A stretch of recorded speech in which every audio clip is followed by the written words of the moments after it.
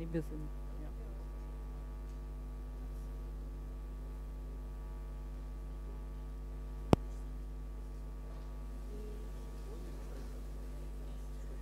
So, liebe Freundinnen und Freunde, wir würden langsam anfangen und in unsere 48. Landesdelegiertenkonferenz starten.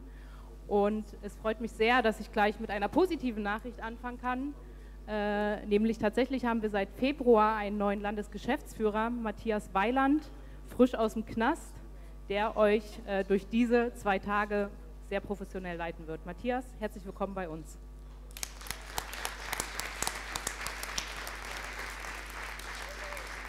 Ja, danke, äh, liebe Christine, danke, liebe Freundinnen und Freunde. Ich wurde ja schon oft äh, auf die Parallelen zwischen Knast und dem äh, Bündnis 90 Die Grünen Landesverband Sachsen angesprochen. So richtig kann ich das noch nicht abschließend beantworten. Bitte gebt mir dafür noch etwas Zeit. Ja, liebe Freundinnen und Freunde, herzlich willkommen zur 48. Landesversammlung von Bündnis 90 Die Grünen in Sachsen. Herzlich willkommen in Neukirch. Ich darf zunächst äh, unsere Ehrengäste ganz herzlich begrüßen. Es sind zum einen die Hausherren hier der Landrat des Landkreises Leipzig-Land, Herr Hendrik Reichen und Herr Bürgermeister der Gemeinde Neukirch, Herr Thomas Hellriegel. Herzlich willkommen und schön, dass Sie heute da sind. Ja, ich freue mich auch und ich denke, es ist ein wichtiges Zeichen, äh, dass wir heute Vertreterinnen der nahezu aller anderen demokratischen Parteien im Sächsischen Landtag hier begrüßen können. Äh, der Landesgeschäftsführer der Linken, Thomas Dutzak, liegt leider krank im Bett und grüßt deshalb von ferne. Herzlich willkommen, Generalsekretärin der SPD in Sachsen, Daniela Kolbe, und im Landesgeschäftsführer der CDU in Sachsen, Thomas West. Des Weiteren, und äh, das freut mich ganz besonders, über die Anwesenheit der Vertreterin der Zivilgesellschaft, ganz besonders der Bürgerinitiativen, Bürgerinitiative Pödelwitz wäre hier konkret zu nennen und äh, Vertreter und Vertreter der Verbände, ganz konkret hier des BUND Sachsen. Herzlich willkommen, Herr Dr. David Greve. Schön, dass Sie da sind. Ich freue mich auch, dass wir zahlreiche Medienvertreter hier begrüßen können und es ist gut und wichtig, dass Sie hier sind. Und es ist eigentlich traurig, dass ich das betonen muss, aber heutzutage ist es ja keine Selbstverständlichkeit mehr im politischen Spektrum, dass man sich über die Anwesenheit freut. Ja, und last but not least freuen wir uns, dass unser Bundesvorsitzender Robert Habeck heute hier ist und nachher zu uns sprechen wird. Robert, herzlich willkommen.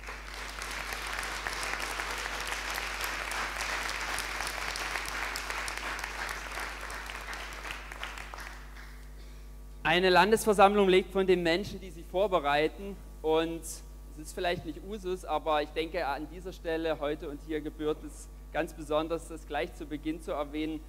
Ganz herzlichen Dank an Clemens Schneider, Magdalena Elkmann, Anna Nowitzka und Julian Siegel für die tolle Vorbereitung. Ihr habt hier aus dem Stand eine großartige Vorbereitung hingelegt. Vielen Dank an euch. Hinter mir und vor mir steht Grün bricht auf, ein neues Kapitel für Sachsen. Und wenn man sich im Moment so umschaut, kann man ja aller Orten vor Aufbruchsbekundungen sich kaum retten. Und wenn ich es recht verstehe, ist aber die Frage schon wieder Aufbruch natürlich berechtigt. Aber ich denke, Aufbruch ist genau die Essenz dieser Partei, die Essenz von Bündnis 90 Die Grünen und das zu jeder Zeit. Und gerade die letzten Wochen und Monate haben das in unserem Landesverband deutlich gezeigt, dass wir eine Work-in-Progress-Partei sind. Eine Partei, die sich selber immer wieder auf den Prüfstand stellt. Das ist nichts Schlimmes, das ist ein grünes Selbstverständnis und deshalb Grün bricht auf. Grün bricht hier in Neukirch auf. Herzlich willkommen noch einmal. Und danke. Ja, dass der das äh, ist genug der Vorworte, denke ich. Zum Aufbrechen gehört vor allem erstmal ein wichtiges formelles Kriterium, das ist die Beschlussfähigkeit und ich darf feststellen, dass wir um 17 Uhr 55 71 stimmberechtigte Mitglieder anwesend hatten. Das heißt, wir sind beschlussfähig. Das führt uns unmittelbar zum ersten wichtigen Punkt, der einen Beschluss erfordert, nämlich äh, die Bestimmung des Präsidiums und seine Wahl. Und der Landesvorstand schlägt euch dazu Mitglieder vor, die ihr im ausgedruckten Antrag F01 vor euch findet.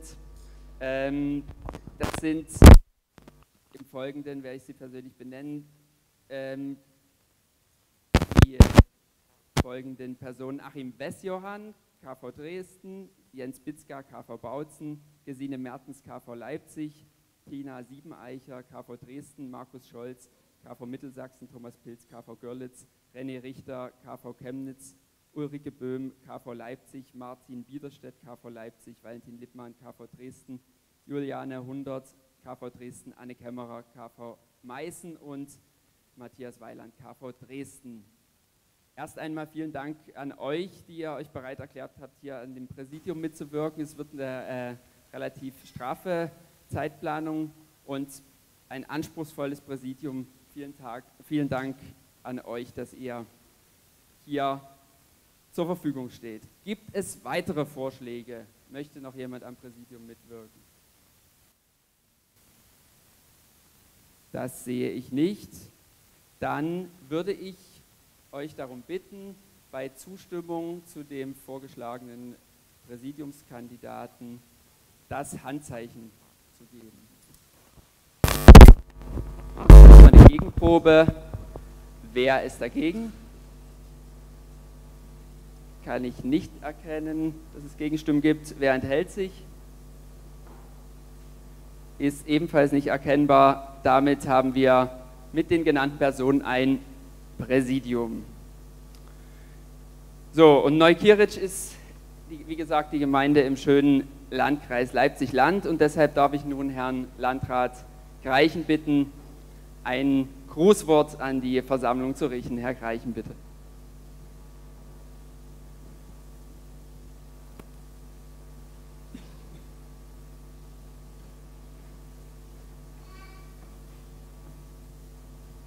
Ja, liebe Kolleginnen, liebe Kollegen der Partei Bündnis 90 Die Grünen hier in Sachsen, liebe Kollegen auch aus den anderen Parteien, Herr Bürgermeister, liebe Gäste, herzlich willkommen von meiner Seite hier im Landkreis Leipzig übrigens. So nennt er sich ganz korrekt seit fast zehn Jahren, seit dem Jahr 2008. Das Jahr, wo in Sachsen die Funktional- und Kreisgebietsreform in Kraft getreten ist. Der Landkreis Leipzig feiert wie alle anderen in diesem Jahr seinen zehnten Geburtstag und Grund genug, Sie nochmal aufs Herzlichste hier im Landkreis begrüßen zu dürfen. Die Situation des Landkreises Leipzig noch vor zehn Jahren gestartet mit einer Einwohnerzahl von um die 265.000 Einwohner. In den ersten Jahren kontinuierlich demografisch negativ. Der Landkreis verlor im Jahr 2.000 bis 3.000 Einwohner, bis im Jahr 2013 ein Tiefstand erreicht war von 255.000. Es gab im Jahr, seit dem Jahr 2014 eine leichte Bewegung nach oben, ein Bevölkerungsplus. Zum einen durch steigende Geburtenzahlen, aber zum anderen durch Zuwanderung, bedingt auch durch die Stadt Leipzig. Das Jahr 2014, und das ist sicherlich eines der wesentlichen Faktoren, hängt auch damit zusammen, dass in der Region weit über den Landkreis und über die Stadt Leipzig hinaus das mitteldeutsche S-Bahn-Netz in Betrieb gegangen ist und insbesondere für den Kreis nach Süden, auf einer Trasse Markleberg, Neukirch, Brunna und nach Osten über den Bereich Borsdorf, Bennewitz bis nach Wurzen hinaus weite Teile des Landkreises mit dem leistungsfähigen Schienenpersonennahverkehr erschlossen hat.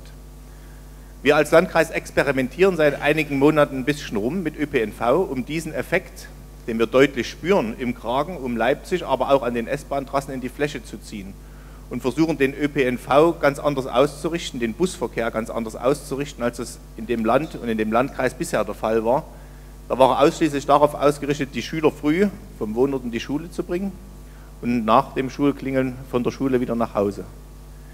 Wir versuchen da neue Wege zu gehen, versuchen den Bus starten zu lassen, damit jeder, der in seinem Wohnort wohnt, den Übergang zum Schienenpersonennahverkehr erreicht und für Berufspendler damit der Anschluss gegeben ist, in die Stadt Leipzig oder weit darüber hinaus zu pendeln. Wir versuchen damit einen ganz anderen Kreis von Bevölkerung auch für ÖPNV anzusprechen, ihn dafür attraktiv zu machen.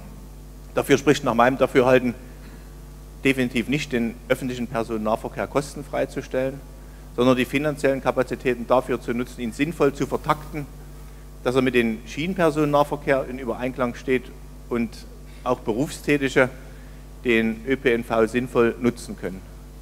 Ich denke, die Zahlen zur Benutzung, ja, da ist, danke, also ich hoffe natürlich, dass dieses Experiment auch einen positiven Ausgang hat. Die vorliegenden Zahlen zumindest sind ganz erfolgsversprechend. Wir haben über 250.000 neue Busnutzer alleine im Bereich Markleberg. Markleberg ist eine besondere Situation, ist nicht repräsentativ für den Landkreis, aber auch in ländlichen Räumen rund um das Mittelzentrum Grimma mit 80.000 Einwohnern können wir seit Inkrafttreten des Projekts zweistellige Zuwachsraten im Bus und später auch im Schienenpersonennahverkehr verzeichnen. Ich denke, das ist eine gute Entwicklung, die wir auch nur dank des Freistaates Sachsen verzeichnen können, weil der uns bei der Finanzierung hilft.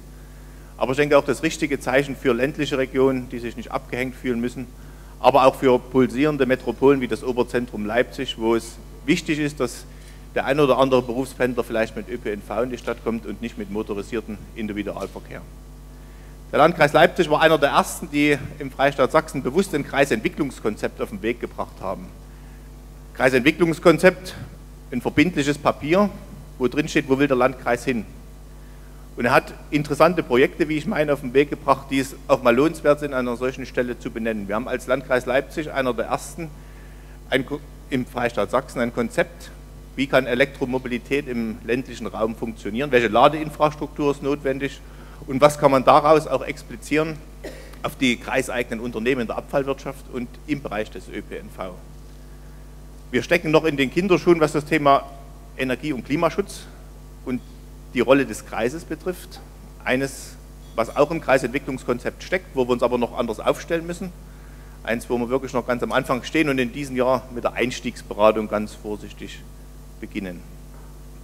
Ich möchte Sie aber ausdrücklich auch in einer Region begrüßen, die vor wenigen Jahrzehnten noch davon geprägt war, dass extensiver Braunkohleabbau betrieben wurde, ohne Rücksicht auf Mensch, auf Natur, auf Umwelt, dass diese Braunkohle hier vor Ort veredelt und verstromt wurde und binnen weniger Jahre in den 90er Jahren zusammengebrochen ist dieser gesamte Wirtschaftszweig. Das hat dazu geführt, dass wir Arbeitslosenquoten von weit über 20 Prozent in der Region hatten. Die Suizidquote im Raum Borna war die höchste im gesamten Freistaat Sachsen. Und ich denke, wenn man heute durch die Region fährt, dann sieht man, wie eine Landschaft in Wert gesetzt werden kann, die von den Menschen angenommen wird, die aber auch nach meinem Dafürhalten sich im Einklang mit Umwelt und Natur entwickeln kann. Auch dafür haben wir gute Belege und monitoren das in jedem Jahr. Ich wünsche Ihnen für Ihren Dialog, für Ihren Landesparteitag alles Gute und bitte darum, dass bei Ihren Entscheidungen der kommunale Blickwinkel nicht ganz außer Acht gelassen wird. Herzlichen Dank und gutes Gelingen zu Ihrem Landesparteitag.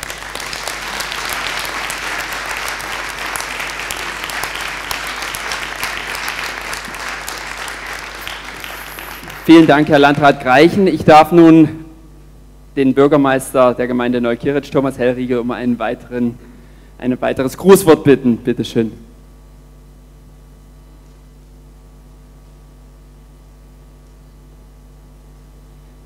eine Sache, die wir gerade eben noch vergessen hatten. Äh, es ist ganz wichtig, uns äh, das in Erinnerung zu rufen. Wir haben heute einen Livestream, wofür wir äh, ganz herzlich Martin Jenichen danken. Und in dem Zusammenhang wäre es aber noch, kommen Sie, kommen Sie ruhig hoch. Ähm, wichtig zu erwähnen, dass wer nicht gefilmt werden möchte, wer etwas dagegen hätte, möge bitte sein äh, Wort erheben, denn dann müssten wir entsprechende Maßnahmen ergreifen, dass das nicht eintritt. Wie auch immer die aussehen, ist zum Glück nicht der Fall. Äh, ich sehe Achim. Achim, hast du dich gemeldet? Nein. Okay. Herr, Herr Herrige, bitteschön. Recht herzlichen Dank. Ja, äh, herzlich willkommen, sehr geehrte Delegierte, herzlich willkommen in der Parkarena in Neukirch zu Ihrer 48. Landesversammlung heute hier. Ganz besonders begrüßen möchte ich die Landesvorstände Frau Christine Melcher und Herrn Jürgen Kasek, die Fraktionsvorstände Franziska Schubert und Volkmar Czocke sowie den Herrn Bundesvorsitzenden Robert Habeck. Es ist uns in unserer kleinen, überschaubaren Gemeinde eine besondere Ehre und ein Vergnügen, als Veranstaltungsort zu dieser Landesversammlung ausgewählt worden zu sein. Gemeinde Neukieric mit rund 7000 Einwohnern, verteilt auf acht Ortsteile, ist die einzige Gemeinde im Südraum Leipzig, welche die Tradition des Bergbaus und der Energieerzeugung und der Chemieregion, Chemieindustrie in der Region, aber auch die der Naherholung in den Bergbaufolgelandschaften miteinander verbindet. Auf der einen Seite der aktive Bergbau im Tagebau Vereinigtes Schleenhain, der MIPRAG, welcher rund 12 Millionen Tonnen Braunkohle im Jahr fördert und dem neu erbauten Kraftwerk Lippendorf der LEAG im Industriegebiet Lippendorf zuführt, welches diese Braunkohle dort verstromt, aber auch das zusammenhängende, das größte zusammenhängende Industriegebiet Sachsens, das Industriegebiet Böhlen-Lippendorf, liegt zu großen Teilen auf unserem Gemeindegebiet. Hier sind Firmen wie Dow Chemical, Air Liquid, die BGH, Edelstahlwerke, aber auch kleine, kleinere Firmen aus der Zulieferer- und dem Servicebereich für diese Global Player angesiedelt. Auf der anderen Seite die Bergbaufolgelandschaften mit dem Kahnsdorfer, dem Heiner und dem Haubitzer See, die zum Verweilen, Baden und Erholen einladen. Aber nicht nur Naherholung wird in unserer Gemeinde großgeschrieben, auch der Hochwasserschutz für die große Stadt Leipzig ist sozusagen eine Aufgabe, die wir hier mit unseren Seen auch absichern.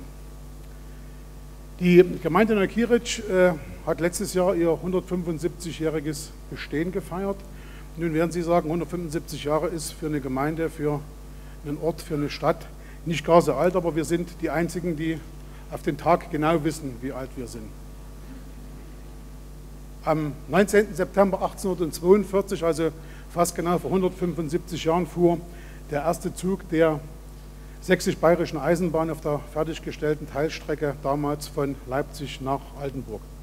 Auf halber Strecke lag zunächst der Haltepunkt Kieritsch, Daraus entwickelte sich diese Ansiedlung, wo heute ihr Tagungsort steht. Und seit dem 1.11.1935 heißt dieser Ort Neukieric. Baubeginn dieser Strecke war übrigens der 1.7.1841. Ich habe gerade gesagt, am 19. September 1842 fuhr der erste Zug, also knapp 15 Monate haben die Arbeiter gebraucht, um mit Hacke, Schaufel, Spaten und mit Pferdefuhrwerken diese Strecke zu, fertigzustellen. Und das wie gesagt, 1840, man stelle sich das heute in der heutigen Zeit, in Zeiten von BER, Elbphilharmonie Stuttgart 21 vor. Die anderen Ortsteile unserer Gemeinde sind wesentlich älter. Die sind alle so im 11., 12., 13. Jahrhundert zum ersten Mal urkundlich erwähnt. Ähm, so auch der Ortsteil Kahnsdorf. Äh, der Ortsteil Kahnsdorf ist äh, der Ort, in dem 1785 europäische Geschichte geschrieben wurde. Am 1. Juli 1785 lud der damalige Rittergutsbesitzer Johann Christian Ernesti die Herren Gottfried Körner und Friedrich Schiller nach Kahnsdorf ein. Schiller und Körner, in dem Fall der Vater von Theodor Körner, verband seit diesem Treffen eine innige Freundschaft, welche den Dichter Friedrich Schiller zu seiner Ode an die Freude bewegte. Von Beethoven vertont heute die Hymne Europas. Sie sehen also, hier hat Geschichte Europas schon um 1785 stattgefunden. Ein weiterer Bekannter verbrachte einen Sommer in Kahnsdorf. Äh, Erich Löst äh, verbrachte seinen Sommer hier und äh, hat auch die Ortslage Kahnsdorf, insbesondere das Rittergut Kahnsdorf, in seinem Roman Durch die Erde ein Riss mit erwähnt. Einige der Delegierten werden sicherlich Neukieric äh, mit dem Sportverein Neukieric in Verbindung bringen, mit den Sportfreunden 1921 einer der größten Vereine, nicht nur im Landkreis, äh, einer der größten Sportvereine in ganz Sachsen, der auch, wenn nicht gerade eine Landesversammlung der Grünen stattfindet, diese Halle auch als Trainingsort hier mitnutzt. Ein Verein, der mit 15 Sektionen und rund 850 Mitgliedern, davon ungefähr 170 Kindern hier Sport betreibt. Sportlichen Wettkampf, aber auch Behinderten, Reha und Seniorensport. Ganz besonders aktiv sind die Neukiericher im Seniorensport. Die Sportfreunde Neukirich haben im letzten Jahr bei den 45. deutschen Teammeisterschaften der Seniorinnen und Senioren in Kevlar und Altersklasse W50, 55 den sechsten Titel in Folge erkämpft. Das hat bisher noch keine andere Mannschaft geschafft. In den anderen Ortsteilen geht man es eher gemütlicher an. Im Ortsteil Deutzen wird gekegelt, wird Fußball gespielt, aber es wird so gut gekegelt, dass die erste Kegelmannschaft des SV Blau-Weiß Deutzen der Sieger der Bundesliga Klassik war, sozusagen der letzte deutsche Meister in der Saison 2016, 2017.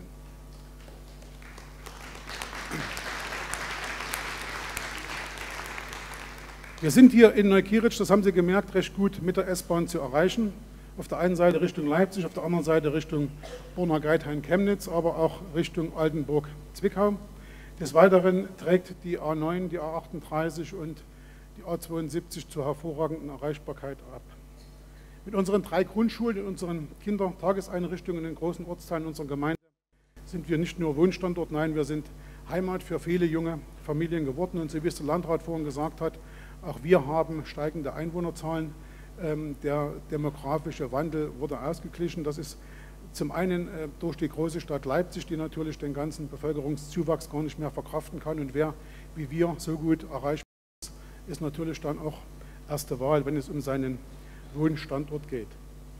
Ja, mit anderen Worten, es macht Freude, in Neukieric zu leben, zu arbeiten. Ein rundrum, ein rundrum gelungener Ort. Meine lieben Delegierten, ich wünsche Ihnen viel Spaß in Neukieric. Ich wünsche Ihnen gute Gespräche. Ich wünsche Ihnen eine gute Versammlung. Ich bedanke mich, dass Sie uns als den Ort gewählt haben für Ihre 48. Landesversammlung und vielleicht sehen wir uns ja alle mal irgendwann wieder. Herzlichen Dank, schönen Abend.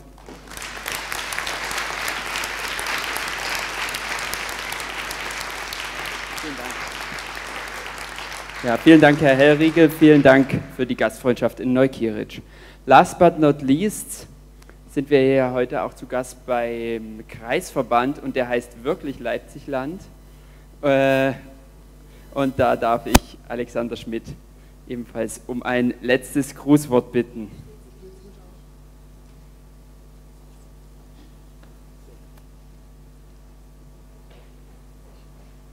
liebe Ehrengäste, liebe Freundinnen und Freunde, also unser Kreisverband heißt nicht Leipziger Land, sondern heißt Kreisverband Landkreis Leipzig, genauso wie, der, wie, wie auch der Landkreis heißt. Das mal so zur Korrektur.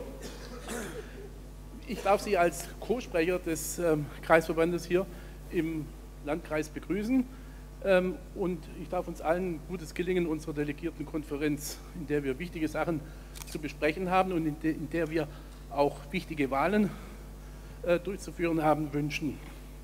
Der Herr Landrat Greichen hat mir meinen vorbereiteten kurzen Exkurs eigentlich im Wesentlichen weggenommen, den will ich jetzt hier nicht nochmal wiederholen. Richtig ist, er kann stolz sein. Wir können hier im Landkreis wirklich stolz sein auf die Entwicklung des öffentlichen Nahverkehrs. Ich bin jetzt als Stadtrat aus Brandis, also aus der Muldenthaler Seite eigentlich des Landkreises, ähm, jetzt ähm, da tätig und auch da sind wir in unserer Stadt Brandis also in einem Pilotprojekt Muldental in Fahrt äh, einbegriffen, was in der Tat auch da zu erheblichen ähm, Zuwachs beim öffentlichen Nahverkehr für, führt, was wir natürlich grundsätzlich und klar begrüßen. Es schaut gerade auch im ländlichen Raum, von dem wir im Landkreis hier ja viel haben, wir haben, wir haben einen Raum, so ein so ein Gürtel rund um die Großstadt Leipzig und dann haben wir aber einen großen, großen Raum, der wirklich ländlich geprägt ist, ein ländlicher Raum ist, trotz dieser Infrastruktur. Da haben wir ein großes Problem in der, in der aktuellen ähm, Ausbau der Digitalisierung. Das ist, glaube ich, der, überall, das, überall die, ein Hauptproblem. Aber auch hier gibt es das. Äh, wir haben einzelne Lösungen, Insellösungen in einzelnen Kommunen, die funktionieren, die nicht funktionieren. Es gibt keine einheitliche Strategie und das muss, denke ich mir, dringend geändert werden. Überhaupt Bildung, auch bei der, auch bei der Bildung müssen wir, denke ich mir, noch ein bisschen nachlegen. Auch hier gibt es noch Defizite, auch hier gibt es auch in unserem Landkreis noch Bereiche in der Jugend, die wir noch etwas stärker fördern müssen und wo wir wirklich, wirklich sagen müssen, wir müssen da auch ran, um auch diese sich auftuende Spaltung in der Gesellschaft wirklich zu bekämpfen. Gerade heute ist auch wieder viel von Heimat die Rede. Auch da müssen wir uns als Grüne, denke ich mir, einbringen und wir dürfen das Feld nicht anderen überlassen, die das ja relativ lautstark äh, sagen. Wo Menschen behaust sind, ist Heimat, sagt ein nepalesisches Sprichwort. darüber muss man nachdenken.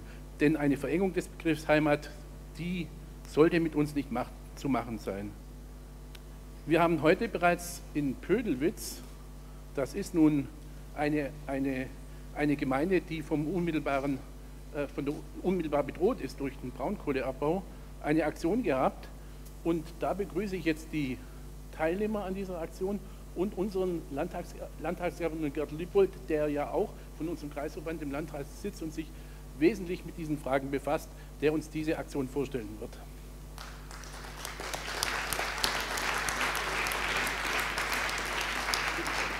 Danke, Alexander. Wir waren vor zwei Stunden, einige von uns stellvertretend für uns alle, in Bödelwitz, um eine rote Linie zu ziehen. Wenn ihr hier vor der Halle steht, seht ihr nicht, dass ihr mittendrin im mitteldeutschen Braunkohlerevier seid. Wir wollen es euch zeigen. Und inzwischen bitte ich alle, die vorhin dabei waren, kommt hoch, tragt die rote Linie nochmal auf die Bühne. Der Tagebau Vereinigtes Schlehenhain hat bereits 25 Quadratkilometer Sachsen gefressen und umgewühlt. 11 Millionen Tonnen Kohle pro Jahr allein aus diesem einen Loch.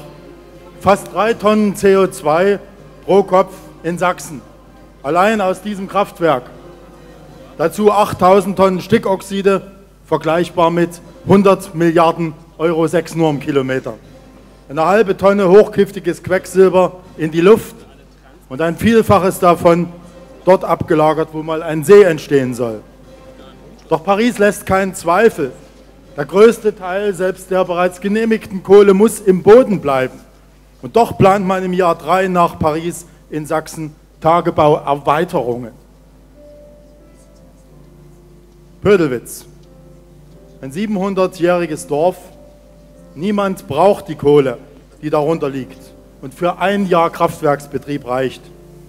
Und dennoch will die MIPRAG es, unterstützt durch die Staatsregierung, abbaggern, weil sein Schutz vor dem Lärm und Staub des Tagebaus Geld kosten würde, weil es der profitabelsten Abbauführung im Weg steht. Doch der Widerstand wächst. Im Schulterschluss mit einer breiten zivilgesellschaftlichen Bewegung für Klimaschutz, Klimagerechtigkeit und Kohleausstieg ziehen auch wir hier eine rote Linie.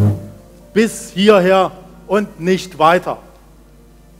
Noch droht diesem Dorf tödliche Gefahr. Es droht die Gefahr der Auslöschung nach 700 Jahren Geschichte, nach vielen Generationen, die erhalten, aufgebaut und an ihre Kinder weitergereicht haben, nach überstandenen Kriegen und Nöten. Das Dorf steht auf Kohle und hat dennoch bis jetzt das Kohlezeitalter überlebt. Und jetzt soll es untergehen? obwohl die Kohle unter ihm für das Kraftwerk gar nicht mehr gebraucht wird. Es soll einfach deshalb zerstört werden, weil es im Weg steht und seine Beseitigung billiger wäre als sein Schutz. So einen Wahnsinn lassen wir nicht zu. Vor einem Jahr sind viele Menschen hierher gekommen, die Entschlossenheit, aber auch Freude und Zuversicht mitgebracht haben. Und sie haben den Frühling in Form tausender Osterglocken mitgebracht und daraus ein gelbes Kreuz des Widerstandes gepflanzt. Und zugleich ein Symbol des Lebens und des Gedeihens. Vor zwei Stunden waren wir stellvertretend für euch alle dort bei den Menschen, die um ihr Dorf kämpfen, als rote Linie. Wir waren dort als Teil der vielen Menschen, die das inzwischen zu ihrem Anliegen machen. Vertreter dieser Initiativen und Verbände waren heute wieder dort, um nach den Blumen zu sehen, und erneut zu bekräftigen, ja, dieses Dorf wird leben. Davon sind wir fest überzeugt. Und wir erinnern daran, dieses Dorf hat viele, viele Freundinnen und Freunde. Mehr als es Menschen unter seinen Dächern hat. Und es steht nun im Brennpunkt der Aufmerksamkeit, was hier passiert. Und wir versprechen, wenn es in seiner Existenz bedroht wird, dann kommen wir wieder. Mit Blumen und mit allem, was sonst noch für seine Verteidigung gebraucht wird. Ein gallisches Dorf hat einen Asterix. Und der von Pödelwitz, der ist hier. Der heißt Jens Hausner. Und den bitte ich jetzt um ein paar Worte.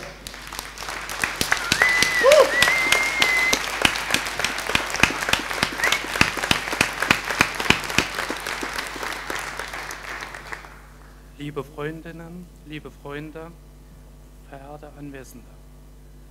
Ich bin Jens Hausner, ich bin Mitglied der Bürgerinitiative Pro Pödelwitz. Wir haben die Bürgerinitiative 2013 gegründet, weil wir gemerkt haben, dass wir als, Einzel als Einzelperson äh, keine Öffentlich Arbeit, Öffentlichkeitsarbeit machen konnten in dem Maße, wie man das als BI machen kann und unser Problem in die Öffentlichkeit tragen. Worum geht es? Der Herr Lippold hat es bereits angesprochen. Wir befinden uns am Tagebau Vereinigtes Schleenhain. Dieser Tagebau hat eine genehmigte Laufzeit bis 2040. In dieser Laufzeit steckt unser Dorf nicht mit drin, um es zu beanspruchen zum Kohleabbau. Jetzt will die MIPRAG ein Planungsverfahren anstreben und den Tagebau erweitern. Dieser Erweiterung sollen zwei Dörfer zum Opfer fallen, Oberditz und Pödelwitz. Wir wollen hier heute eine Resolution auf den Weg bringen mit der Forderung an die Entscheidungsträger auf Landkreisebene, auf Landesebene und auf Bundesebene dafür zu sorgen, dass ein Dorf, was nicht für den Braunkohleabbau beansprucht werden muss, auch erhalten bleibt. Und da geht meine Forderung auch an den Landrat, auch als, oder als Vorsitzender des Planungsverbandes Westsachsen. Tragen Sie diese Forderung nach Dresden. Diese Dörfer müssen nicht abgebaggert werden. Hier geht es nur um finanziell wirtschaftliche Interessen eines Bergbauunternehmens. Das Kraftwerk Lippendorf ist bereits mit der Planung dieses Tagebaus komplett über seine gesamte Laufzeit mit Kohle abgesichert. Das heißt, man muss diese Dörfer nicht mehr opfern.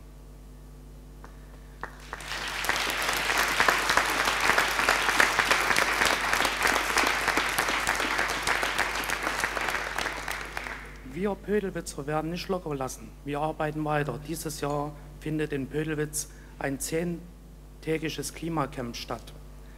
Dort wollen wir Öffentlichkeitsarbeit machen, damit es jeder versteht, was hier passiert. Das ist absolut nicht mehr zeitgemäß, dass ein Tagebau erweitert wird über eine Laufzeit von 2040 hinaus. Wenn wir wissen, dass bereits die genehmigte Kohle nicht in diesem Umfang abgebaggert werden darf, wie sie zur Abbaggerung genehmigt ist. Das widerspricht unseren Klimazielen, die die Bundesregierung Deutschland selber festgelegt hat. Es gibt bei uns im Landkreis so einen Wettbewerb, der heißt Dorf, das Dorf hat Zukunft. Die sächsische Landesregierung fordert Heimatverbundenheit ein. Wir als Pödelwitzer, wir brauchen diesen Wettbewerb nicht. Wir brauchen auch nicht diese Heimatdebatte.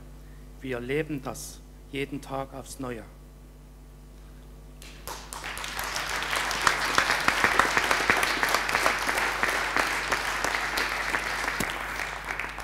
Wir haben uns dieses Schicksal nicht ausgesucht. Wir nehmen es aber an und kämpfen für den Erhalt der Orte, die noch dem Braunkohleabbau zum Opfer fallen sollen und das ohne Kompromisse. Danke.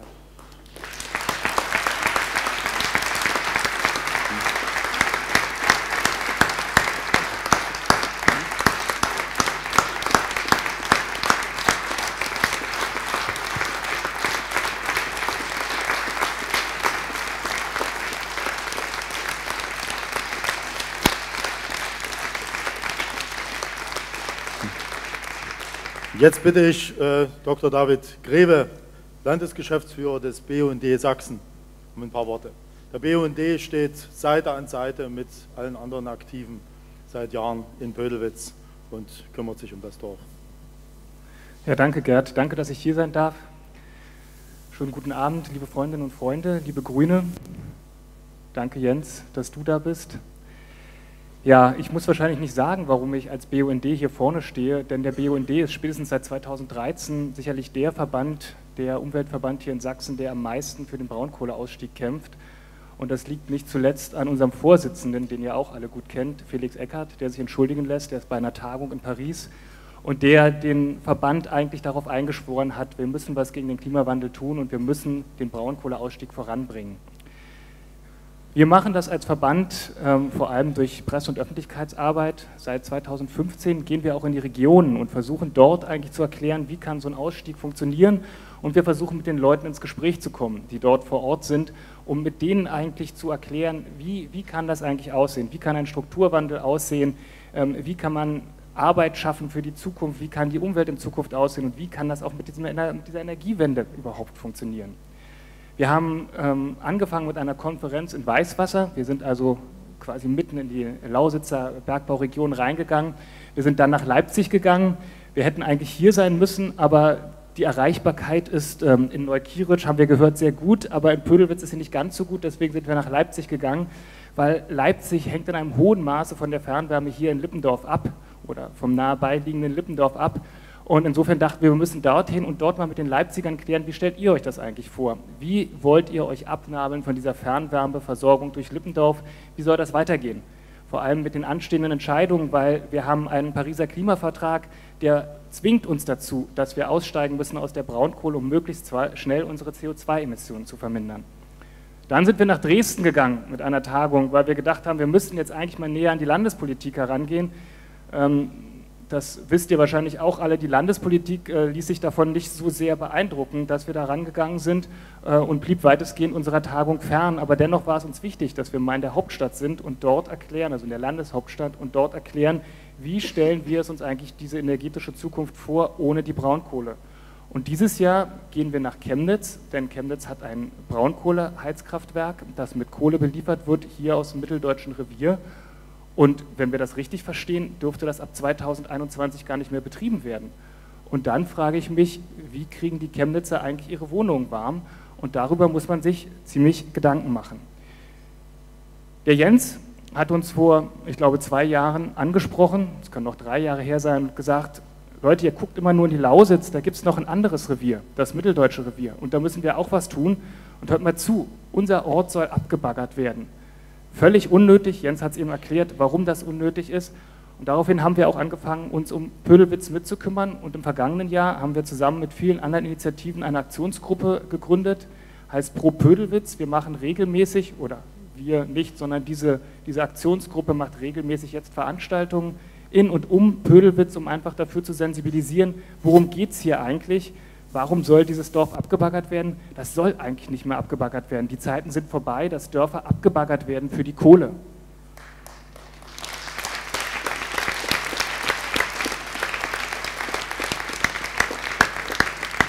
Und im vergangenen Jahr haben wir eine Reihe von Aktionen gemacht. Gerd hat ein paar davon schon aufgezählt. Wir haben schon Bilder davon gesehen. Meine Lieblingsaktion, deswegen trage ich dieses T-Shirt hier, war unsere rote Linie, die wir im November gemacht haben und jetzt kann jeder sagen, 300 Leute, die gekommen sind äh, für einen Braunkohleausstieg, das ist ja ganz schön wenig. Aber jeder, der heute nicht in Pödelwitz war, hat das wahrscheinlich gemacht, weil Pödelwitz so schwierig zu erreichen ist. Und deswegen ist es wichtig, dass wir da mit 300 Leuten in Pödelwitz gestanden haben und gesagt haben, rote Linie, Braunkohleabbau nicht weiter.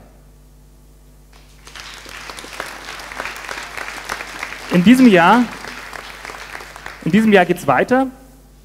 Wir werden haben wir gehört, das Klimacamp begleiten. Wir werden sicherlich auch andere Veranstaltungen mit den anderen Verbänden, die mit uns in der Initiative Pödelwitz bleibt, drin sind, begleiten, einiges machen. Ich denke, in diesen weißen Overalls sehen wir auch Menschen, die rund um das Klimacamp oder zu anderen Veranstaltungen äh, hoffentlich so ein bisschen die Gegend hier rocken gegen die Braunkohle.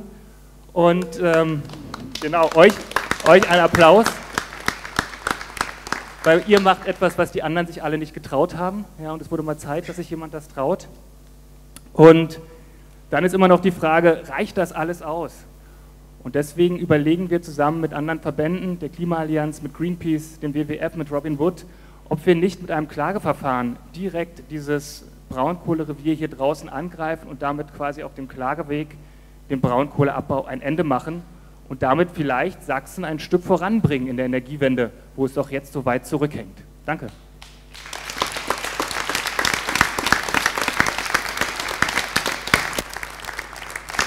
Und jetzt bitte ich Sophie, Sophia Nemek, die sich da hinter der roten Linie verschanzt hat, nochmal vorzukommen und aus Sicht der grünen Jugend ein paar Worte zu sagen. Denn ihr werdet im Sommer hier eine große Rolle spielen. Ja, vielen Dank, äh, liebe Freundinnen und Freunde. Also wir, die Grüne Jugend Sachsen, wir freuen uns auch mit euch äh, heute hier stehen zu können, ähm, weil es einfach mal wieder zeigt, dass wir viele sind und dass wir gemeinsam unseren Kampf gegen Kohle kämpfen. Ähm, der Blick auf Pödelwitz ähm, lässt in besonderer Weise schaudern, denn was wir alle wissen, was uns unser Kopf sagt, das können wir hier eigentlich mit allen Sinnen erleben. Unser Kopf, unser Verstand, der sagt uns ja eigentlich schon relativ klar, äh, welche katastrophalen Folgen für Umwelt, für Klima, für Landwirtschaft der Kohleabbau hat. Ähm, aber hier, hier sehen wir das kleine Dorf, das nochmal weggebaggert werden soll. Wir können es äh, spüren, wir können es hören, wir können es sehen, wir nehmen es wahr und wir spüren, was hier vor Ort zerstört wird. Das ist Landschaft, das sind Dörfer, das ist Umwelt, Klima und im Endeffekt unser Planet. Wir wissen es, wir nehmen es wahr, also ist jetzt eigentlich die einzige logische Konsequenz, jetzt handeln und jetzt was dagegen tun. Ähm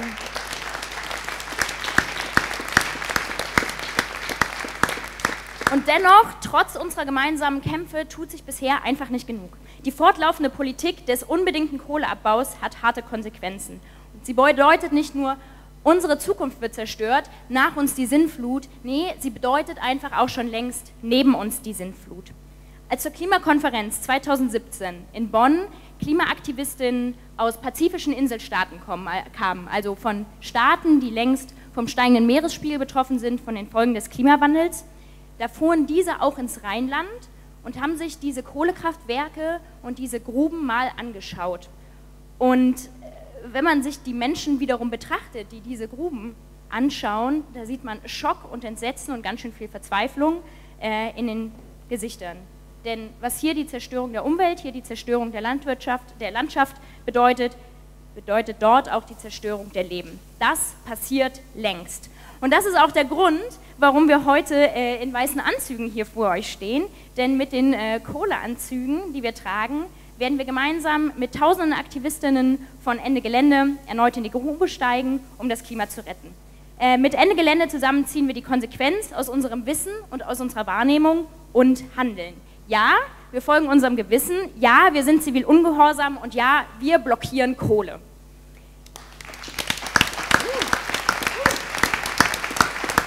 Wir stehen an der Seite derer, die schon längst von den Folgen des Kohleabbaus betroffen sind, die den Klimawandel bereits spüren.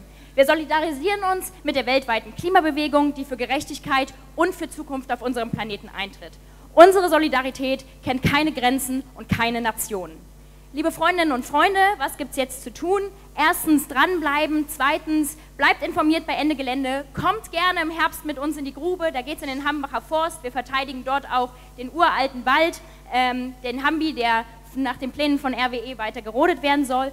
Kommt zum Klimacamp, das ist schon mehrfach angesprochen worden. Das ist dieses Jahr das erste Mal hier in der Region, um sich über das Klima auszutauschen, um sich darüber auszutauschen, wie wir das Klima retten. Und zu guter Letzt, lasst uns nicht aufhören, bis die Kohle endlich im Boden bleibt. Vielen Dank. Danke, Sophia. Liebe Freundinnen und Freunde, liebe Gäste, dieses kleine Dorf im Süden von Leipzig ist bereits heute ein Symbol. Und wenn es gemeinsam gerettet wird, dann wird das das erste Mal, dass die Braunkohlebosse hier etwas nicht bekommen, weil sie auf das Entschiedenste wollen. Und zugleich das letzte Mal, dass sie es noch versuchen konnten. Wir werden nicht müde, öffentlich und im Parlament Vernunft einzufordern. Denn es wäre kein Zeichen von Schwäche, sondern selbstbestimmter Handlungsfähigkeit, dieses Irrsinnsprojekt jetzt und hier unter neuen Rahmenbedingungen zu stoppen. Gestoppt wird es auf jeden Fall. Wenn es durch tausende Menschen gestoppt wird, dann hat dieses kleine Dorf im Süden von Leipzig wirklich das Zeug, zum Wackersdorf der deutschen Braunkohleindustrie zu werden. Und auf euch, liebe Freundinnen und Freunde, kommt es dabei ganz besonders an. Denn als Grüne hier in Sachsen seid ihr mittendrin statt nur dabei. Deshalb haben wir euch eine Resolution auf den Tisch gelegt, mit der diese Landesdelegiertenkonferenz ein starkes Signal gegen die Abbaggerung von Pödelwitz setzen kann. Und wenn ihr das wollt, dann zeigt das bitte mit eurem Klimazeichen, was vor euch auf dem Tisch liegt.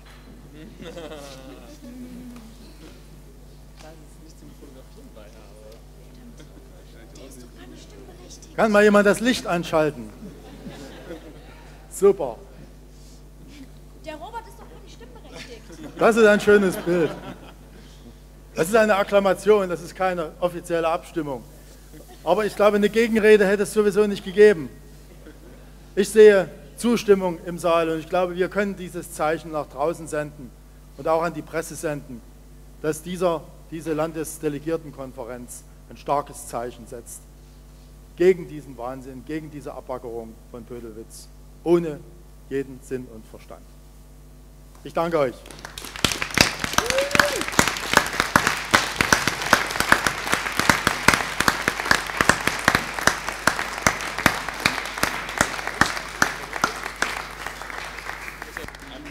laufende Linie. Du kannst ja auch die Maske irgendwann nicht mehr tragen.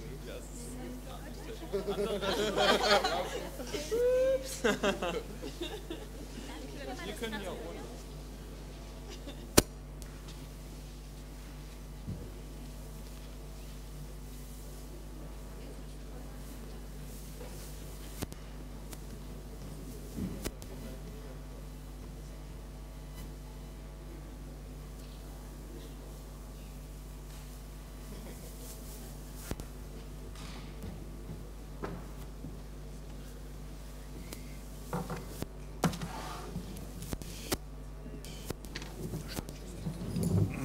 Hängen die drüber, ja. So, sieben. Jo.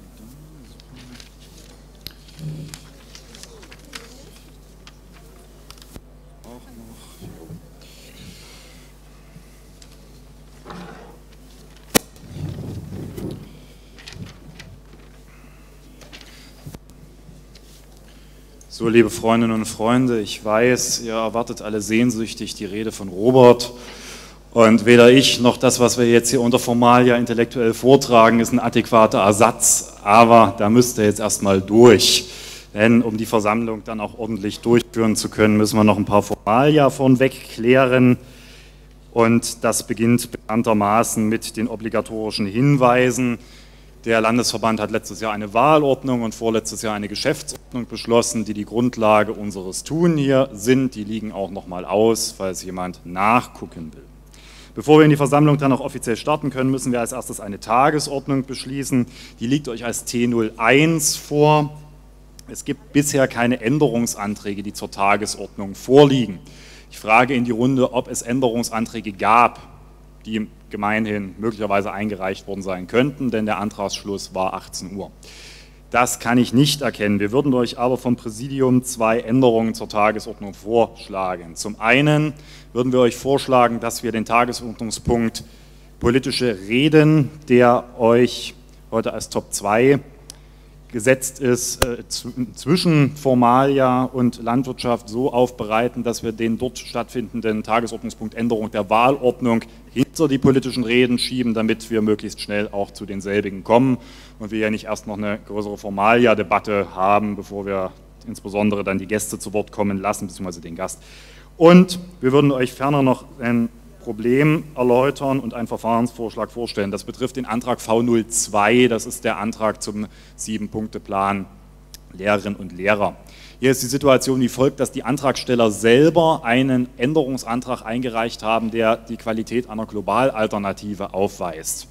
Die haben das deswegen getan, weil, wie ihr sicherlich alle mitbekommen hat die Staatsregierung vor anderthalb Wochen ein umfassendes Maßnahmenpaket Lehrerinnen und Lehrer vorgelegt und Teile dieses Antrages waren damit nicht mehr aktuell und mussten geändert werden.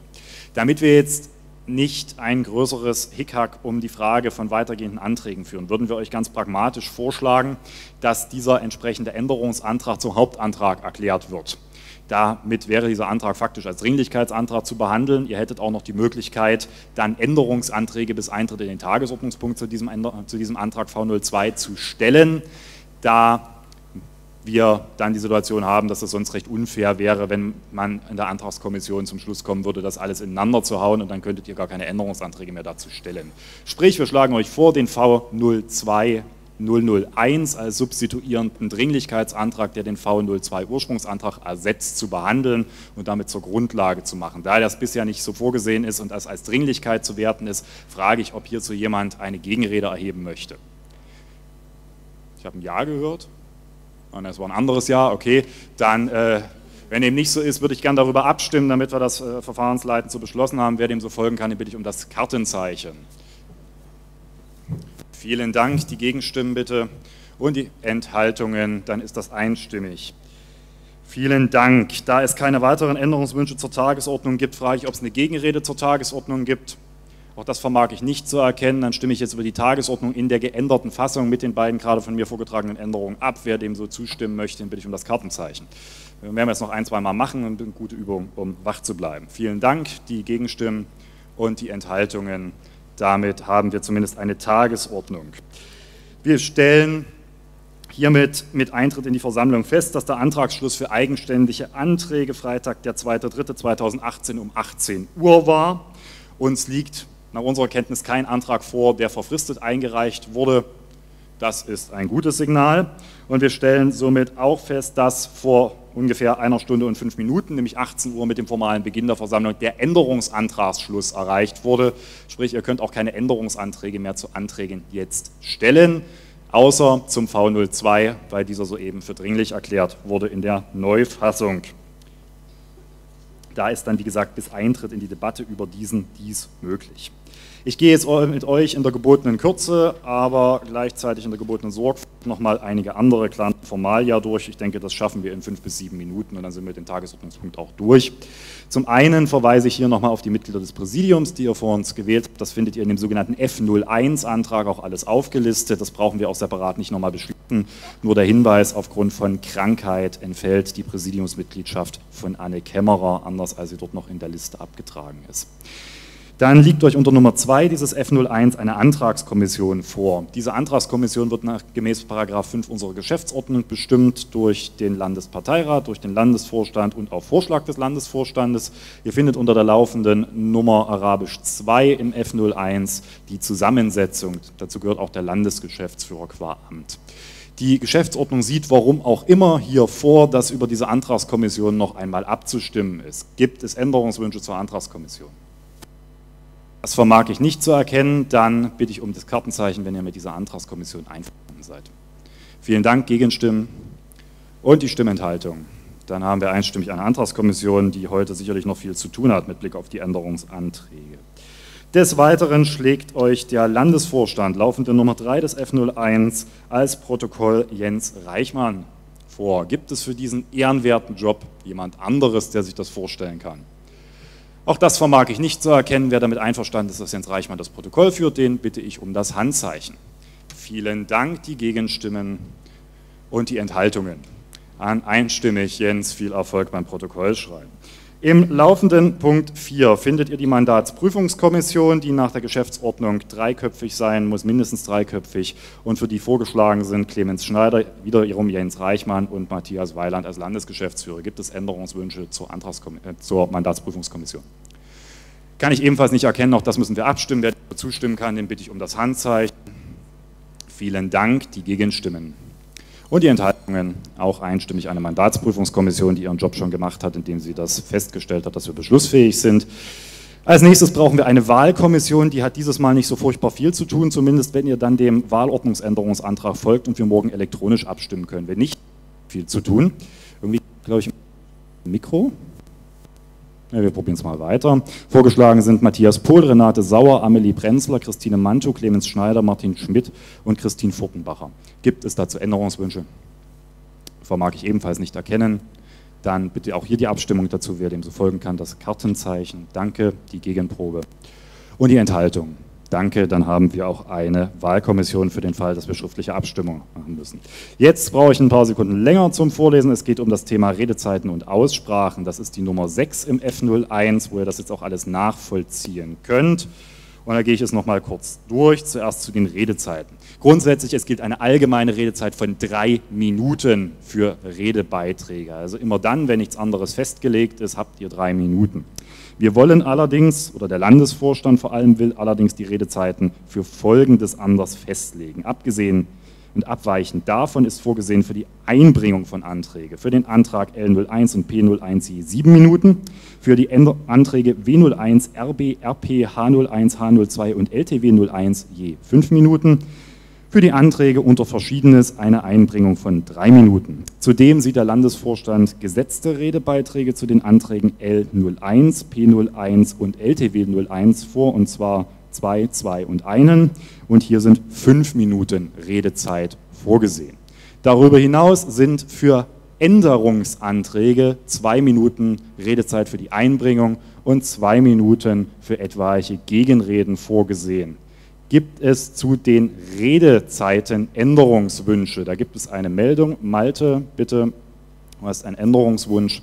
Bitte nutze dazu am besten das Saalmikro, das geht, glaube ich, am schnellsten.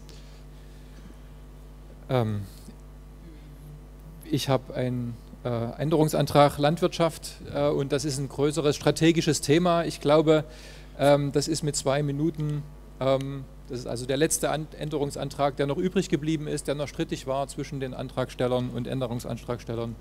Ähm, ich möchte bitten, dass ähm, wir da fünf Minuten äh, Redezeit bekommen für Rede und Gegenrede.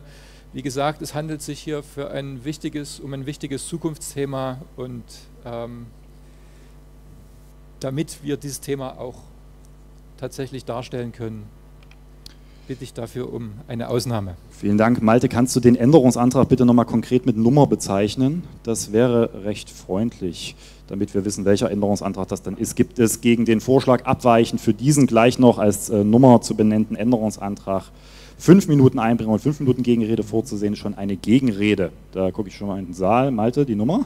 L01 146. Okay,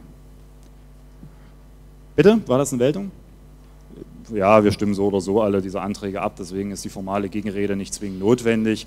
Wir stimmen dann diesen Antrag ab. Wer abweichend dazu noch den entsprechenden L0146 mit entsprechend 5 Minuten Einbringung und 5 Minuten Gegenrede vorsehen will, den bitte ich um das Handzeichen. Vielen Dank. Die Gegenprobe. Ich zähle 3, 4, danke und die Enthaltung.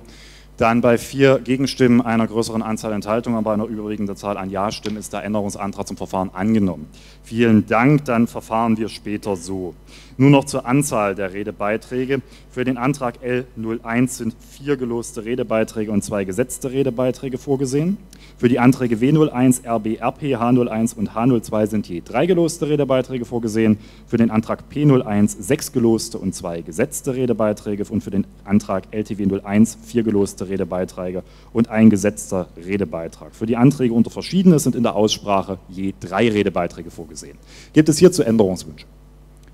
Das vermag ich nicht zu erkennen, dann stimme ich jetzt die Redezeiten und die Zahl der Redebeiträge ab. Wer dem so folgen kann, mit der einen Änderung, den bitte ich um das Kartenzeichen. Vielen Dank. Dann entsprechend die Gegenprobe und die Enthaltungen. Bei zwei Enthaltungen und kein Gegenstimmen verfahren wir dann entsprechend so. Zu guter Letzt zu den Vorstellungsverfahren und Vorstellungszeiten. Diese findet ihr in Nummer 7 der entsprechenden Vorlage. Demnach wird für die Wahlen des Landesvorstandes Folgendes festgelegt. Die Redezeit für die Vorstellung der Kandidatinnen für die Ämter der Sprecherin und des Landesschatzmeisters beträgt sieben Minuten, für alle anderen Kandidatinnen für den LAFU fünf Minuten. Nach der Vorstellung der Kandidatin werden bis zu drei schriftliche Fragen, ich betone schriftliche Fragen, durch das Präsidium gelost und verlesen. Anschließend hat die der Kandidatin die Möglichkeit, diese bis zu drei Minuten zu beantworten. Diese Antwortzeit gilt auch, wenn keine oder weniger als drei Fragen gestellt wurden. Für die Wahlen zum Landesparteirat wird Folgendes festgelegt. Die Redezeit für die Vorstellung der Kandidatin für den Landesparteirat beträgt vier Minuten. Nach Vorstellung der entsprechenden Kandidaten werden jeweils bis zu zwei schriftliche Fragen durch das Präsidium gelost und verlesen. Anschließend hat der die Kandidatin die Möglichkeit, diese bis zu zwei Minuten zu beantworten. Auch hier gilt, dass die entsprechende Redezeit Anwendung findet, unabhängig von der Frage, ob und wie viele Fragen gestellt wurden. Gibt es hierzu Änderungswünsche? Ich sehe einen Änderungswunsch. Dieter Rappenhöhner, KV Vogtland. Bitte das Saalmikro benutzen.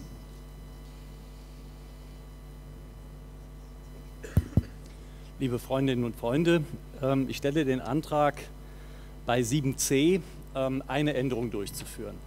Ich bin sehr damit einverstanden, dass wir bei der Menge äh, der Personen, um die es geht, ähm, beim äh, Parteirat bei dem Verfahren bleiben. Ich finde aber eine reine schriftliche ähm, ähm, Vorgehensweise bei dem Landesvorstand, was ja deutlich weniger Personen sind, sehr unpersönlich, sondern ich fände es in Ordnung, wie wir das früher gemacht haben, dass jeder Redner hier an dem äh, Mikrofon stehen kann und bis zu einer Minute eine Frage stellen kann und die auch begründen kann. Das würde man niemals schriftlich machen. Das würde die Veranstaltung äh, sehr beleben und ich denke, gerade für unseren Vorstand wäre das eine sehr wichtige Angelegenheit. Vielen Dank, Dieter. Ich habe das jetzt äh, verstanden, das so abzuändern, dass die Fragen mündlich gestellt werden. Ich betone Fragen. Gut. Dann gibt es dazu eine Gegenrede. Das vermag ich nicht zu erkennen, dann stimmen wir auch diese Änderung erstmal ab. Wer dem so folgen mag, den bitte ich um das Kartenzeichen. Vielen Dank, die Gegenstimmen. Bei einigen Gegenstimmen und dann bitte die Enthaltungen und einer größeren Zahl von Enthaltungen gibt es aber mehrheitlich Ja-Stimmen für diesen Verfahrensvorschlag, dann werden wir entsprechend auch so verfahren. Dann noch der Hinweis. Wir stimmen jetzt erstmal noch das ganze Verfahren ab, sprich die Vorstellungszeiten und alles, was unter änderter Form jetzt unter 7 steht. Wer dem so folgen kann, den bitte ich um das Handzeichen bzw. Kartenzeichen. Vielen Dank, die Gegenstimmen und die Stimmenthaltung. Dann haben wir auch die Vorstellungszeiten und das entsprechende Verfahren so beschlossen. Jetzt müssen wir noch einen Punkt ergänzend hier miteinander erörtern, beziehungsweise würden euch als Präsidium gern einen Vorschlag machen. Wir haben die Situation, dass wir morgen zwei Kandidatinnen zum Landesparteirat nicht hier haben, aus verschiedenen Gründen, einmal arbeitsbedingt, einmal krankheitsbedingt. Die Wahlordnung ist nicht 100% eindeutig, was die Frage von Fremdvorstellungen angeht. Wir wollen aber als Präsidium nach Möglichkeit auch bei den Vorstellungen Waffengleichheit schaffen, sodass die reine Verweis auf die schriftliche Bewerbung uns hier gerade in einer Situation, wo wir mehrere Bewerbungen auf Plätze haben, nicht ganz sinnvoll erscheint. Deswegen würden wir euch vorschlagen, den entsprechenden Passus der Wahlordnung, das ist der Paragraph 1 Absatz 4, dahingehend auszulegen, dass auch Fremdvorstellungen im Rahmen der Redezeit möglich sind, gleichwohl dann nicht die Beantwortung von Fragen. Das wäre dann Tatsache mithin etwas absurd. Gibt es zu diesem Verfahrensvorschlag eine Gegenrede? Das haben wir als Präsidium vor uns auch nochmal gemeinsam erörtert und sind zu dem gemeinsamen Schluss gekommen. Das kann ich nicht erkennen, dann bitte ich auch das abzustimmen. Wer dem so folgen kann, bitte ich um das Handzeichen. Vielen Dank, die Gegenstimmen sehe eine und die Stimmenthaltungen. Dann bei keinen Stimmenthaltungen und einer Gegenstimme ist das so angenommen und wir verfahren dann so. Dann noch zu guter Letzt zwei Hinweise zu Wortmeldung und Fragestellung zum einen. Also außer beim Landesvorstand, wo es dann die Möglichkeit der mündlichen Fragen gibt, gibt es für die Fragen, die ihr einwerft, beziehungsweise auch für alle Redebeiträge hier unten Fragezettel beziehungsweise Wortmeldungszettel, die ihr dann am besten auch entsprechend quotiert in die Boxen einwerft. Wir werden dann je nach den Redebeiträgen, die ihr soeben beschlossen habt, das entsprechend losen, wer dann drankommt, beziehungsweise wer welche Frage entsprechend auch gestellt bekommt. Also diese Boxen bitte für Wortmeldungen nutzen, außer für Geschäftsordnungsanträge, da reicht das Aufheben beider Hände. Und abschließend in diesem ganzen Verfahrensreigen, und dann sind wir auch durch, noch der letzte Hinweis für alle, die hier oben reden möchten. Ihr habt eine Redezeit, an die ihr euch bitte auch haltet und jeweils links im Präsidium von eurer Seite und der rechten Seite wird sehr streng darauf geachtet, dass ihr diese Redezeit auch einhaltet. Markus guckt schon streng. Das gilt jetzt nicht für logischerweise Grußworte und politische Reden, aber dann für alles Weitere im weiteren Verfahren. Und hier äh, der Hinweis. Wir haben diesmal etwas technische Schwierigkeiten gehabt und es ist nicht ganz so, wie wir uns das auch von Präsidiumsseite vorgestellt haben, mit der entsprechenden Versuch der Beampelung hier oben. Es ist jetzt so, dass hier oben nur an und aus geht bei der entsprechenden Ampel und nur eine Farbe. Das führt jetzt zu folgendem Hinweis an euch. Wir werden 30 Sekunden, bevor eure Redezeit abläuft, eine, die Ampel anschalten, wobei Ampel jetzt falsch ist, das Lichtsignal anschalten. Es ist gelb. Wenn ihr gelb leuchten seht an diesem Strang zu eurer Linken, dann habt ihr noch 30 Sekunden. Geht das Licht dann wieder aus, dann ist auch eure Redezeit aus, sprich, dann ist sie abgelaufen. Hört ihr dann noch eine sonore Stimme des Präsidiums in einem Ohr oder in zwei Ohren, was euch bitte zum Schluss zu kommen, dann wisst ihr, eure Redezeit ist dann auch unwiderruflich abgelaufen. Und spätestens dann, wenn ihr Stühlerücken des Präsidiums hört, ist der Punkt gekommen, wo ihr schnellstens die Treppe zu eurer Linken verwenden solltet, um das hier oben zu beenden. Das nur zum Hinweis für all diejenigen, die dann reden wollen. Und wir sind auch in der Lage, und das haben wir mit dem Tontechniker besprochen, dass wir auch hilfsweise das Mikro hier oben abdrehen können. Soweit zu allen Präliminarien dieser Versammlung. Ich hoffe, ich habe nichts vergessen. Wie gesagt, die Frage der Änderung der Wahlordnung würden wir nach, die, nach den entsprechenden Tagesordnungspunkt der politischen Reden schieben und damit würde ich jetzt auch in den Tagesordnungspunkt 2 übergehen, den politischen Reden und das mich dann doch sehr, dass äh, mir die Ehre zuteil kommt, was vielleicht einige andere auch gern getan hatten, unserem Bundesvorsitzenden Robert Habeck anzukündigen. Nachdem ich euch hoffentlich erfolgreich eine Viertelstunde mit Formalia gelangweilt, ist es jetzt an Robert, euch wieder in den Modus zu bringen, den wir brauchen, nämlich in einen Modus für einen Aufbruch in Sachsen. Und ich begrüße ganz herzlich unseren amtierenden Bundesvorsitzenden Robert Habeck. Vielen Dank.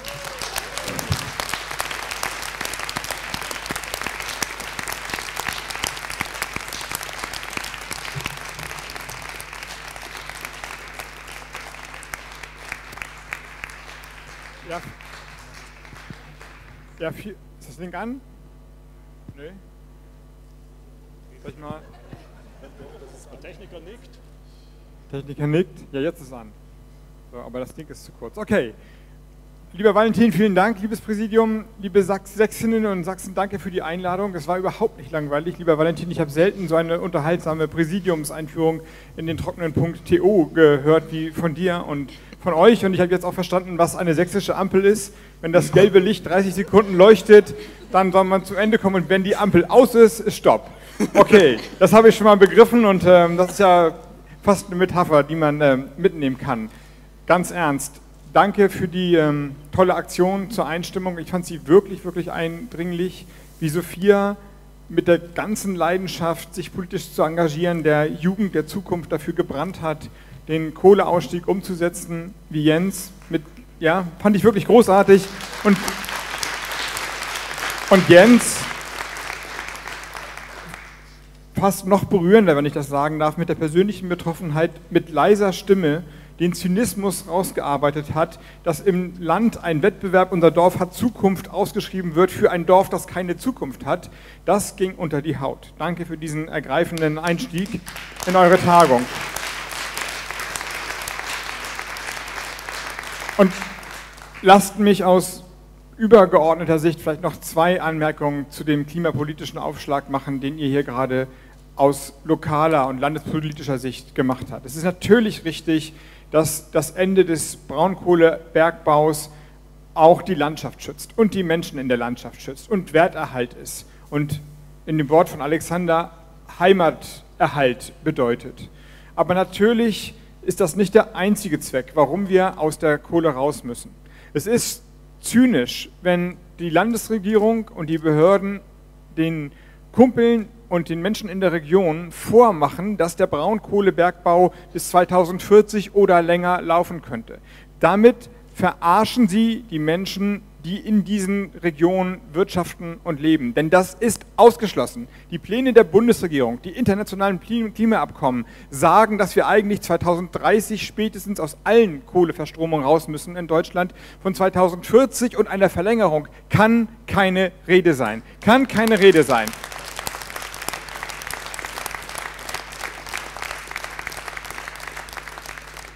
Und in Wahrheit ist schon diese Zeit zu lang, denn, und das ist ja das, was man das Paradoxon der Energiewende nennt, der Ausbau der Erneuerbaren und der, die Preisgünstigkeit der Erneuerbaren, die in den letzten Jahren erarbeitet und erreicht wurde, führen dazu, dass mit der Menge des erneuerbaren Stroms nur noch die dreckigsten und ältesten Kraftwerke, und das sind in der Regel alte Braunkohlekraftwerke oder Braunkohlekraftwerke, noch marktfähig sind, während die moderneren Gaskraftwerke für die Übergangszeit aus dem Markt gedrängt werden. Sodass wir die absurde Situation haben, je mehr wir erneuerbare Energien aufbauen, umso mehr Braunkohlestrom wird noch wirtschaftlich. Die Bundesregierung hat gerade beschlossen, den Ausbau der erneuerbaren Energien, also eine große Koalition Bundesregierung voranzubringen. Die logische Konsequenz muss sein, dass sie den Braunkohlebergbau und die Braunkohleverstromung vorher stoppen. Sonst reißen wir alle Klimaziele. Das heißt, selbst das Enddatum reicht nicht, sondern wir müssen jetzt 2020 mit 7 Gigawatt raus aus der Kohleverstromung und in den Jahren danach sukzessive und konsequent raus aus der Kohle.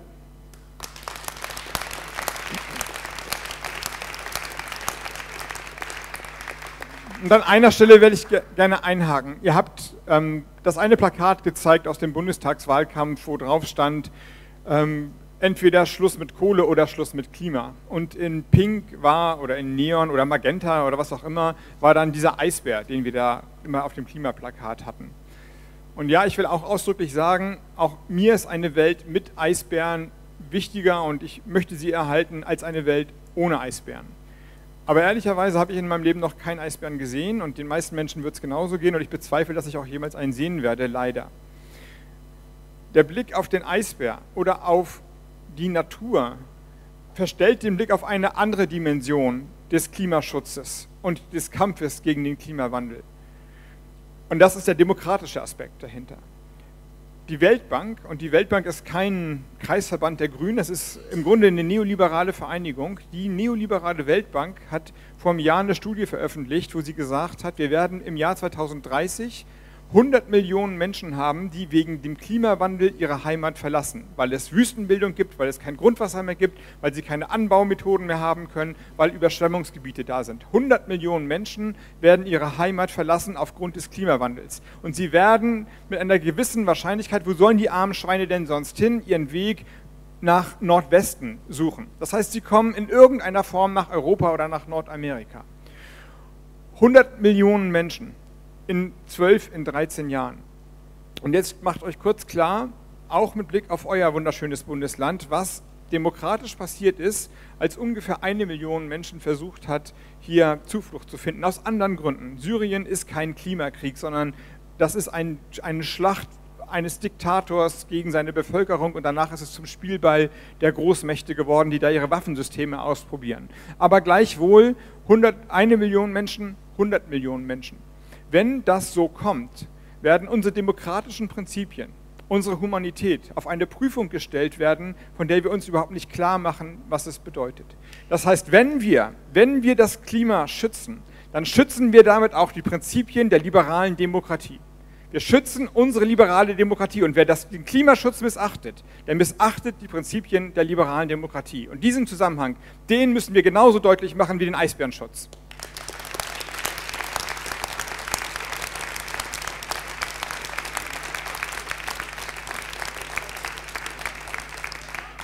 Anknüpfend daran, ich habe in eurem Antrag, den ihr morgen beratet, dem politische Kulturantrag, einen Satz gefunden, den ich, ähm, der unter die Haut ging, fand ich. Da heißt es, in Sachsen zeigt sich wie in, keinem wie in einem Brennglas, dass eine offene und demokratische Kultur alles andere als eine Selbstverständlichkeit ist. So ist es. Und äh, eben als wir hier standen und euer neuer Landesgeschäftsführer als frisch vom Knast vorgestellt wurde, da hat Monika mir zugeraunt, ja, willkommen in Sachsen, hier ist alles ein bisschen härter. Und, und das stimmt ja auch.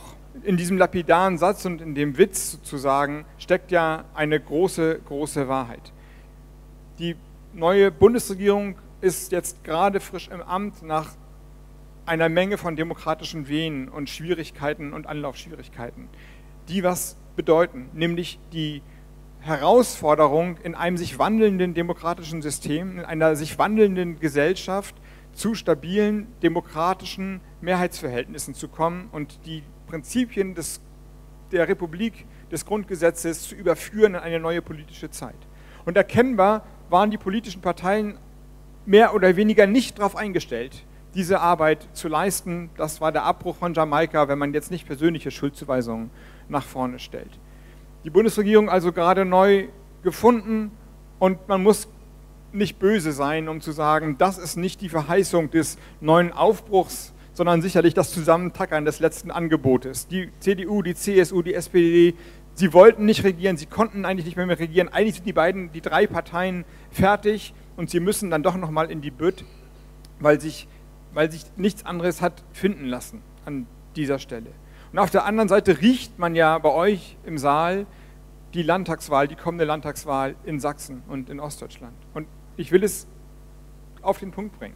Ich glaube, dass die Landtagswahl in Sachsen noch einmal härter werden wird als die Bundestagswahl und die Herausforderung zu stabilen demokratischen Verhältnissen zu kommen, die wir da jetzt mit dem Gewürge in Berlin die ganze Zeit erlegt haben. Und es wird bei der Landtagswahl entscheidend davon abhängen, wie die Grünen performen, wie wir uns anstellen, wie wir kämpfen, ob euer Land weiterhin eine demokratische Regierung bekommt oder ob es, um es auf den Punkt zu bringen, die NPD im Gewand von neuen Rechtspopulisten Teil, erstmals Teil in Deutschland einer Regierung wird. Das gilt es zu verhindern. Und es wird auf die Grünen maßgeblich ankommen, genau das zu verhindern.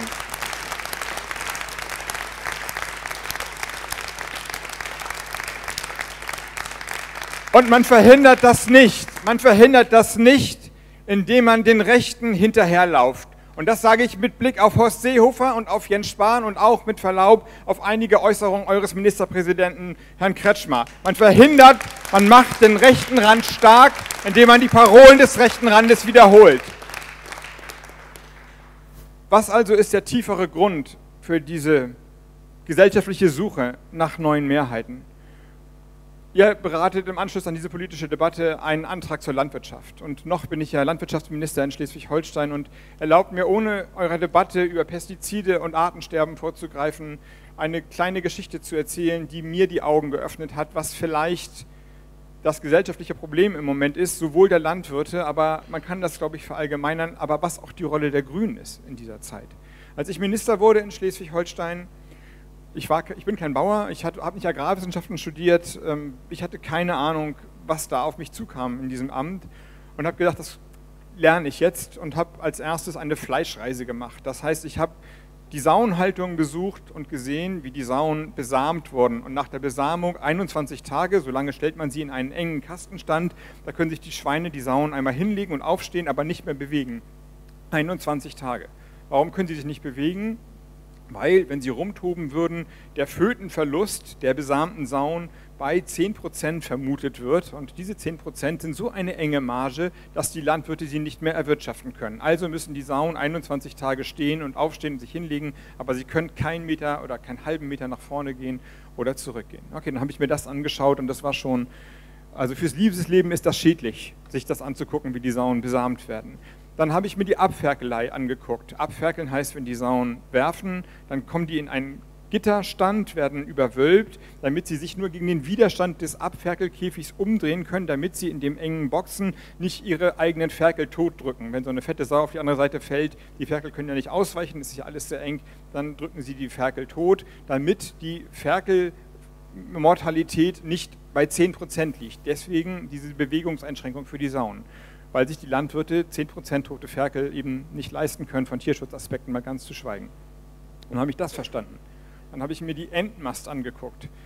Wie ihr vielleicht wisst, beträgt das Recht eines 100 Kilo schweren Schweines auf Platz 0,75 Meter in Deutschland. Das heißt also 30 Schweine auf 20 Quadratmeter. Das ist die Nutztierhaltungsbedingung. Das sind die ganz normalen legalen Bedingungen, nach denen in Deutschland Schweine gehalten werden. Das sind intelligente Tiere, die langweilen sich, die sind auf engen Raum, es riecht nach Ammoniak, es stinkt nach Ammoniak, ihre Lungen sind teilweise verfressen, zerfressen. Was machen die? Natürlich beißen die sich in die Schwänze, natürlich versuchen die miteinander Rangkämpfe auszutragen. Das ist also eine ziemlich widerliche Angelegenheit, aber man braucht diese engen Margen, um die Schweine so zu halten, weil mehr Platz, dreifacher, vierfacher Platz, möglicherweise draußen rum zu sein, das gibt der Markt nicht her. Okay, dann habe ich das verstanden und gesehen.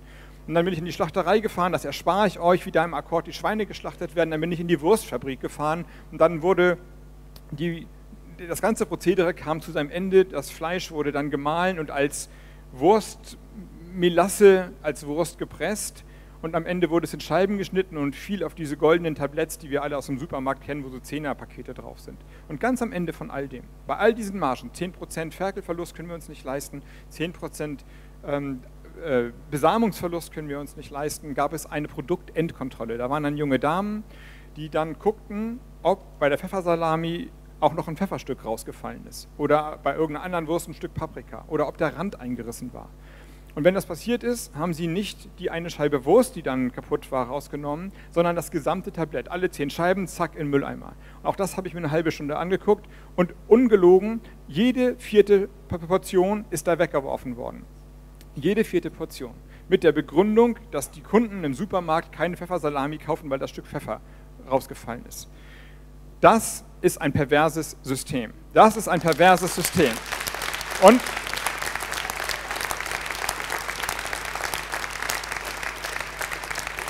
Und das System da funktioniert nur, weil die Landwirte weil die Landwirte ihre Schweine, ihre Tiere so halten, wie ich es beschrieben habe, weil sie gezwungen sind, bei diesem Preisdruck und der Verschwendung am Ende immer mehr zu einem immer günstigeren Preis zu produzieren. Sie müssen sich diesem Zwang des Marktes, diesem Wachse- oder weiche System unterwerfen oder sie hören auf. Das gilt für die mittelständischen und kleinen Betriebe, das gilt auch für die großen Betriebe, wie ihr ja einige auch in Sachsen habt. Das ist der Druck, der auf der Landwirtschaft lastet. Und diese Landwirte müssen, um ihre Schweine zu ernähren, in diesem System Pestizide ausbringen, Kunstdünger ausbringen, Fruchtfolgen missachten, wenig Rücksicht auf den Humus nehmen. Da kommt euer Antrag ins Spiel.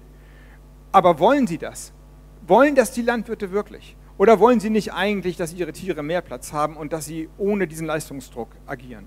Und an der Stelle kommt die Rolle der Grünen anders definiert, als wir es manchmal vorgehalten bekommen ins Spiel. Es ist schon lange nicht mehr so, dass die Grünen die Feinde der Landwirte sind. Wir sind die Feinde eines Systems, das die Landwirte zwingen, so zu produzieren. Eines Systems, eines Systems, das auf Kunstdünger, auf Pestiziden, auf Artenverlust berührt. Aber in Wahrheit ist die Rolle, und das ist eine schmerzhafte Rolle, die wir anbieten, rauszukommen aus dieser engen Produktionsmarge. Landwirtschaft, Produktion von Lebensmitteln nicht auszuspielen gegen den Erhalt von Lebensgrundlagen, Grundwasser, Humus, Klima, Artenvielfalt. Das ist unsere Rolle. Wir, in Wahrheit sind wir die Helfer, die Räuberleiterhalter, die Verteidiger eines anderen landwirtschaftlichen Systems. Und so artikuliert können wir die Agrarwende nicht gegen die Landwirte führen, wohl gegen eine Landwirtschaftsproduktion, wie sie geschildert ist, sondern sie einladen, mitzumachen. Und diese neue Rolle, die können wir auch übertragen auf den Kohlebergbau, wo ja auch wahrscheinlich die Kumpel jetzt Angst haben und sagen, oh, wenn die Grünen dann irgendwann in die Regierung kommen, und das stimmt ja auch, aus den Klimaschutzgründen, aus den demokratischen Gründen, die ich genannt habe, dann wird dieser Kohlebergbau früher oder später zu einem Ende kommen. Aber die brutale Wahrheit ist, wenn wir nicht die Prinzipien unserer Gesellschaft, die demokratischen und die solidarischen missachten, dann wird es sowieso früher oder später zu einem Ende kommen. Und dann ist es doch besser, rein Wein einzuschenken und ein Angebot zu machen und zu sagen, wir helfen euch, diesen Strukturwandel zu gestalten. Das ist unsere Aufgabe, nicht gegen die Region zu arbeiten, sondern in Wahrheit durch den Klimaschutz, durch den Abschied von der Kohle der Region auch eine prosperierende, eine ökologische, aber auch eine wirtschaftliche Zukunft zu geben. Denn das andere ist nur abwarten, bis der Zug gegen die Wand fährt. Und das Nichtwählen der Grünen, der anderen Parteien, ist ein Pokern darauf, ein Pokern darauf, dass es gut geht und es kann nicht gut gehen. Insofern sieht man das oder scheitert diese Politik, die einfach nur den Besitzstand wahrt, aber die Zukunft nicht annehmen will, sie scheitert dann zu Lasten, wie bei den Bauern, zu Lasten der Kumpel, weil irgendwann einfach der Schalter umgelegt wird. Man kann das, drittes Beispiel, bei der Verkehrspolitik sehen. Wie lange wurde darauf hingewiesen, dass Stickoxide Umweltbelastung und Gesundheitsbelastung bringen? Und wie lange wurde das ausgesessen? Ewig. Dobrindt hat sich damit gebrüstet, dass er das schon so lange negiert und ausgesessen hat, dass er jetzt auf keinen Fall noch, wo es, um, wo es äh, nur noch um noch die nächsten zehn Jahre geht, noch was ändern würde. Und Andreas Scheuer, unser neuer Verkehrsminister, setzt das nahtlos fort. Ja, schützt das die deutsche Automobilindustrie? Nein, die Zahlen für Diesel brechen ein das, die, die politische Verhaltensstarre, Dinge zu ändern, Probleme anzusprechen, Lösungen herbeizuführen, ist nicht gegen die Menschen, die in diesen Industrien arbeiten. Sie ist die schlimmste, sie ist die schlimmste, äh, sie, sie ist gegen die Menschen, die in diesen Industrien arbeiten. Politik, die die Zukunft nicht gestalten will, vernichtet die Wertschöpfung in Deutschland. Politik, die die Zukunft gestalten will, ökologisch verändern will, sie schafft nicht nur die ökologische Zukunft, sie schafft auch die ökonomische Zukunft für Sachsen und für Deutschland. Und das ist unsere neue Aufgabe, das klarzumachen.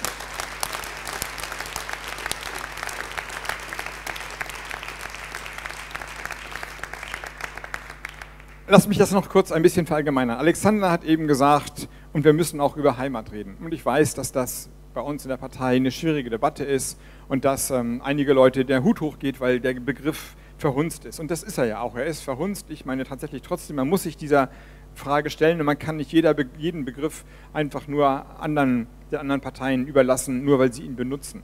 Aber ich kenne eine, es, ja, warte, die Pointe ist, dass die beste Definition, die ich gehört habe in diesem Zusammenhang mit Heimatdiskurs, lautet, Heimat ist da, wo man doof sein kann.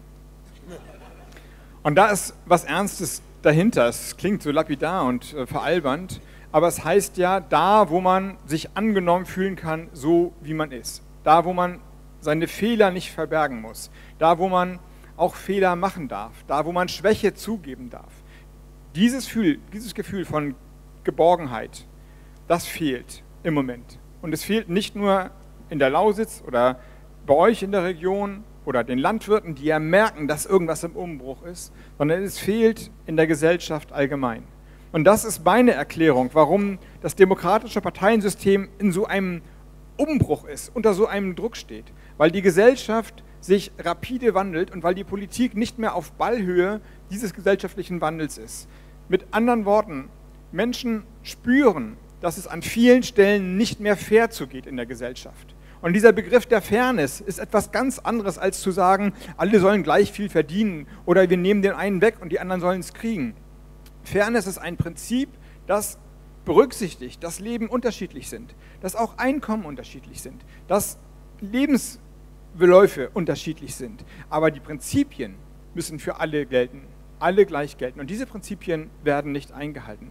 Das war vielleicht zum ersten Mal deutlich spürbar bei der Bankenkrise, dass der Staat nicht mehr Höhe der ökonomischen Gestaltung war und ausbaden mussten es dann die vielen, vielen Sparer. Und das registriert man einfach, dass das nicht fair ist. Und jetzt, wo sozusagen die Rentenbeträge und die Ersparnisse dauernd aufgebraucht werden, machen sich Manager auf der anderen Seite die Taschen voll und kriegen Millionen Boni-Zuschläge.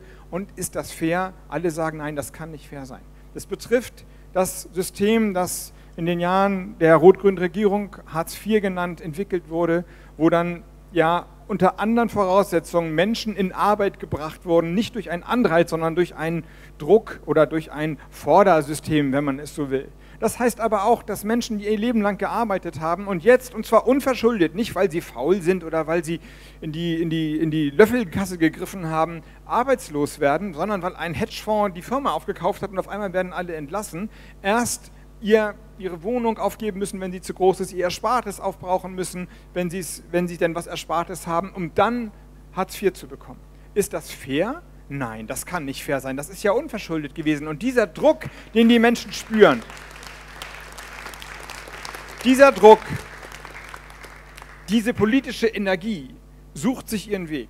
Und leider sucht sie sich ihn zu häufig destruktiv. Und das sage ich gerade mit Blick auf Sachsen. Auf der Hinfahrt habe ich die Äußerung von einigen Politikern gesehen, nochmal nachgelesen, die jetzt die Mehrheit bei der Bundestagswahl in eurem Land geholt haben.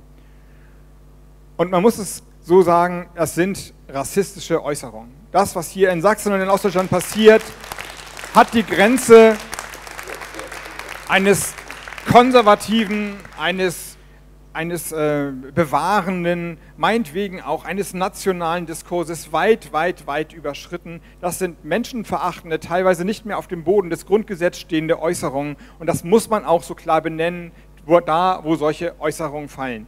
Aber deutlich sein muss auch, dass diese Menschen eben nicht für die Gesellschaft kämpfen, nicht für ein Gemeinwohl stehen, eben nicht für mehr Fairness, äh, für mehr Fairness streiten, sondern für mehr Unfairness, dass sie exklusiv sind, Menschen ausgrenzen wollen, unsolidarisch sind und umgekehrt mit Blick auf die Schwäche, auf die ge gezwungenermaßen Schwäche der großen Parteien, die jetzt in der Bundesregierung sind, muss sich die Partei Bündnis 90 Die Grünen fragen, ob wir nicht unsere Aufgabe größer und weiter definieren müssen, als wir es zuvor getan haben.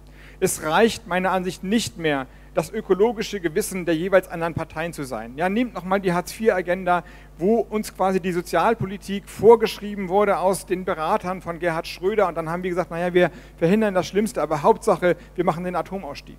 Diese Position reicht nicht mehr, weil die Bindekräfte in der Gesellschaft nicht mehr reichen. Also brauchen wir tatsächlich, wie ihr es geschrieben habt, einen neuen Aufbruch. Und zwar nicht, weil wir größenwahnsinnig sind oder nicht, weil wir uns überschätzen wollen, sondern weil der Kit der Demokratie brüchig wird, weil sich die Politik nicht mehr auf Augenhöhe der Gesellschaft befindet. Und weil vielleicht gerade eine Partei, und das sage ich mit Blick auf die Tradition meiner, unserer Partei in Ostdeutschland, die Bündnis heißt, die also im Titel die Idee trägt, dass Menschen unterschiedlicher Interessen, unterschiedlicher Biografien, unterschiedlicher Wertevorstellungen jeweils zu einem Bündnis zusammenkommen können, um die höheren Ideale zu verteidigen. Vielleicht ist es gerade an dieser Partei, das Versprechen der liberalen Demokratie zu erneuern. Das in Sachsen einzulösen, das wäre ganz, ganz, ganz großartig. Lasst mich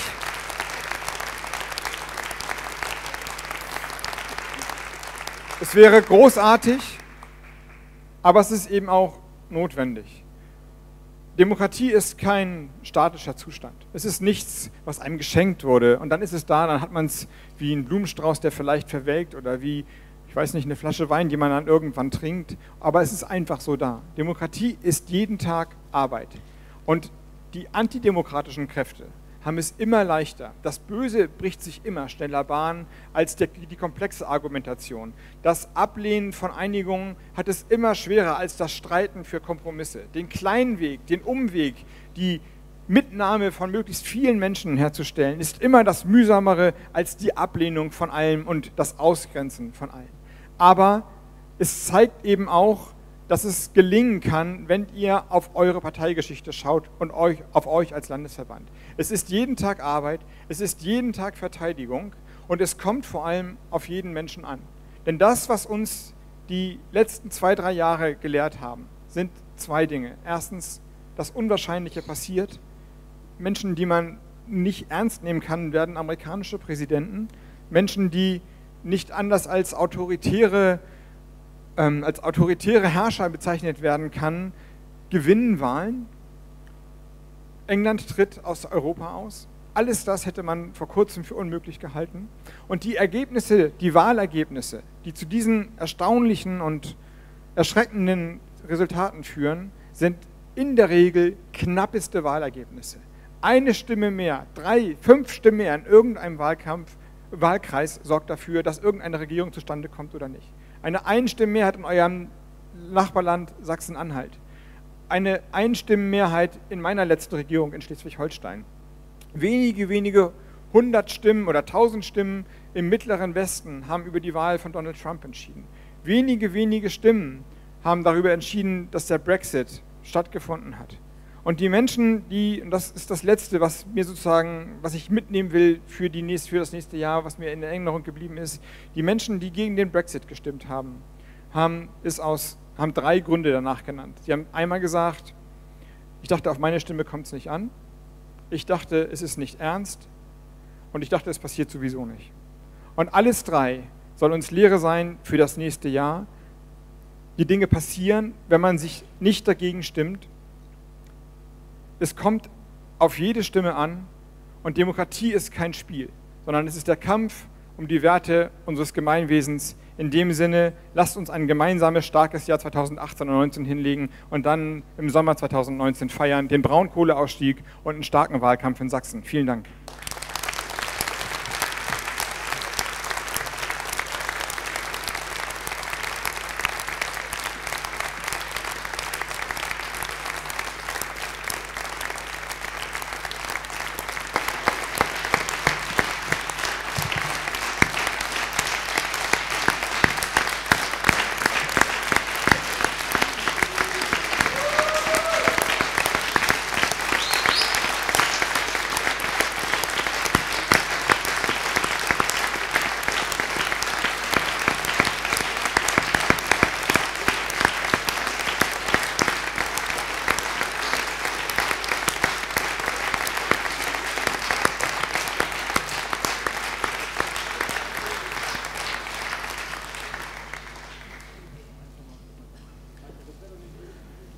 Ähm, lieber Robert, du hast das gesehen, du hast den Saal bewegt, weil du uns natürlich auch Worte mit auf den Weg gegeben hast, die wir gemeinsam nächstes Jahr auch umsetzen wollen.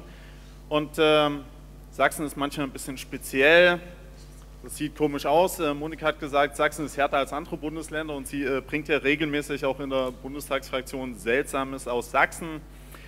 Und ähm, wir haben überlegt, was können wir dann an der Stelle schenken? und äh, du liest ja viel und du schreibst ja auch selber Bücher und es gibt ein Buch. Das ist in Sachsen sehr viel diskutiert worden, äh, weil das regelmäßig auch dazu führt, dass manche Menschen die Schwierigkeiten mit der Demokratie haben, das Ganze ablehnen, ähm, das vielleicht so ein bisschen so ein Almanach zur Erklärung ist und das Buch heißt passenderweise Unter Sachsen.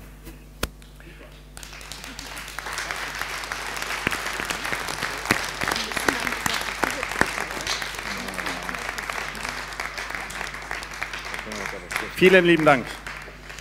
Vielen, vielen lieben Dank, Robert, für die Rede. Jürgen, du kannst gleich oben stehen bleiben.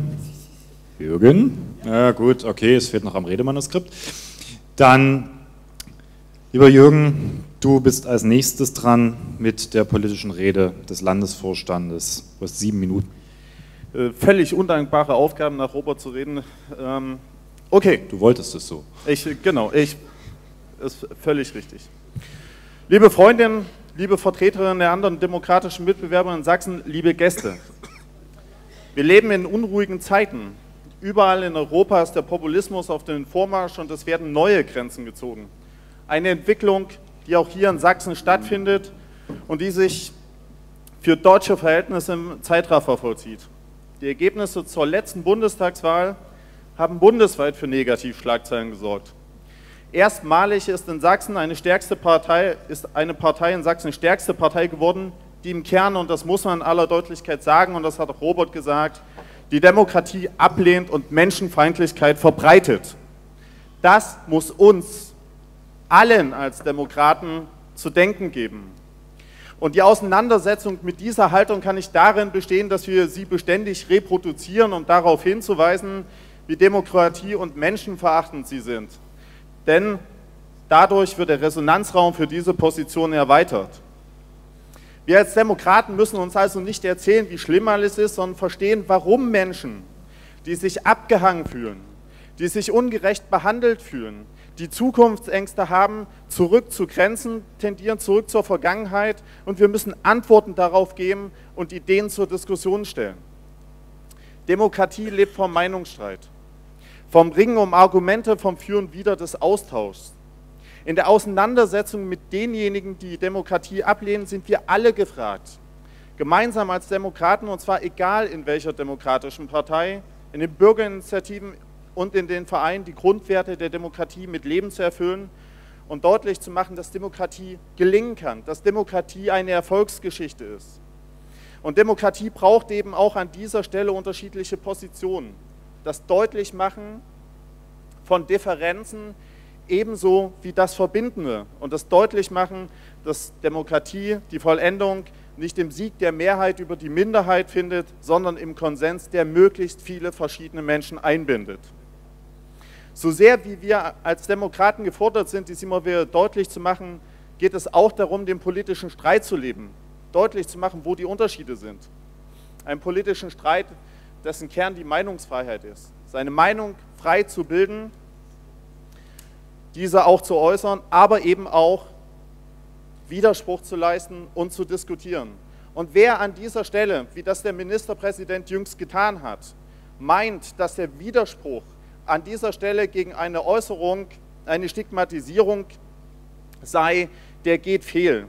Wer anlässlich von Stigmatisierung Wer anlässlich von Widerspruch, von Stigmatisierung, von Beschränkung der Meinungsfreiheit spricht, meint eine Redefreiheit ohne Diskurs und damit ohne Demokratie. Und liebe Freundinnen und Freunde, 28 Jahre nach der friedlichen Revolution in Sachsen bin ich der Meinung, wird es Zeit, dass wir gemeinsam aufbrechen für eine neue Demokratie auf den Grundlagen von sozialer Gerechtigkeit, von Fairness und von dem Austausch der Menschen. Es es greift zu kurz, Menschen, die sich abgehangen fühlen, damit zu besänftigen, indem man jetzt vollmundige Versprechungen abgibt und sagt, wie das die Landesregierung gerade gern tut, nun werde geliefert. 28 Jahre später. Bei der Post, also 28 Jahre später, das schafft nicht mal die Deutsche Bahn. Trotz Winter. Denn aus einer besseren Anbindung der Gemeinden, aus dem Ausbau von Glasfaserkabeln und neuen Straßen wird noch keine stimmige Gesamterzählung, ist die Frage, wie Zukunft gelingen kann, noch nicht beantwortet. Durch neue Straßen werden Zukunftsängste nicht kleiner. Und es reicht auch nicht aus, den Betriebsräten auf der einen Seite zu erzählen, wie wichtig Gewerkschaften sind und auf der anderen Seite den Vertretern der Wirtschaft dann zu sagen, wie hinderlich doch Gewerkschaften an der Stelle sind. Das ist nicht ehrlich. Falsche Versprechungen sind die Grundlage folgender Enttäuschungen und auch ein Grund für den Unmut in die Ausgestaltung der parlamentarischen Demokratie. Ehrlich zu sein heißt für uns eben auch Haltung anzunehmen, diese Haltung zu bewahren, Menschen auf Augenhöhe zu begegnen und deswegen auch unbequemen Wahrheiten zuzumuten. Und man wiederholt an dieser Stelle alte Fehler, wenn man meint, dass Menschen bereits dann zufrieden sind, wenn die Marktplätze der Gemeinde neu aussehen. Beton ist keine Idee für die Zukunft und bindet Menschen nicht ein.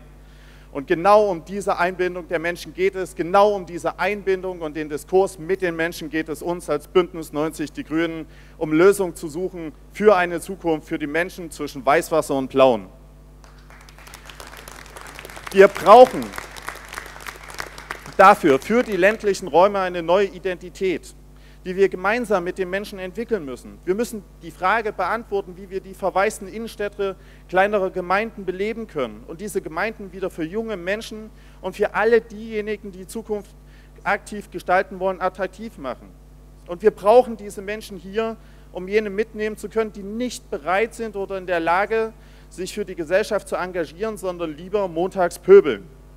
Dazu braucht es eine Infrastruktur im Bereich Verkehr, Internet und eben auch Bildung und die fehlt vielerorten. Der Kapitalismus, auch das hat Robert angesprochen, der vor der Ökonomisierung des Privaten nicht Halt macht, schafft sinnentleerte Räume. Die Vorteile der Globalisierung, der Europäisierung werden aktuell ausgeblendet.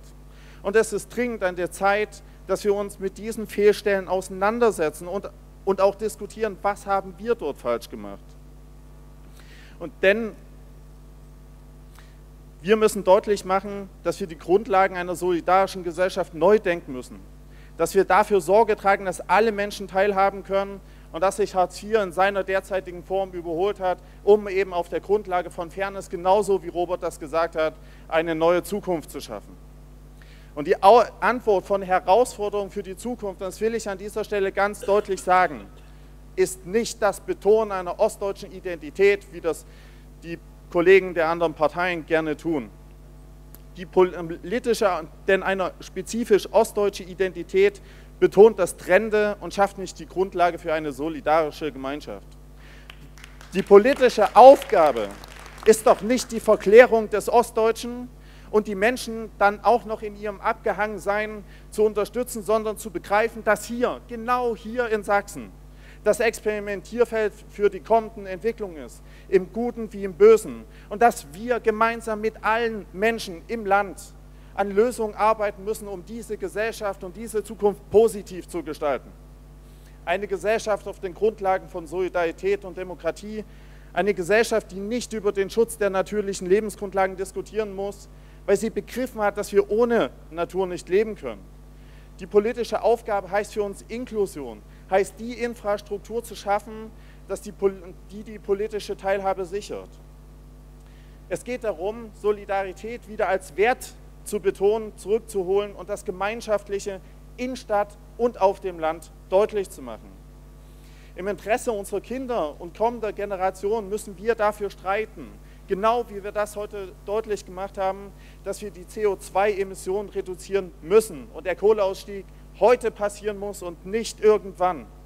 Denn es ist verantwortungslos, den Menschen zu suggerieren, dass es ein kleinteiliges Weitermachen ausreicht und Klimaschutz irgendwann stattfinden kann. Der Strukturwandel findet aktuell statt. Und wenn wir ihn offensiv gestalten und die Veränderung auch als Chance begreifen und mit Mut daran gehen, können wir Arbeitsplätze auch hier sichern. Arbeitsplätze, die an der Stelle auch gut bezahlt sind.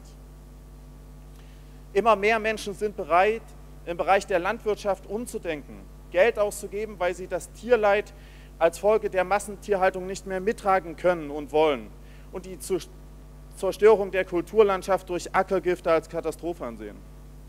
Und es hilft nur wenigen Menschen in der Agrarindustrie, wenn Minister, und das ist eben auch der sächsische Landwirtschafts- und Umweltminister, die auf das Gemeinwohl verpflichtet sind, sich zum Lobbyisten gegen den Umweltschutz aufschwingen. Wir müssen deutlich machen, dass die Mobilitätsform des 21. Jahrhunderts in den Städten nicht das Auto sein kann, weil es jenseits von Dreck und Lärm auch den Platz nimmt, den es für die Stadt als lebenswerten Ort der Menschen des Austauschs braucht. Und wenn die CDU, wenn der Landrat Henry Kreichen an der Stelle sagt, dass Sie jetzt den ÖPNV stärker fördern wollen, dann ist es komplett richtig, wie Katja das gemacht hat, an der Stelle Applaus zu geben und zu sagen, wir unterstützen die CDU dabei, endlich die Verkehrspolitik umzusteuern und hinzukommen zum ÖPNV, zur Anbindung aller Menschen, aber eben ohne das Auto.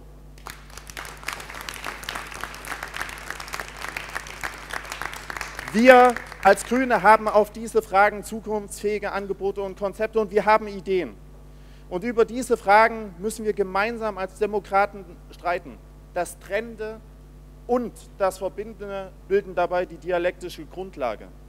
Wir müssen mehr denn je beides unterstreichen, aber vor allen Dingen auch selber leben. Genau dafür stehen wir bereit, genau dafür brechen wir auf, gemeinsam mit allen Menschen, die diese Gesellschaft gestalten wollen. Danke.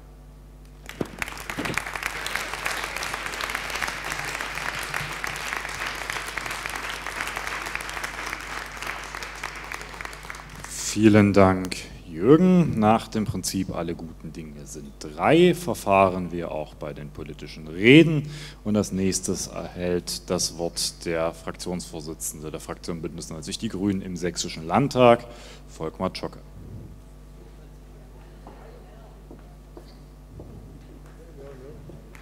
Beschwerden über die Quotierung sind an die entsprechenden Gremien zu richten. Ja, liebe Freundinnen, liebe Freunde, äh, danke, lieber Jürgen. Wenn positive Bilder von der Zukunft fehlen, dann orientieren sich die Menschen in der Vergangenheit. Und der Blick über den sächsischen Tellerrand, ich will mal sagen, der kann natürlich auch Angst machen. Die Welt verändert sich, sie verändert sich tiefgreifend und schnell und das geht natürlich auch an Sachsen nicht vorbei. Das Mikro nehmen. Es geht natürlich auch an Sachsen nicht vorbei. Wir Grünen in der Landtagsfraktion haben uns vorgenommen, positive Bilder von der Zukunft zu zeichnen.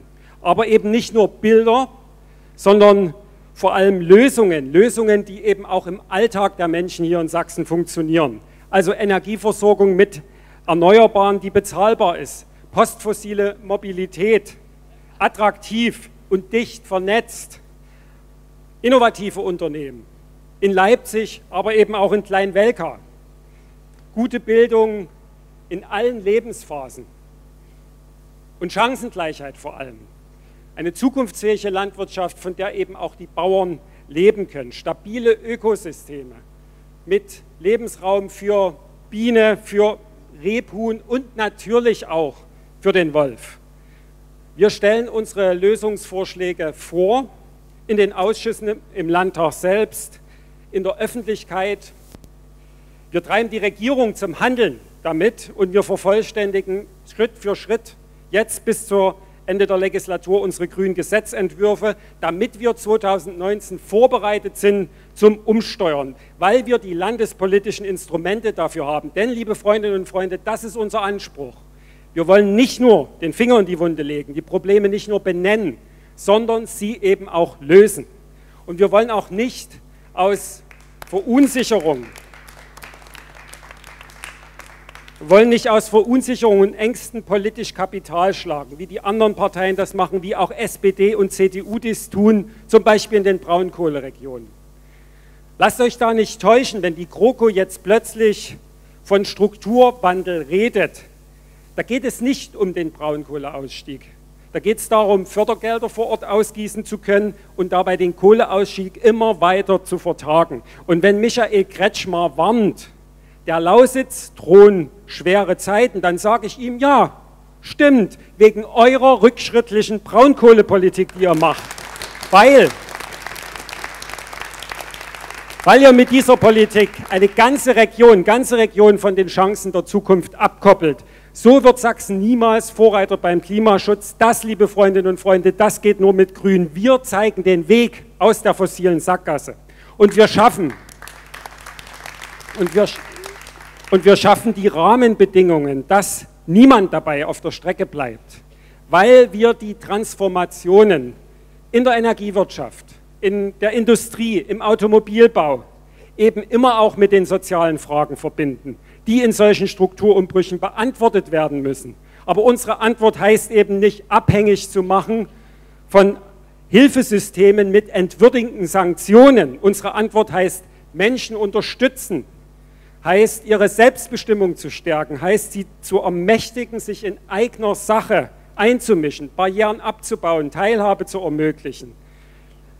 Diese Fragen versuchen wir sehr konkret zu beantworten in der Landtagsfraktion, egal ob es um den sich verändernden Arbeitsmarkt geht, um den Wandel der Familienformen in unserer Gesellschaft, um Pflege, um Integration, auch um die Fachkräftenot in den sozialen Berufen, die ja überall in Sachsen immer spürbarer wird, auch um die Armutsentwicklung, auch um bezahlbares Wohnen. Denn die besten Zukunftslösungen, liebe Freundinnen und Freunde, tragen nicht, wenn es uns nicht gelingt, die sozialen Fragen zu beantworten, wenn es nicht gelingt, Würde, Respekt und Solidarität in unserer Gesellschaft zu verteidigen.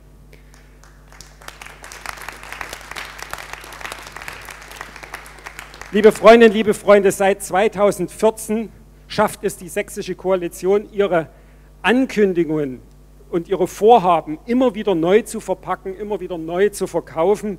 Da gibt es Maßnahmepakete, da gibt es Absichtserklärungen, ein 100-Tage-Programm, ein Masterplan ländlicher Raum, da gibt es immer wieder was zu berichten, immer wieder gibt, haben die Medien was zu schreiben und immer wieder müssen wir offenlegen, dass es eben allzu oft leere Ankündigungen sind. Und auch das neue Kabinett von Herrn Kretschmer ist bisher nicht über den Ankündigungsmodus hinausgekommen. Ich muss das mal so deutlich sagen.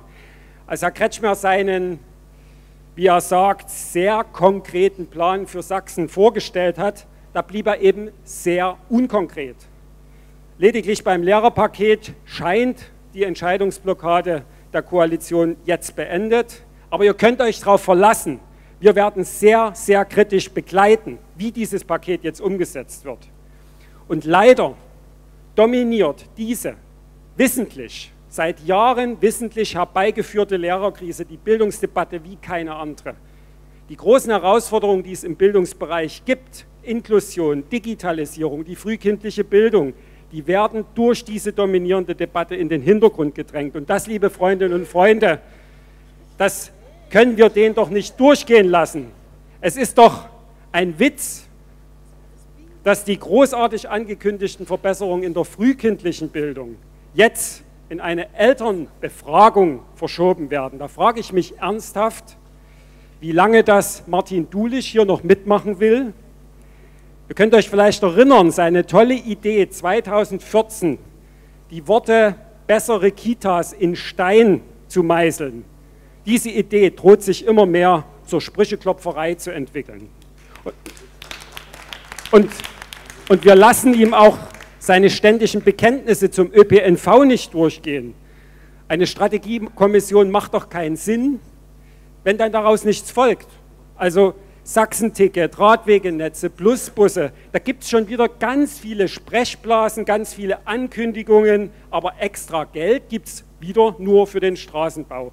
Und auch die Erwartungen der vielen behinderten Menschen in unserem Land werden von dieser Koalition enttäuscht und da kann auch ein inklusiver Neujahrsempfang vom Ministerpräsidenten nicht darüber hinwegtäuschen. Das Bundesteilhabegesetz, was ab 1.1. dieses Jahres in Kraft ist, hat einen Paradigmenwechsel versprochen. Doch in Sachsen droht wieder alles beim Alten zu bleiben. Und dieses ewige Aussitzen und Verwalten von Problemen, das höhlt das Vertrauen in demokratische Prozesse aus. Und da, liebe Freundinnen, liebe Freunde, können wir anknüpfen an die rebellische Energie von 1989. Lasst uns die Menschen wieder anstiften, sich einzumischen. Lasst uns Aufruhr anstiften für Demokratie und Mitmenschlichkeit. Vor uns, vor uns liegen, die Vorredner haben es gesagt, vor uns liegen harte Wahlkämpfe. Und da geht es bei Weitem nicht nur darum, unsere Mandate in den Kommunalparlamenten zu verteidigen oder in den Landtag wieder einzuziehen. Es geht um ganz grundsätzliche Weichenstellungen in unserem Bundesland und Richtungsentscheidungen. Wir Abgeordnete und das Team der Fraktion stehen bereit mit Expertise, mit Energie und mit Empathie und wir wollen mit euch gemeinsam in diese Auseinandersetzung gehen. Vielen Dank.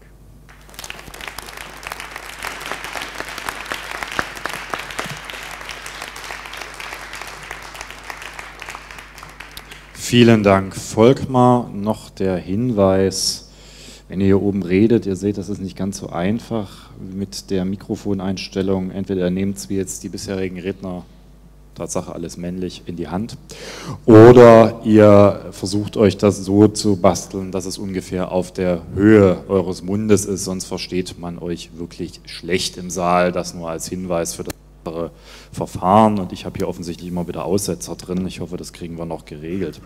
Liebe Freunde und Freunde, wir sind damit am Ende des Tagesordnungspunktes zwei politische Reden und Berichte, da Aussprachen hier nicht vorgesehen sind.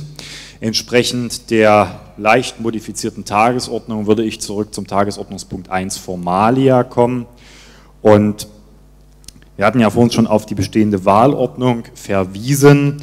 Es liegt euch ein Änderungsantrag zu selbiger Wahlordnung als W01 vorgelegt durch den Landesvorstand vor.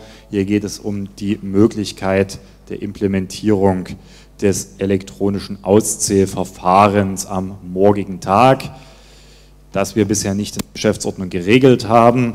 Damit das dann erfolgt, hat der LAFO einen entsprechenden Antrag eingebracht und ich bitte Jürgen Kasek um die entsprechende Einbringung. Anschließend ist eine Aussprache mit bis zu drei Redebeiträgen vorgesehen und schon mal die gute Nachricht, hier liegen keine Änderungsanträge vor. Lieber Jürgen, du hast jetzt fünf Minuten Zeit und ab jetzt beginnen wir hier oben auch zu stoppen und Markus beginnt böse zu gucken, wenn die Redezeit abläuft. Sehr gut. Es geht bei dem Antrag W01 um die Änderung der Wahlordnung und damit um etwas ganz Grundlegendes an der Stelle. Ich versuche euch jetzt für diesen Punkt tatsächlich zu begeistern. Denn äh, Monika hat, bei Monika ist der Funke sofort angekommen. Wir hatten beim letzten Mal ja die Situation, dass wir sehr, sehr viele Wahlen hatten. Das hat sich lange hingezogen und vor allen Dingen beschäftigt das dann auch immer die Wahlkommission, die sehr lange per Handarbeit dann das Ganze auszählen muss und immer überprüfen muss, ob das Ganze geht. Und der Landesvorstand hat nachgedacht, mit dem Parteirat diskutiert, wie können wir das anders machen? Ist das im 21. Jahrhundert eigentlich noch zeitgemäß? Daniel würde jetzt sagen, nein. Und er hat recht. Also haben wir gesagt, wir wollen an der Stelle ein elektronisches Abstimmungssystem äh, einführen. Und das haben wir schon, als wir die Landesliste 2013 aufgestellt 2014 aufgestellt haben, haben wir das schon äh, genutzt und an der Stelle müssen wir jetzt nachziehen und die Grundlage für das, was wir morgen machen wollen, nämlich den Landesvorstand, Landesparteirat mit Hilfe von elektronischen Abstimmungsmitteln zu wählen, schaffen, indem wir die Wahlordnung entsprechend ändern und dort die Grundlagen reinschreiben. Und viel mehr muss man dazu eigentlich nicht und Wissen, denn alles andere steht in dem Antrag drin und ich will die Redezeit auch nicht ausschöpfen. Seid mutig, seid digital, stimmt dieser Wahlordnung zu und zeigt, dass wir Grünen die digitale Partei in Sachsen sind. Vielen Dank. Ach, und bitte Twitter nicht vergessen, Hashtag ist LDKSN18. Danke. Vielen Dank, Jürgen, für die Einbringung. Wir haben jetzt hier nicht feststellen können, dass es einen regen Anlauf in Richtung der Urnen gibt.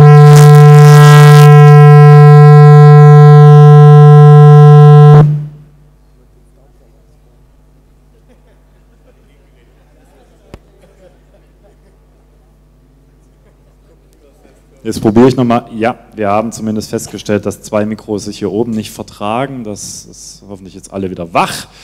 Äh, es ist auch bisher niemand weiter hier vorgelaufen, um sich einzuwerfen. Damit kann ich nicht erkennen, dass es Redebeiträge gibt. Wir sparen uns jetzt in die Urne zu gucken, weil wie das Zettel da reinkommen sollte, wäre dann ein Rätsel, das auch nicht mit Digitalisierung zu erklären wäre. Von daher gehen wir damit, weil keine Änderungsanträge vorliegen, in die Abstimmung des entsprechenden Antrags W01.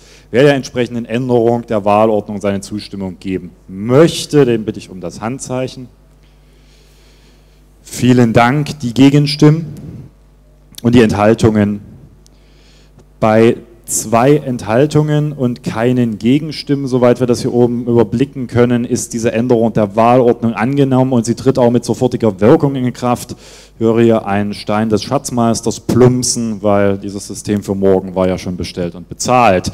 Jetzt können wir es sagen. So, wir werden morgen also mit dem mit hoher Wahrscheinlichkeit mit dem elektronischen Wahlsystem wählen, sofern ihr dem noch zustimmt, dann das machen wir allerdings morgen früh.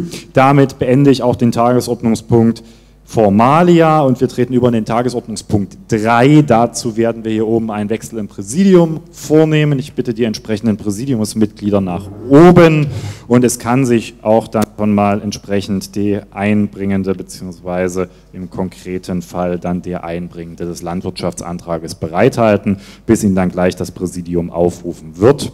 Erstmal von unserer Seite vielen Dank und das Präsidium setzt jetzt fort. Dafür nicht.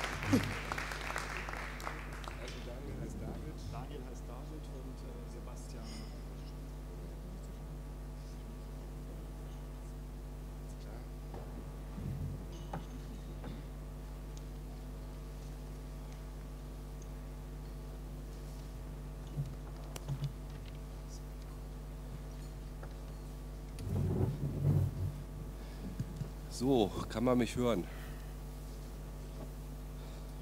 Anscheinend nicht, doch. Es ist leise, jetzt besser. Ich muss äh, mich noch dran gewöhnen.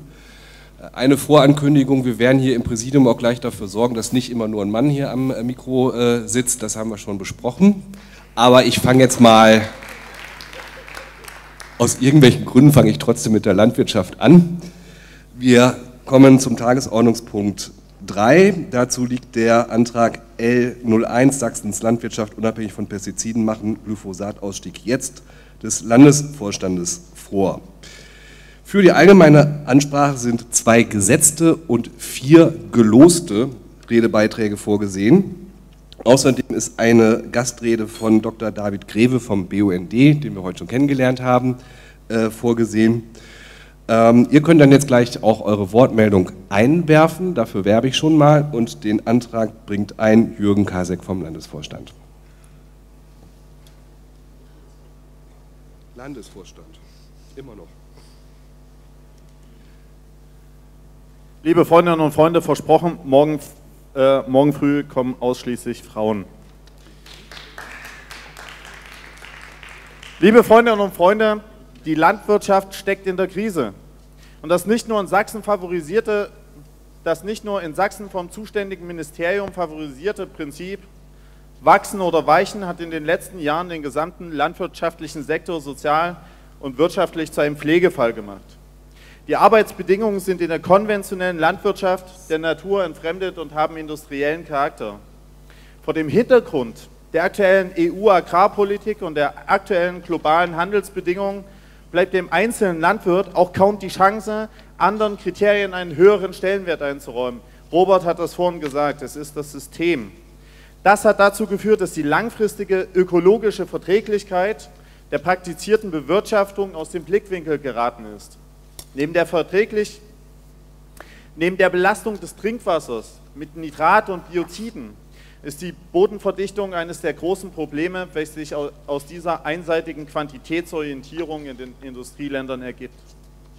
Das Bild des Landwirts als freiem Unternehmer entspricht schon nicht dem von Betriebsmittelpreisen, Marktpreisen, globalen Handelszwängen und staatlichen Subventionen abhängigen Bauern, der zudem noch um soziale und ökologische Anerkennung in dieser Gesellschaft kämpfen muss.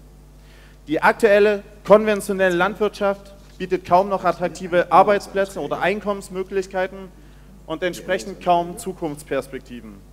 Der ökologische Landbau seit Jahrzehnten in der Praxis zeigt seit Jahrzehnten in der Praxis und in den letzten zehn Jahren mehr und mehr durch Forschungsergebnisse untermauert, dass es auch anders gehen kann. Und genau dafür streiten wir.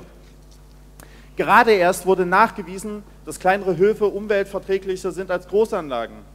Genau deswegen streiten wir doch für eine ökologisch nachhaltige Landwirtschaft, die nicht auf Masse, sondern auf Qualität ausgerichtet ist und unsere Lebensgrundlagen damit nicht zerstört.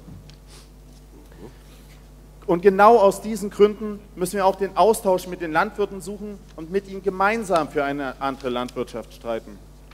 Neben dem Problem der Verdrängung der bäuerlichen Landwirtschaft ist insbesondere der konventionelle Pflanzenanbau eine Gefahr für unsere Lebensgrundlagen. Die Studien, dass wir einen Rückgang von mehr als 80 Prozent der Biomasse bei Insekten haben, sind mehr als alarmierend. Sie sind katastrophal für unser aller Zukunft. Doch, wie Sie hören, hören Sie in Sachsen nichts, stellenweise sogar gar nichts. Keine Reaktion vom zuständigen Ministerium. Offenbar werden dort Insekten nicht mehr wahrgenommen. Beim konventionellen Pflanzenbau kommt zur Düngung fossile und synthetische Düngemittel sowie Mist und Gülle zum Einsatz mit all ihren schädlichen Folgen, wie hoher Energieverbrauch, Nitratauswaschung ins Grund- und Oberflächenwasser durch Überdüngung, Trinkwasserbelastung, durch antibiotikaresistente Keime, belastete Feldfrüchte und ein gestörtes Bodenleben. Der oftmals praktizierte Anbau in Monokultur und das häufige Befahren der Fläche mit großen Maschinen führen zu einem geringeren Humusgehalt, zu Bodenverdichtung und die Folge davon ist die Erosion. Gifte kommen zum Einsatz, die in ihrer Gesamtheit Pestizide oder beschönigend als Pflanzenschutzmittel bezeichnet werden. Je nach Untergruppe wirken sie beispielsweise als Herbizide gegen unerwünschte Pflanzen, als Fungizide gegen Pilze oder als Rodentizide gegen Nagetiere. Zahlreiche Insekten kommen durch Insektizide ums Leben durch Insektizide der Gruppe der Neonicotine, über die viel gesprochen wird, werden auch Wildbienen und Schmetterlinge dezimiert, worum es wieder zu, wiederum zu einem Bestäubungsdefizit kommt. Auch durch das Vernichten der Beikräuter wird ihnen die Nahrungsgrundlage entzogen. Die durch die konventionelle Landwirtschaft forcierte Artenarmut bei Pflanzen, Pilzen, Insekten und Kleintieren wirkt sich letztlich auf die komplette Nahrungskette negativ aus und schafft darüber hinaus multiresistente Keime und Pflanzen, sodass der Einsatz der Mittel gesteigert werden muss und der Raubbau weitergeht. Und wer, wenn nicht wir, liebe Freunde, steht an der Seite der Insekten und Bienen, um diese gemeinsam zu schützen? Katrin Göring-Eckardt hat das gesagt, wir sind die Stimme der Bienen in der Politik.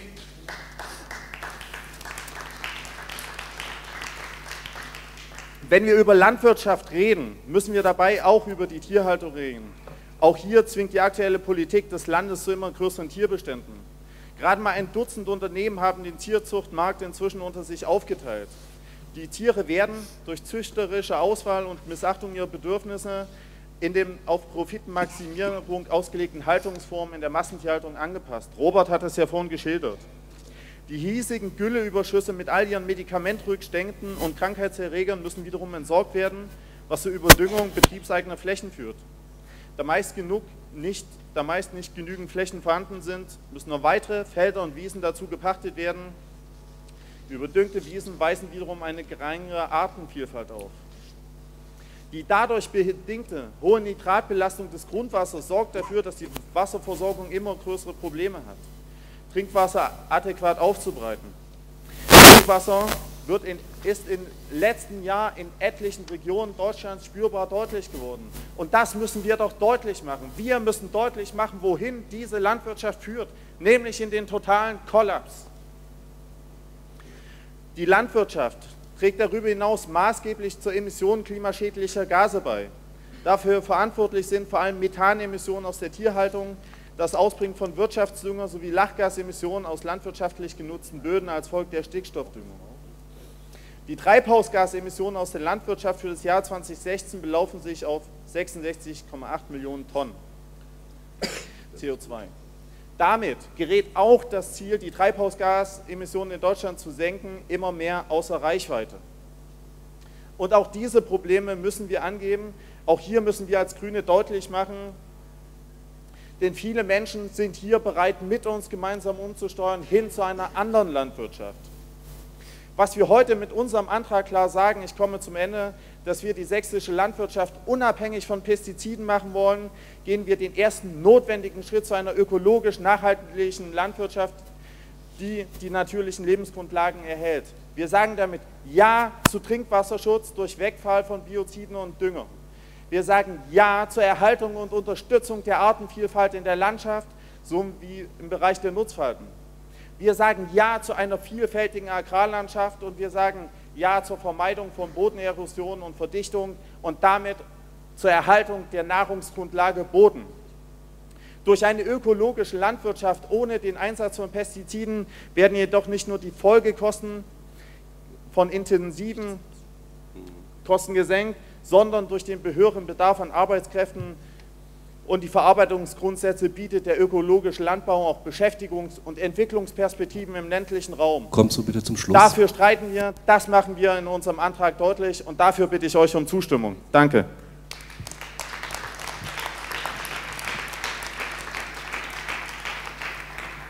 Vielen Dank, Jürgen. Und jetzt geben wir wieder Dr. David Greve das Wort als Gast. Und dann werden wir schon mal die ersten beiden gelosten Redebeiträge ziehen.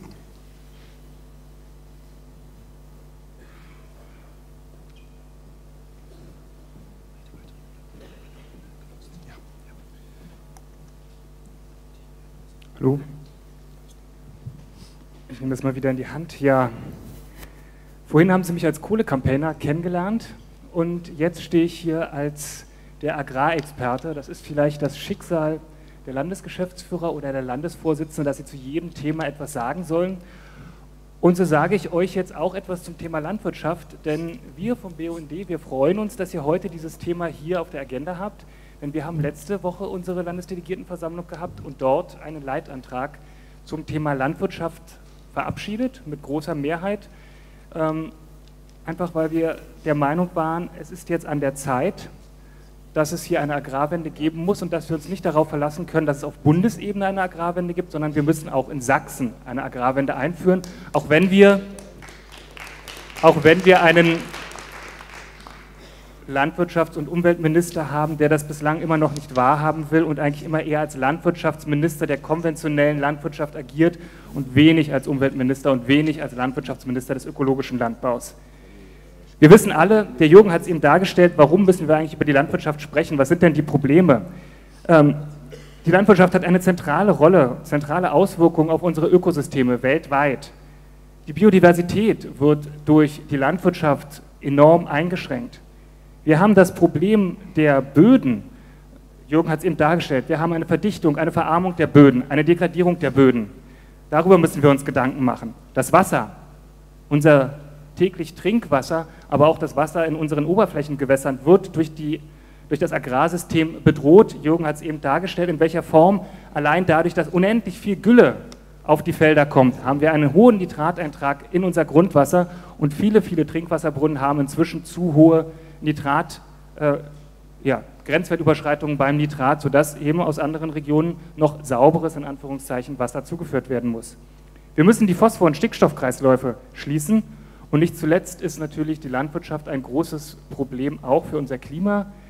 Selbst wenn wir alle anderen CO2-Emittenten oder Emittenten von äh, klimawandelrelevanten Gasen ausschließen würden, würden wir die Klimaziele von Paris nicht schaffen, wenn wir nicht auch in der Landwirtschaft das machen. Also es heißt, nicht nur Kohlekraftwerke abschalten, sondern auch im Landwirtschaftssektor etwas zu ändern. Deshalb, deshalb brauchen wir jetzt eine Agrarwende, auch in Sachsen und natürlich auf der Bundesebene. Und es ist hier schon heute viel über die große, neue große Koalition geredet worden. Und wir haben einige winzige, winzige Ansätze ja schon zu einer Agrarwende in diesem neuen Koalitionsvertrag drin. Warten wir mal, ob aus diesen Ansätzen irgendetwas wird oder ob da etwas reingeschrieben würde. Denn auch das haben wir ja vorhin häufig gehört, auch im Koalitionsvertrag der aktuellen Regierung hier in Sachsen steht ja vieles drin, was dann im Wesentlichen mit beschriebenen Papieren, aber nicht mit Handlungen geendet hat. Wir haben zwölf Punkte aufgestellt, die uns wichtig sind. Glyphosat und Neonix müssen kurzfristig von den Äckern verschwinden und das gilt auch für alle anderen industriellen Pestizide, für die wir gesagt haben, 20 Jahre ist die Grenze, dann muss das Zeug weg sein. Und sollte das nicht auf Bundesebene durchgesetzt werden, dann muss eben Sachsen hier einen Alleingang wagen, denn auch das ist möglich. Die Landwirtschaft in Sachsen muss gentechnikfrei bleiben. Auch das ist uns wichtig. Und wir müssen europäische und internationale Umweltziele anerkennen. Das heißt, wir müssen uns hier in Sachsen auch zu den Pariser Klimaverträgen bekennen. Es gibt eine internationale Biodiversitätskonvention, an die wir uns auch hier in Sachsen halten müssen. Und die Biodiversitätsstrategie, die der Freistaat dazu aufgestellt hat, ist kaum das Papier wert, auf das es geschrieben ist. Mit dem Ökolandbau müssen wir raus aus der Nische. Das geht durch beispielsweise deutlich höhere Fördersätze oder auch die Vergabe von Pachtflächen des Freistaats nur oder größtenteils an ökologisch wirtschaftende Betriebe. Wir brauchen einen besseren Schutz und eine Stärkung der Kohlenstoffspeicher. Wir dürfen also nicht mehr Moore umpflügen, um dort Felder drauf anzulegen, sondern wir müssen Moore, Moore erhalten und im Gegenteil, wir müssen sogar neu wiedervernässen, um zum Beispiel Moore zu Kohlenstoffspeichern zu machen.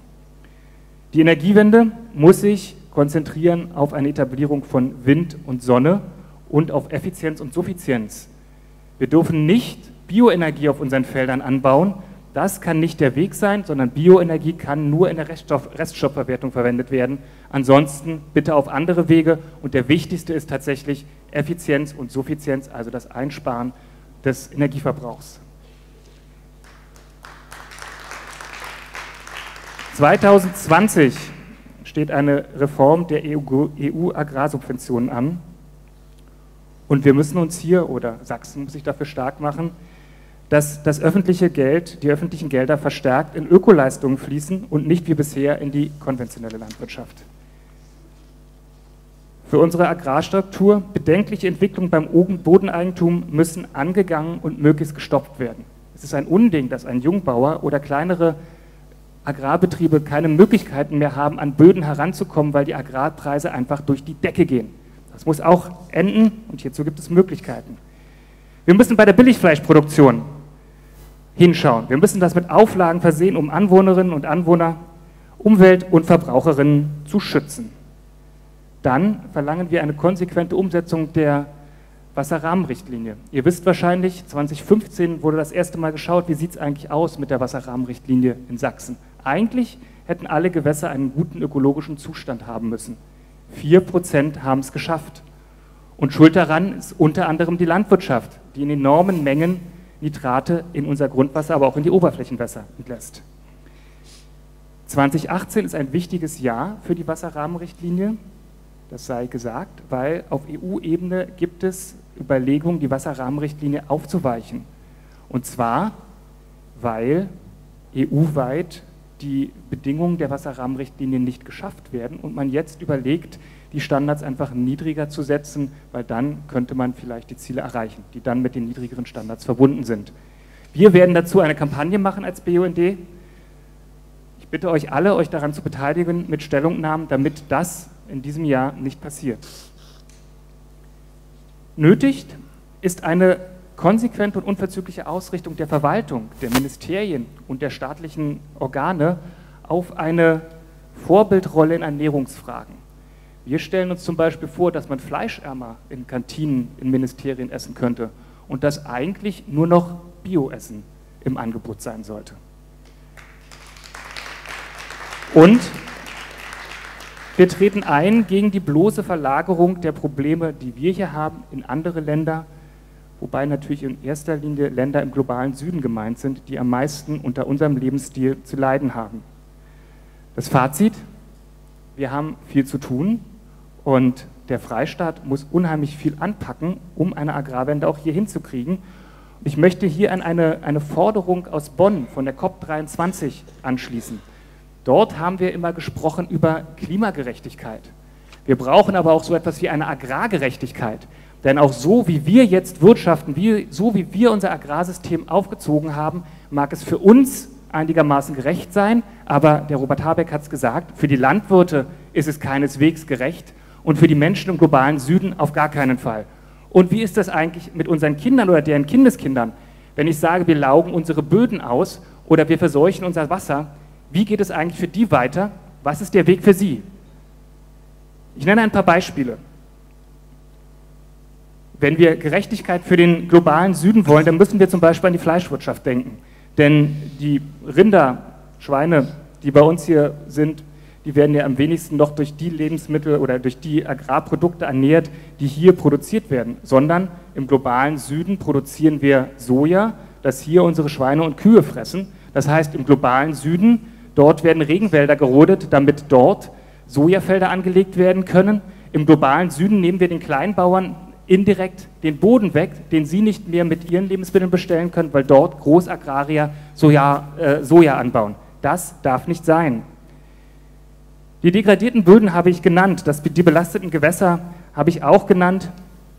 Beim Klima will ich es nochmal sagen, wie wichtig es ist, dass wir die Agrarwende auch schaffen, allein wegen des Klimaschutzes, denn wir schaffen es nicht nur über das Abschalten von Kohlekraftwerken oder über ein, eine Verkehrswende, die eben weggehen muss von den kohlenstoffbetriebenen Fahrzeugen, sondern wir müssen auch hier im Agrarbereich etwas tun. Deshalb begrüßen wir als BUND, wenn ihr heute hier einen Agrarantrag zustimmt, der anstoßen soll, dass es auch eine Agrarwende in Sachsen gibt.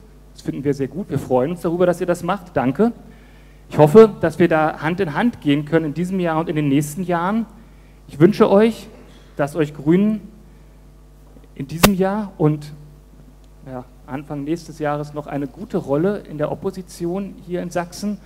Und ich wünsche euch vor allem eine super Wahl 2019, denn das haben wir heute hier schon mehrfach gehört, sei es von Jürgen oder von Robert Habeck. Ich glaube, wir müssen uns hier warm anziehen in Sachsen und ich bin froh, wenn es euch hier gibt und wenn es euch nächstes Jahr auch mit größerer Stärke auch noch gibt. Danke.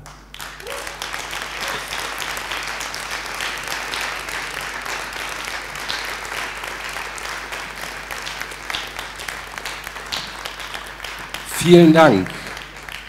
Und wir kommen zu den ersten beiden gelosten Wortbeiträgen und der erste ist von Anna Kaleri aus dem KV Leipzig. Und äh, bei der, an der Stelle mal die Bitte, bitte beachtet die Symbole. Das mit dem Pfeil ist für männliche Beiträge, das mit dem Kreuz für weibliche. Das betrifft, jetzt nicht Anna, äh, aber wir mussten einmal neu losen hat was mit äh, Speer und Schild des Mars und dem Spiegel der Venus zu tun. Fragwürdige Symbolik ist klar, aber trotzdem äh, ist es halt so. Also das macht es uns auch ein bisschen einfacher. Anna hat das Wort und bereit macht sich bitte Andreas Trautmann aus dem KV Zwickau. Drei Minuten.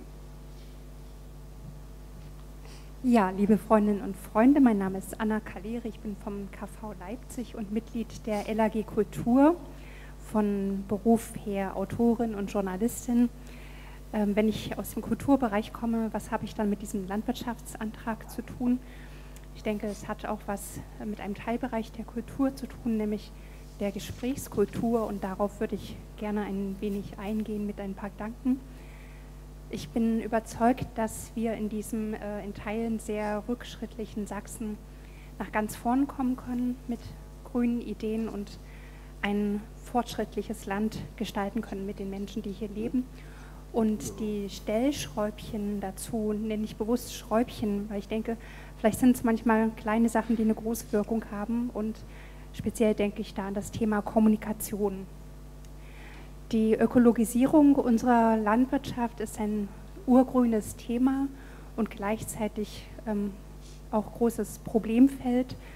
Nach meiner Beobachtung aus Gesprächen, die ich aus Neugier mit Landwirten und vor allem auch Milchbauern immer wieder führe, hat sich ergeben, dass dort sehr viele grünnahe Einstellungen herrschen, ähm, zum Teil aber auch eine große Verärgerung.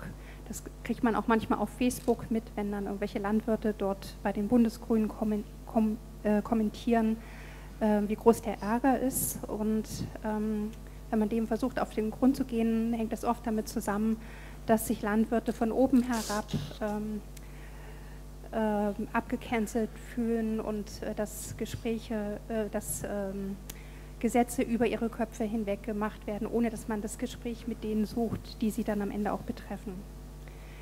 Ja, ich habe mich gefragt in Vorbereitung auf diese LDK, ob ich irgendwas Kleines beitragen kann, um die Kommunikation zwischen Landwirten und Grünen zu verbessern.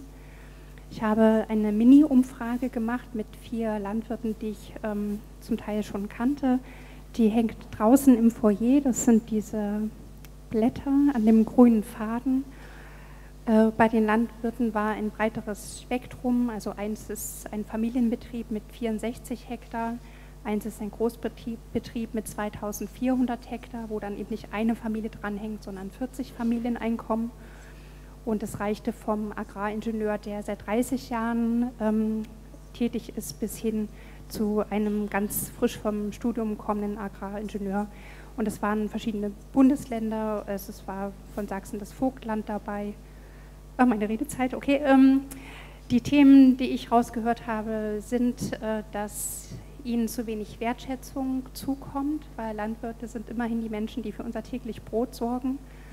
Und sie bekommen von allen Seiten Vorwürfe und ähm, das verstärkt den Druck unter dem sie sowieso stehen, also diesen wirtschaftlichen Druck auch im internationalen ähm, Konkurrenzkampf.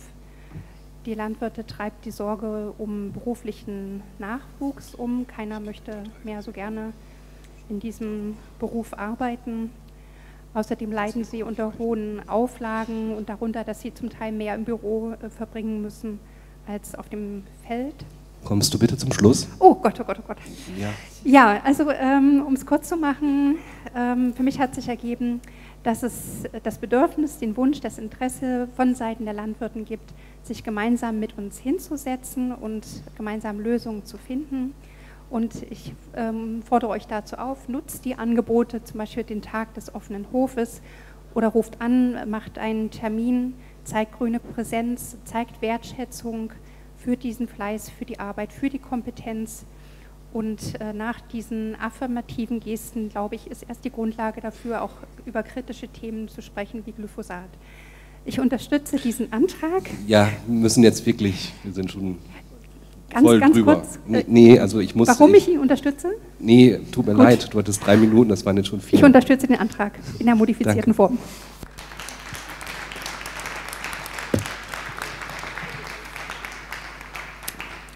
Bitte um Verständnis. Letztlich ist es auch eine Frage der Fairness, dass wir hier bei allen gleiche Kriterien haben. Nochmal zur Erläuterung. Wenn das Licht angeht, habt ihr noch 30 Sekunden. Wenn das Licht aus ist, ist die Redezeit wirklich um. So, und jetzt Andreas bitte.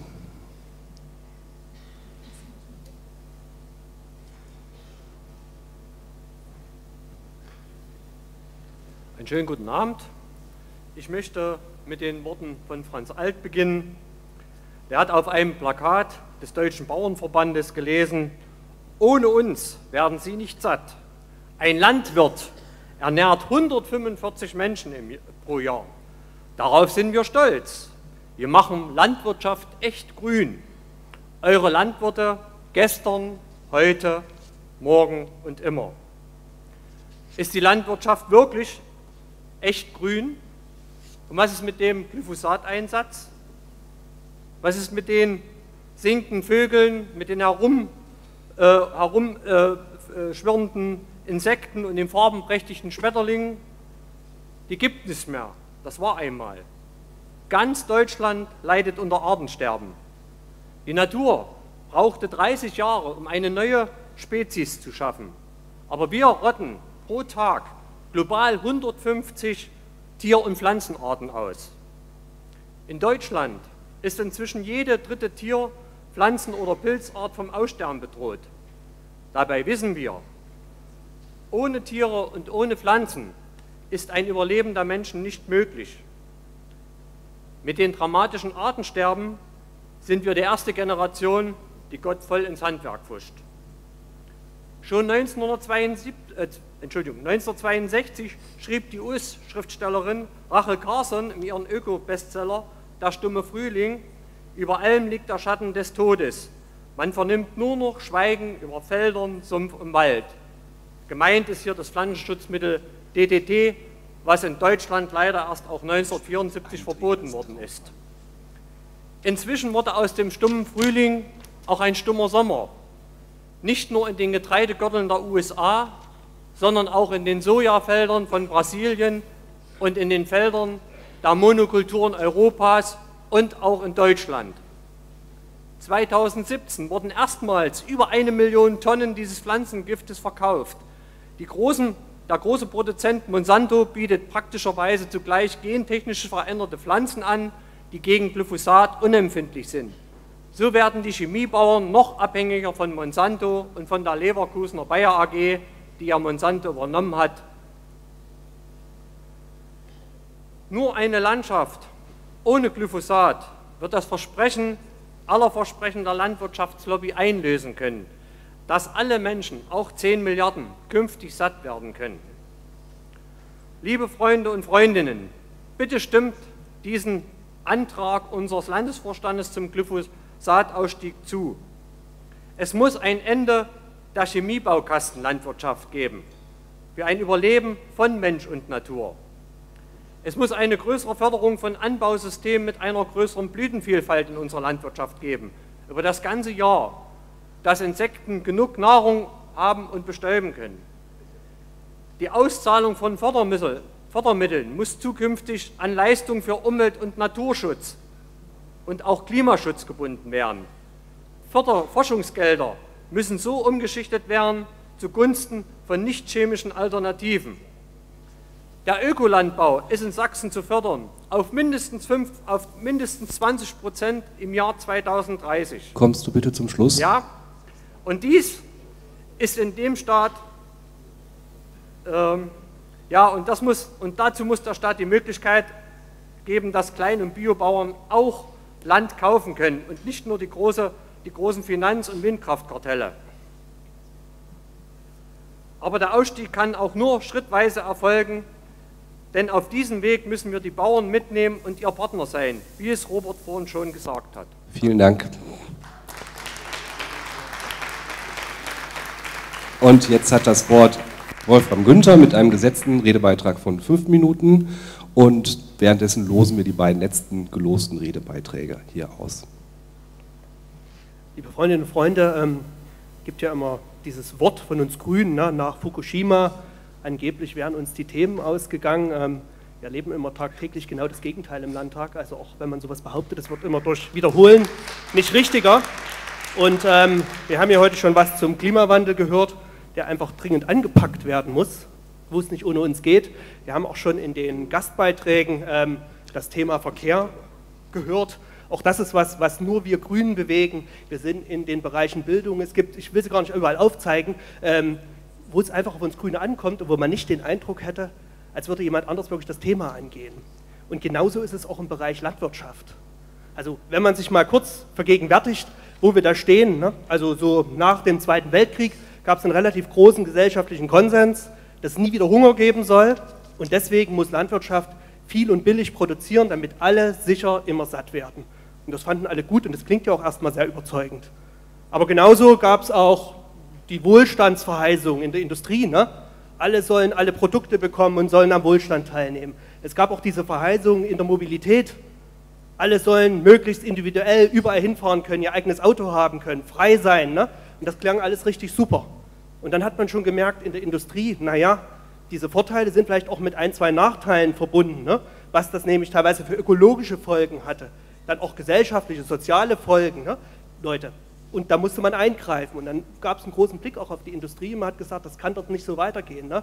Ihr müsst Methoden umstellen. Und da wurde gesagt, um Gottes Willen, können wir nicht machen. Ähm, dann produzieren die in anderen Ländern ne, viel billiger. Da ist die Industrie hier tot in Deutschland. Ne? Und wo sind wir heute? Wir exportieren heute Umwelttechnik weltweit, weil wir einfach dort die Stellschrauben angezogen haben. Und auch im Verkehr haben wir das gemerkt, dass das einfach eine Sackgasse ist. Immer nur weiter motorisierter Individualverkehr, Schwerlastverkehr, ähm, nur einfach auf dem Lastwagen und nicht auf der Schiene. Wir merken, das muss man anpacken. Und jetzt auf einmal gibt es auch den Blick auf die Landwirtschaft. Man hat gemerkt, dass viel und billig eben nicht alles ist, sondern dass das oft erkauft wird für Umweltfolgen, an die man früher überhaupt nicht gedacht hat. Aber das muss einem immer wieder klar sein, wo wir herkommen. Und auch wenn wir jetzt Kritik üben an dem, wie heute Landwirtschaft praktiziert wird. Das ist also kein Ergebnis von Landwirten, die sich das ausgedacht haben und wo man sagen kann, ihr Landwirte, ihr macht da aber was falsch, bitte ändert euch, sondern es ist ein gesamtes System, in dem die Landwirte arbeiten und was auf einem großen gesellschaftlichen Konsens beruht. Und auch wir selber, wir Grünen, müssen bei vielen Stellen immer ein bisschen darauf achten, auch viele Entwicklungen. Wir sind heute immer schnell dabei, Monokulturen ähm, äh, uns zu beschweren. Aber auch wir für die Energiewende, wo wir gesagt haben, Biogasanlagen, Mais, da waren wir dafür, aber da hat man noch nicht gesehen, welche Folgen das haben kann. Ne? Das war auch ein Problem. Oder Bodenbearbeitung, möglichst bodenschonend, pflügt nicht mehr. Ne? Und das ist etwa ein Grund, und das bin wir jetzt schon langsam bei dem Antrag zu Glyphosat. Das funktioniert eben oft mit Glyphosat, einem Pestizid. Ne? Also man kann doch sagen, es ist ein chemischer Pflug weil mir das nämlich erspart, den Boden umzuwerfen, ähm, das, was an Unkraut da ist, aus Sicht des Landwirts ähm, wegzuackern. Ich spritze es eben einfach tot. Und das sind alles Entwicklungen, ähm, da hat man oft, man hat es gefordert, auch teilweise wir, und Landwirte hat es umgesetzt, dann gab es Förderprogramme dafür. Ne? Ähm, die ganzen Systeme wurden so aufgebaut, politische Forderungen, die haben ihre Technik darauf umgestellt in den Betrieben und dort stehen sie heute. Und wir stellen aber fest, dass das, wo wir uns hinentwickelt haben, langsam eine Sackgasse ist. Und dieses ganze System der konventionellen Landwirtschaft, was heute darauf beruht, dass es eben vor allen Dingen mit ähm, Chemikalien funktioniert, Düngung, ähm, noch bei ganz anderen Themen, ähm, das ist an ein gewisses Ende gekommen. Und das merken auch Landwirte selber. Das ist nämlich so ein bisschen wie in der Medizin. Ne? Also ich kann irgendwie ein Mittel einsetzen und wenn ich das Mittel nicht mehr gezielt einsetze, sondern zum Standard mache, dann lässt es in der Wirkung nach. Das heißt, ich muss die Dosierung ständig erhöhen. Dann männle ich aber immer mehr genau die Resistenzen raus. Ne? Auch das erleben wir in der Landwirtschaft. Da gibt es einen Haufen ähm, auch schon Unkräuter, Insekten, ähm, da, da gibt es gar kein richtiges Mittel mehr. Die vorhandenen wirken einfach nicht mehr. Und es ist auch nicht so leicht, da ständig Nachfolgeprodukte herzuholen. Also das ist ein System, das hat Jahrzehnte funktioniert und das kommt jetzt an ein Ende. Und wir merken auch die Folgen, die das hatte, an die man vorher nicht gedacht hat. Und natürlich auch im Zusammenhang, wie wir Flur bereinigt haben. Es sind noch ganz viele andere Punkte. Insektensterben, ne? Artenvielfalt, die zurückgeht, in einem dramatischen Ausmaß. Die ganz genauen Zahlen haben wir ja nicht, aber das, was man hört aus Studien, diese ungefähr 70 Prozent innerhalb weniger Jahre ähm, Insekten die wir nicht mehr haben, die die Grundlage sind für Vögel, für weitere ähm, in der Nahrungskette Tiere, ähm, das sind doch dramatische Anzeichen und das hat ganz wesentlich mit der Landwirtschaft zu tun, so wie sie heute betrieben wird. Aber wie gesagt, nicht, weil Landwirte sich das so ausgedacht haben und dachten, sie machen Landschaft, Natur kaputt, sondern weil das System sie dazu gezwungen hat. Und jetzt sind wir bei Glyphosat, bei diesem einen Mittel, Natürlich am Anfang wurde, war so ein Heilsversprechen, ne? ganz billig und viel ausbringen und es ersetzt den Flug, hat super Vorteile, baut sich in kürzester Zeit ab, kann also nirgendwo in Stoffkreisläufe reingeraten, ne? ist also nur positiv zu sehen. Und wir haben natürlich festgestellt, natürlich in Mengen, tausende Tonnen jährlich in Deutschland, die ausgebracht werden. Es ist in der Umwelt, es ist mittlerweile in uns Menschen drin, es ist überall und es hat negative Folgen, auch auf die Artenvielfalt. Und jetzt langsam verdichten sich die Zeichen wie bei vielen anderen Mitteln, es muss zu einem Ende kommen. Glyphosat kann man nicht verlängern. Aber die Frage ist jetzt, setzt man deswegen jetzt auf neue Pestizide und tolle, tolle Cocktails? Man hat schon gesagt, das wird nicht funktionieren. Und das ist der Punkt, wo wir Grüne jetzt gefordert sind, zu sagen, nee, wir müssen aus dieser Sackgasse raus, in die die Landwirtschaft auch reingedrängt worden ist. Und vor allen Dingen müssen wir, wenn wir in der Landwirtschaft was ändern wollen, das mit den Landwirten gemeinsam machen. Und da müssen wir die nicht beschimpfen, sondern wir müssen mit denen gemeinsam einen Weg finden, wie wir aus der Sackgasse rauskommen. Und genau dazu soll dieser Antrag, den wir heute diskutieren, einen Beitrag leisten. Und wir sind die einzige politische Kraft, die dieses Thema ernst nimmt und die sich damit beschäftigt und solche Anträge hat. Und deswegen bitte ich euch herzlich um eure Zustimmung. Vielen Dank. Und jetzt hat das Wort Franziska Schubert aus dem KV Görlitz und bereit hält sich bitte Martin Wandrei aus dem KV Dresden.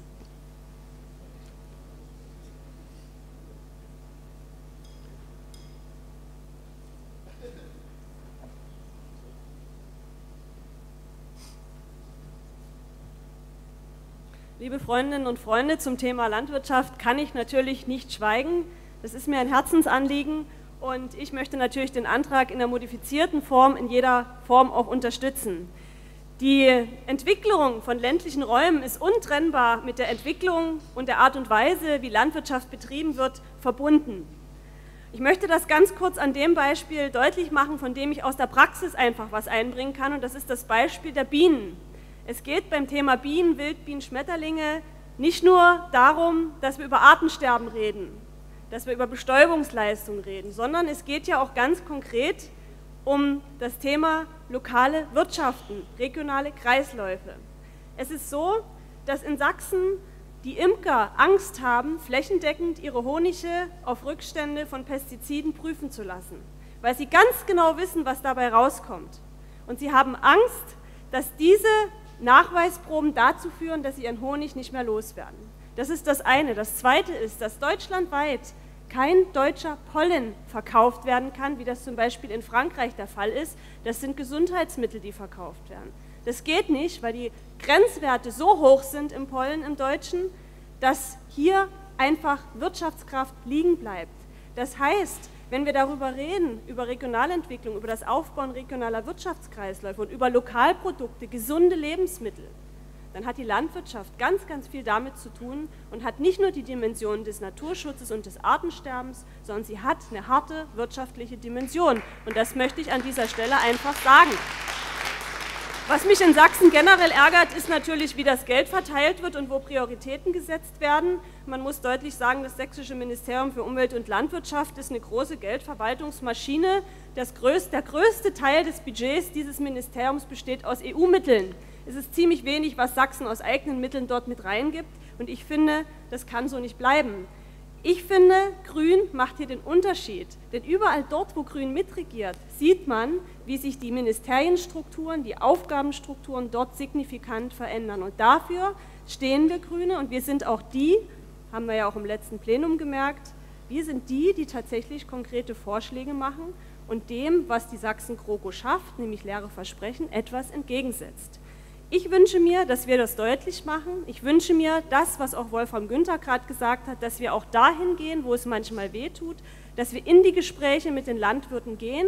Und ich will noch mal darauf hinweisen, hier wächst auch eine neue Generation heran, die aufgeschlossen ist. Und mit denen kann man reden und mit denen sollen wir reden. Das lohnt sich. Und ich möchte noch mal deutlich sagen, ich bitte und werbe für Unterstützung für den modifizierten Antrag. Das ist ein Zeichen für unseren Aufbruch in 2019.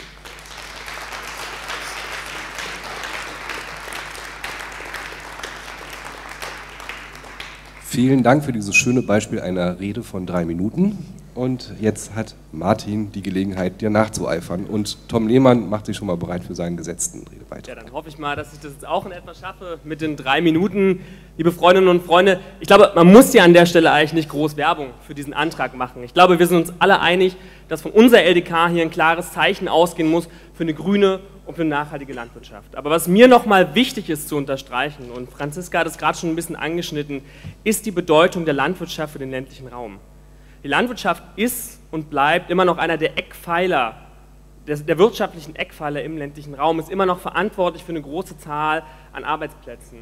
Und hier sehen wir auch, dass die vorangetriebene Industrialisierung der Landwirtschaft, wie wir sie hier erleben, wie wir sie hier schon länger erleben im Osten, wie wir sie aber auch überall anders in Deutschland erleben, dass die Zahl der Betriebe sinkt. Und mit der Zahl der Betriebe steigt die Intensivität der Bewirtschaftung und sinkt die Zahl der Beschäftigten und die Zahl der Menschen, die eine Lebensperspektive in der Landwirtschaft haben. Also ich habe selber erlebt, ich komme halt irgendwie aus einer Familie, die, wo irgendwie fast alle in der Landwirtschaft tätig sind und man sieht, wie die Basis im ländlichen Raum mit der Landwirtschaft erodiert. Und ich glaube, für eine grüne Landwirtschaft ist der Antrag, den wir haben, echt ein guter Auftakt, auch für uns, für das nächste Wahlkampfjahr 2019. Aber ich glaube, es war vielleicht ein bisschen eine Sturzgeburt, dieser Antrag, wie wir es hier erlebt haben, wie er in die Welt kam. Und ich denke, für unseren Programmprozess dann äh, in diesem Jahr und für unser Landtagswahlprogramm, da müssen wir noch an einigen Stellen ein bisschen schrauben. Das Thema Massentierhaltung ist schon ein paar Mal angeschnitten worden. Da brauchen wir doch noch ein paar konkrete Maßnahmen, ne? wenn es zum Beispiel darum geht, ein Verbandsklagerecht einzuführen, wenn es um die Regelung der öffentlichen Investitionsförderung für Tierhaltungsanlagen geht, ähm, vielleicht die Einführung von einem Tierschutzplan. Oder wir haben auch schon über die Eiweißprobleme gesprochen. Da müsste vielleicht eine Eiweißpflanzenstrategie rein. Also ich glaube, für ein komplettes Wahlprogramm müssen wir in den nächsten Monaten uns alle nochmal ordentlich an den Tisch setzen und vernünftig daran weiterarbeiten, damit wir in Sachsen für eine grünere Landwirtschaft sorgen. Deswegen gucke ich auch ein bisschen neidisch auf den Herrn Dr. Grebe vom BUND, weil da können wir uns, glaube ich, als Grüne noch eine Menge Punkte abschreiben für unser Wahlprogramm. Und ich finde da auch die Forderung vernünftig zu sagen, 20 Jahre für den Pestizidausstieg. Ich finde die sieben Jahre, die jetzt als Änderungsantrag noch vorliegen, vielleicht ein bisschen überstürzt. Weil das Wichtigste ist, und das wurde hier auch schon ein paar Mal angedeutet, das hat Robert schon gesagt, das hat Anne am Anfang schon gesagt, wir müssen im Dialog bleiben mit den Landwirten. Wir müssen ihnen glaubhaft und klar und deutlich machen, wir stehen an eurer Seite, wir kämpfen für euch. Vielleicht habt ihr mit euren Interessensverbänden, und da muss ich dir ein bisschen widersprechen, Wolfram, mit der Politik der Exportorientierung, die der Bauernverband durchgepeitscht hat in den letzten Jahren, vielleicht euch selber ein bisschen in eine Sackgasse manövriert. Aber wir stehen an eurer Seite für eine zukunftsfähige Landwirtschaft, für eine grüne Landwirtschaft, für eine humane Landwirtschaft und vor allem für eine zukunftsfähige Landwirtschaft, die die Zukunft der, äh, der ländlichen Räume sichert. Deswegen lasst uns mit dem Antrag hier einen guten Aufschlag machen für einen tollen Wahlkampf 2019, wo Landwirtschaft eines unserer absoluten Kernthemen sein muss. Dankeschön. Auch das war eine Punktlandung und jetzt hat Tom Lehmann aus dem KV Chemnitz das Wort. Liebe Freundinnen und Freunde, Herbizide gehören nicht auf unsere Äcker. Nicht ins Trinken, nicht ins Essen. Und sie gehören auch nicht in Badewannen, vielleicht bei Glyphosat-Schmidt von der CSU. Wenn es regnet, werden Herbizide, wer wir alle wissen, von Feldern und Wegen in den nächsten Teich gespült. Je nach Dosis vernichtet das Gift im Wasser nahezu alles, was dort kreucht und fleucht. Ob nun Fische, Frösche oder Algen. Der Mensch ist ja nun aber bekanntlich keine Alge oder kein Frosch. Doch was einen Frosch tötet, kann auch an uns Menschen, glaube ich, nicht spurlos vorübergehen. Liebe Freundinnen und Freunde, ich bin ja nicht nur Stadtrat, sondern unter anderem auch Landwirt. Ich weiß also, wie schwer Umstellung in der Landwirtschaft ist. Sie dauert oft Jahre, deshalb braucht es natürlich Übergangsfristen. Aber ich kann euch versichern, dass man nicht pleite geht, wenn man auf chemische Herbizide verzichtet. Meine Felder kennen dieses Gift nicht. Pleite bin ich noch nicht und meine Bienen leben immer noch. Liebe Freundinnen und Freunde, um chemische Herbizide endlich aus unserem Leben zu verbannen, sind wir Grüne nicht nur im Bund und im Land gefordert, sondern auch wir Grünen Stadt, Kreis und Gemeinderäte. In Chemnitz wurde durch uns schon mit einem Antrag von 2015 Glyphosat im öffentlichen Raum wie auf Gehwegen, Spielplätzen und Sportanlagen untersagt. Das Verbot hielt Einzug in alle kommunalen Satzungen. Allerdings einen Fehler gab es in unserem Antrag. Wir hatten uns auf Glyphosat beschränkt.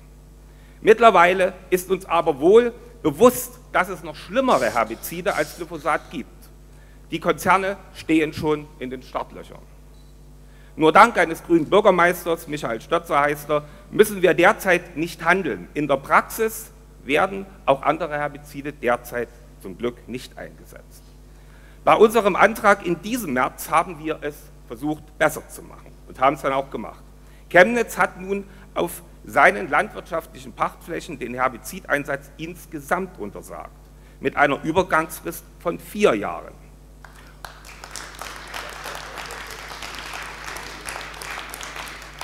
Und wer früher aussteigt, kann mit finanziellen Vorteilen bei der Pachthöhe rechnen. Liebe Freundinnen und Freunde, wir hatten wirklich nur eine geringe Hoffnung, dass unser Antrag durchkommt. Wunder gibt es aber anscheinend manchmal. Es gab keine Gegenrede. CDU-Stadträte verließen zuhauf den Saal, um nicht dagegen stimmen zu müssen. Auch die dunkelroten Agrargenossen, die nach dem Motto viel hilft viel früher gerne Herbizide versprühten, hielten sich dezent zurück. Und man glaubt es kaum, der Antrag erhielt eine Mehrheit. Eventuell auch aufgrund der namentlichen Abstimmung. Liebe Freundinnen und Freunde, macht den Herbizidbaronen klar, dass ein paar blühende sogenannte Unkräuter nicht nur schön aussehen, sondern äußerst wichtig für unsere Umwelt sind. Habt den Mut, lasst uns den kommunalen Aufstand wagen, wie beim Wildtierverbot in den Zirkussen. Liebe Freundinnen und Freunde, Sachsen herbizidfrei jetzt. Danke.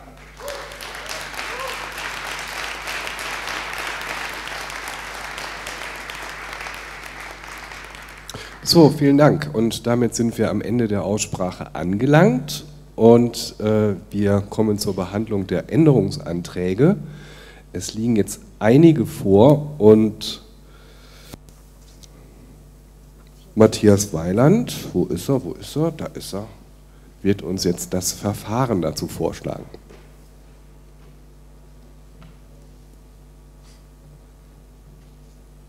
Ja, vielen Dank. Ich habe äh, meinen Computer mitgebracht, denn es ist etwas komplizierter. Wir haben 16 äh, Änderungsanträge, äh, die auch erst kurzfristig reingekommen sind und ich würde euch jetzt das äh, Verfahren vorstellen.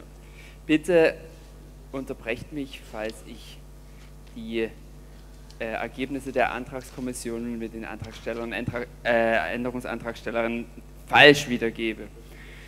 Und zwar, ich gehe es der Reihe nach durch, L01008. Änderungsantrag wird übernommen. L01022 wird übernommen. L01037 wird übernommen. L010 074 wird übernommen. Dann haben wir L01095, der entfällt durch die Übernahme des darauf folgenden Änderungsantrags L01952 der LAG Ökologie. Dann sind wir bei L01146 und jetzt wird es das erste Mal spannend. Dieser Antrag soll abgestimmt werden und den habt ihr auch ausgedruckt. Entweder schon vor euch liegen oder ihr findet ihn vorne am Empfang. Zusammen mit diesem, weil die ähm, inhaltlich zusammengehören, soll die Abstimmung der weiteren Änderungsanträge L01 244 und L01 348 erfolgen. Zusammen. Zusammen. Dann zusammen, genau. Sind wir bei L01 227. Hier wird eine modifizierte Übernahme vorgeschlagen und zwar wie folgt.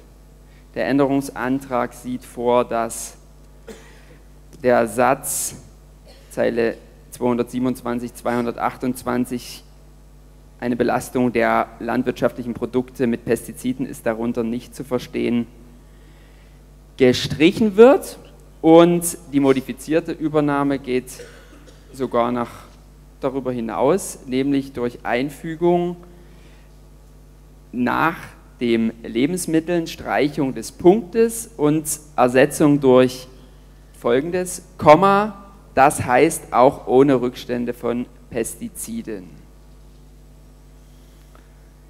Dann sind wir bei eben bereits genannten L01 244, der wird zusammen mit L01 146 abgestimmt.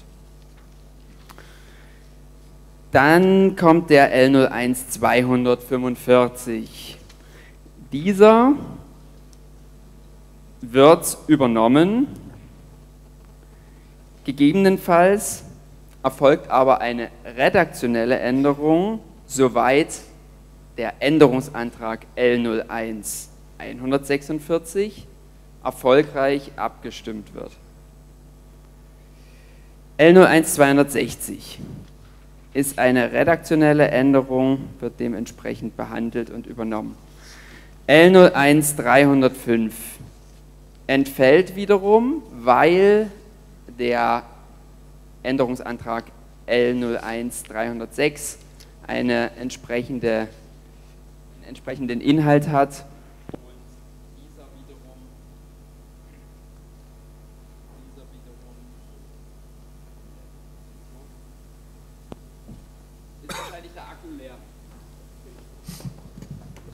Ich helfe aus.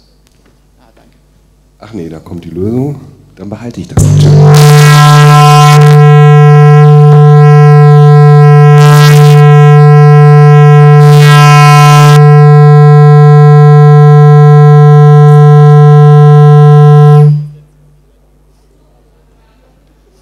So, dann können wir weitermachen, denke ich. Alle sind wach. Ähm, L01, 3, wir sind bei L01 305. Der entfällt, wie gesagt, durch die Übernahme des darauf folgenden L01 306. L01 348 wird, wie ich es gerade schon erwähnt hatte, vorgeschlagen, ihn zusammen mit L01 146, L01 244 abzustimmen.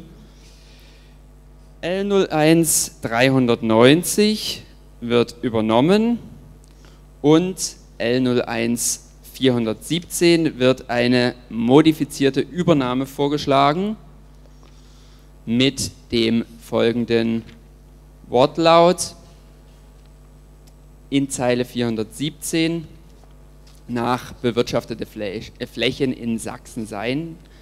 Punkt das mittelfristige Verbot von Glyphosat muss vorbereitet werden durch die Unterstützung der Landwirtschaftsbetriebe beim Einsatz praktikabler Alternativen unter Abfederung ökonomischer Nachteile. Dies wird als Schritt in die richtige Richtung, nein, Entschuldigung, ich korrigiere, dies wird als Schritt in Richtung einer Ökologisierung der Landwirtschaft gesehen. Die Strategie dazu ist in engen Austausch mit Vertretern von Landwirtschaftsbetrieben zu entwickeln. Damit sind wir durch durch die Änderungsanträge. Das war der Verfahrensvorschlag. Ja, vielen Dank. Und über den müssen wir abstimmen und da sind auch Gegenregen möglich. Und ich frage mal, ob es möglich ist, tatsächlich mehrere Änderungsanträge zusammen abzustimmen in einer Abstimmung. Das war ja eben der Vorschlag, dass die zusammen abgestimmt werden sollen. Habe ich auch noch nicht gehabt. Hältst du das für möglich?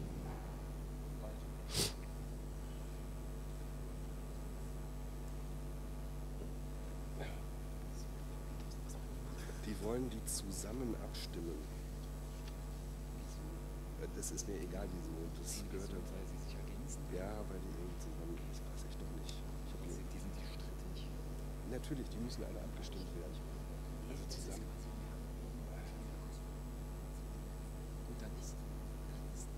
Dann gibt es Grundsatzbestimmung über den Weitgehensantrag. Dann gibt es Modifikation andere Übernahmen, falls diese durchkommt. Der wird abgestimmt. Wenn dieser eine Mehrheit findet, werden diese beiden Modifikationen übernommen. Das ist das das würde ich jetzt vorschlagen, das ist ein anderer Vorschlag. Okay, wir modifizieren jetzt den Vorschlag. Ähm, ihr hattet jetzt ja Zeit, mehr als ich, euch mit den Anträgen auseinanderzusetzen. Wir würden jetzt äh, so vorgehen, dass wir den einen Änderungsantrag 01, L01 146 abstimmen würden. Und sollte der angenommen werden, gelten die Änderungsanträge 01244 und 01348 als modifizierte Übernahme.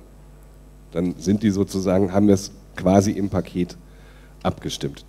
Das heißt, wir stimmen nur noch über den einen Änderungsantrag ab, übrigens mit der veränderten Redezeit wie zu Beginn der Versammlung beschlossen. Das ist jetzt der Vorschlag. Wenn ihr mit dem Vorschlag und den übrigen, also die Übernahmen, modifizierte Übernahmen, entfallen und so weiter, einverstanden seid, dann bitte ich euch ums Kartenzeichen. Vielen Dank. Gibt es Gegenstimmen? Ich sehe da eine oder der hat sich nur am Kopf gekratzt. Und Enthaltungen? Dann ist das sogar einstimmig. Gut, dann verfahren wir so. Das heißt, wir stellen jetzt nur noch den Antrag, Änderungsantrag 01146 ähm, zur Abstimmung mit der veränderten Redezeit. Es gibt fünf Minuten für die Einbringung und auch für eine Gegenrede sind fünf Minuten möglich und Malte bringt den Änderungsantrag ein.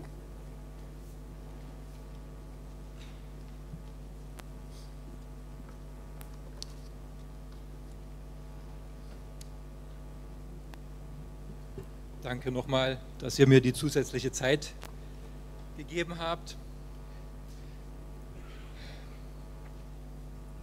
Es geht ja nicht um Glyphosat allein, um ein einziges Unkrautvernichtungsmittel, sondern es geht um Kontamination von Grundwasser, von Trinkwasser, von unseren Lebensmitteln, von Böden, von Oberflächengewässern, es geht um Biodiversität, Bodenqualität und in der Folge das Leben von Insekten, Vögeln und so weiter. Es geht um saubere Lebensmittel.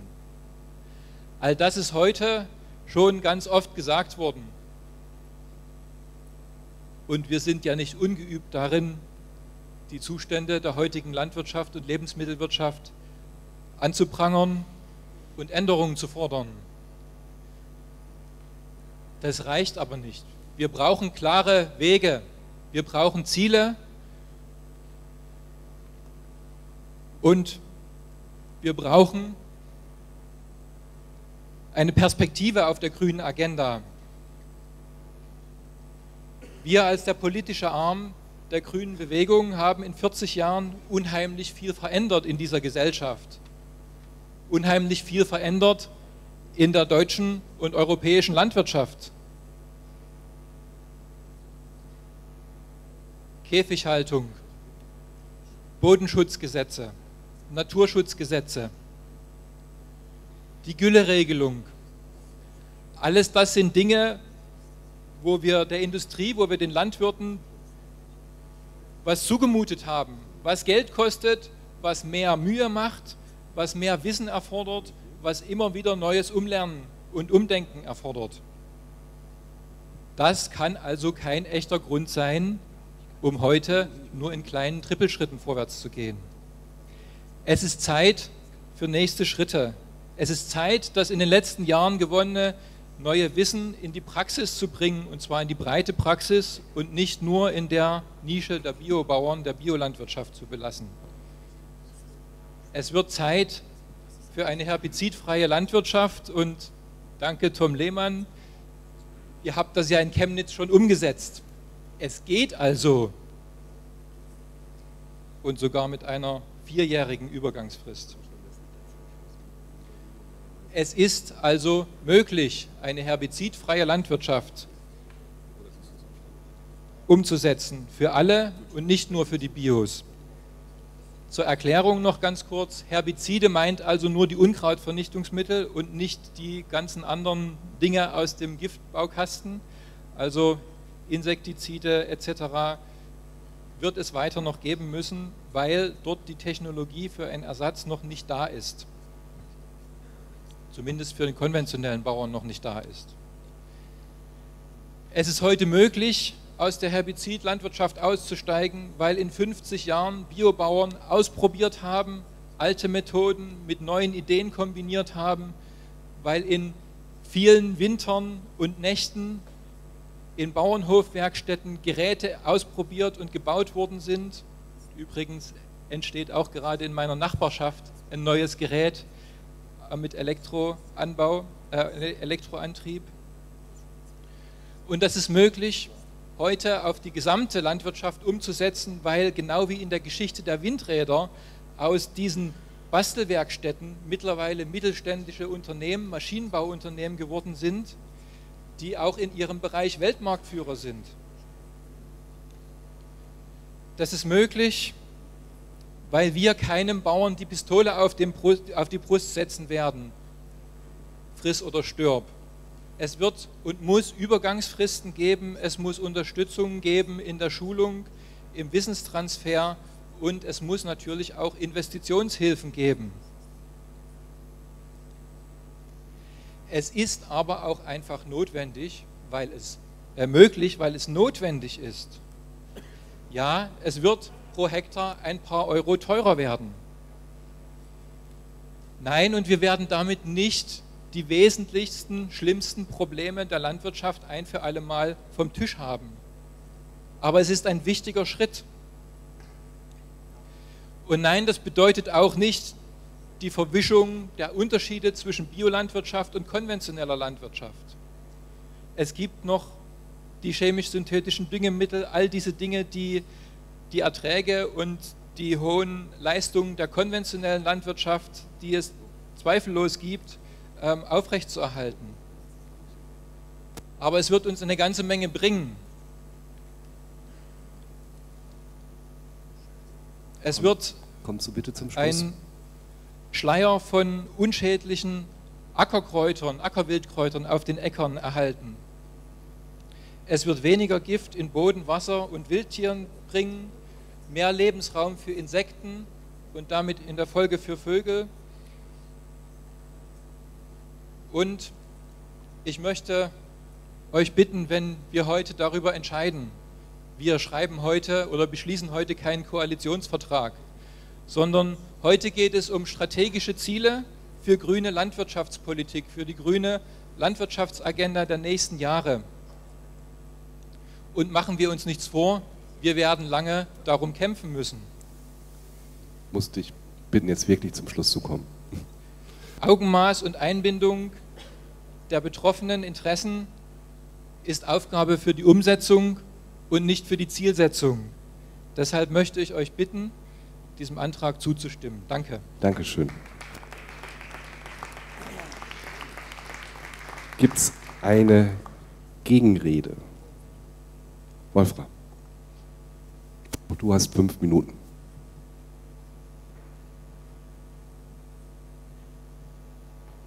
Liebe Freundinnen, liebe Freunde, nochmal kurz zusammenzufassen, worum es hier geht mit dem Änderungsantrag im Vergleich auch ähm, zum bisherigen Antrag. Ähm, wir haben dort gefordert eine Pestizidreduktionsstrategie. Wir wollen, dass die Landwirte erstens komplett auf Glyphosat verzichten, so schnell wie es geht, Aber wir wollen, dass sie das nicht durch andere Pestizide oder Pestizidcocktails ersetzen, sondern dass sie gucken, dass sie dort wirklich runterkommen. Aber ähm, wir fordern bisher nicht, dass ein Pestizideinsatz komplett beendet wird. Und der Antrag von Malte geht in diese Richtung, dass es innerhalb von sieben Jahren ne, ähm, ein komplettes Ende gibt. Ist doch richtig. Und Bitte nicht Pestizide mit Herbiziden verwechseln, das ist ein wichtiger Unterschied. Also die Teilgruppe der Pestizide, die nur auf Pflanzen anspricht. So, aber auch da. Ähm, es gibt einen Unterschied zwischen ökologischem Landbau und eben der sogenannten konventionellen Landwirtschaft. Und es ähm, ist ganz klar, im ökologischen Landbau ähm, gibt es überhaupt keine synthetischen ähm, Pflanzenschutzmittel, Agrochemikalien, Herbizide. Ne? Das ist dort nicht zulässig. Es gibt sehr wohl natürliche. Ne? Also ich kann Kupfer oder solche Sachen einsetzen, also es ist nicht komplett weg, aber zumindest keine Agrochemie. In der konventionellen Landwirtschaft, im Unterschied dazu, ist es eben genau zulässig.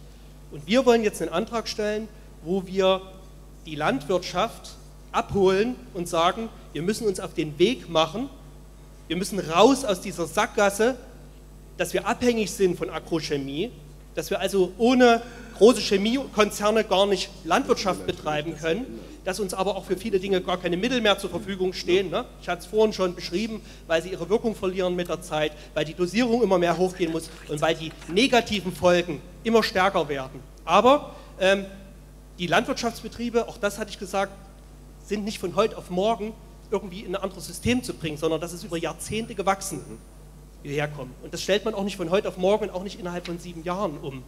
Ähm, und wir können uns das wünschen und ich glaube, das eint uns alle, auch mit dem Ziel von Malte, dass wir mal in der gesamten Landwirtschaft auskommen, ohne diese Mittel. Aber wir haben auch für den Ökolandbau in den euphorischsten Zielen auf Bundesebene und überall mal das Ziel, dass wir mal auf 20 Prozent Anteil kommen. In Sachsen sind wir bei reichlich 5 Prozent. Weiter Weg. Das heißt aber im Umkehrschluss, dass immer noch 80 Prozent der Landwirtschaft konventionell sein werden. Mehr hat noch keiner verlangt. Und das heißt, wir müssen Landwirtschaftspolitik, das ist der Großteil, vor allen Dingen auch machen, wenn wir was im Wesentlichen verändern wollen für die konventionellen Landwirte. Und dort kann man sich nicht vorstellen, komplett auf diese Mittel zu verzichten. Im Ökolandbau funktioniert das, die machen das vor, das muss man alles gar nicht neu erfinden, aber die haben ein komplett anderes Betriebssystem wie die Abläufe sind, wie die Fruchtfolgen sind, auch welche Technik da ist. Und das ist in den anderen großen, in den konventionellen Betrieben einfach so nicht gegeben. Die sind im Moment noch abhängig davon. Und die müssen wir langsam dort rausführen aus dieser Sackgasse.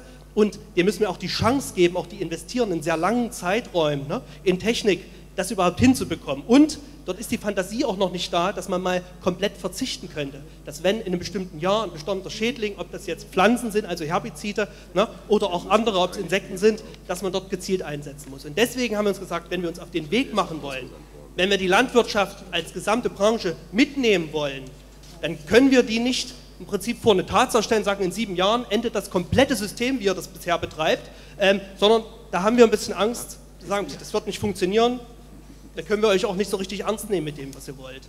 Und deswegen haben wir uns ganz bewusst bisher entschieden, eben keinen kompletten Ausstieg innerhalb von sieben Jahren zu verlangen, sondern überhaupt mal die Reduktion. Denn auch das ist was, was überhaupt noch nicht stattfindet. Aktuell steigt der Einsatz immer nur von Jahr zu Jahr. Und wir wollen mal eine Trendwende herbringen. Und deswegen muss ich jetzt einfach eine Gegenrede gegen dich halten und sagen, auch wenn ich dein Ziel, ne, also ich würde es mir wünschen, dass wir da hinkommen, aber ich glaube nicht, dass das Teil einer seriösen Politik im Moment ist, die wir machen können, ähm, wo wir einfach Landwirte mitnehmen und wo wir auch der Bevölkerung zeigen können, wir Grünen stellen auch nur Forderungen auf, die realisierbar sind für den Fall, dass wir hier mal in Verantwortung kommen in dem Land. Denn das wäre unmöglich, innerhalb von sieben Jahren in Sachsen auszusteigen komplett. Und deswegen möchte ich sowas auch nicht fordern und versprechen. Aber ich kann jedem sagen, der mich fragt, ja, ich wünsche mir, dass wir dorthin kommen, aber vielleicht unterhalten wir uns in sieben Jahren, wenn unser Antrag Früchte getragen hat, darüber, in welchen Zeiträumen wir das dann bekommen. Deswegen muss ich euch bitten, gegen mein Bauchgefühl, aber einfach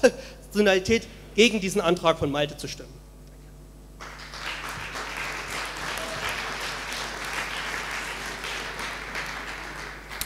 Ja, vielen Dank. Und dann kommen wir zur Abstimmung. Wer dem Änderungsantrag, den Malte eingebracht hat, die Zustimmung gibt, die und den bitte ich um das Kartenzeichen.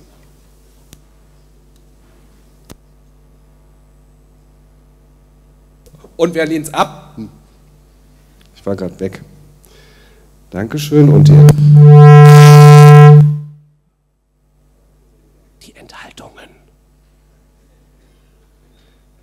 Also bei einigen Dafürstimmen ähm, große mehrheitliche Ablehnung und einigen Enthaltungen, acht Enthaltungen, ist der Antrag abgelehnt. Und wir kommen jetzt zur Abstimmung des Gesamtantrages mit den modifizierten und nicht modifizierten Übernahmen, die gerade besprochen wurden. Wer dem Leitantrag zustimmt, bitte ich um das Kartenzeichen. Die Ablehnung sehe ich keine und Enthaltungen sehe ich auch nicht. Damit ist der Antrag einstimmig an, angenommen worden.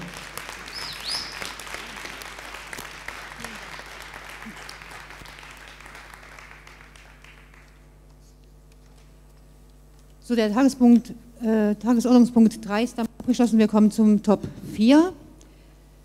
Ähm, der Rechenschaftsbericht des Landesvorstandes.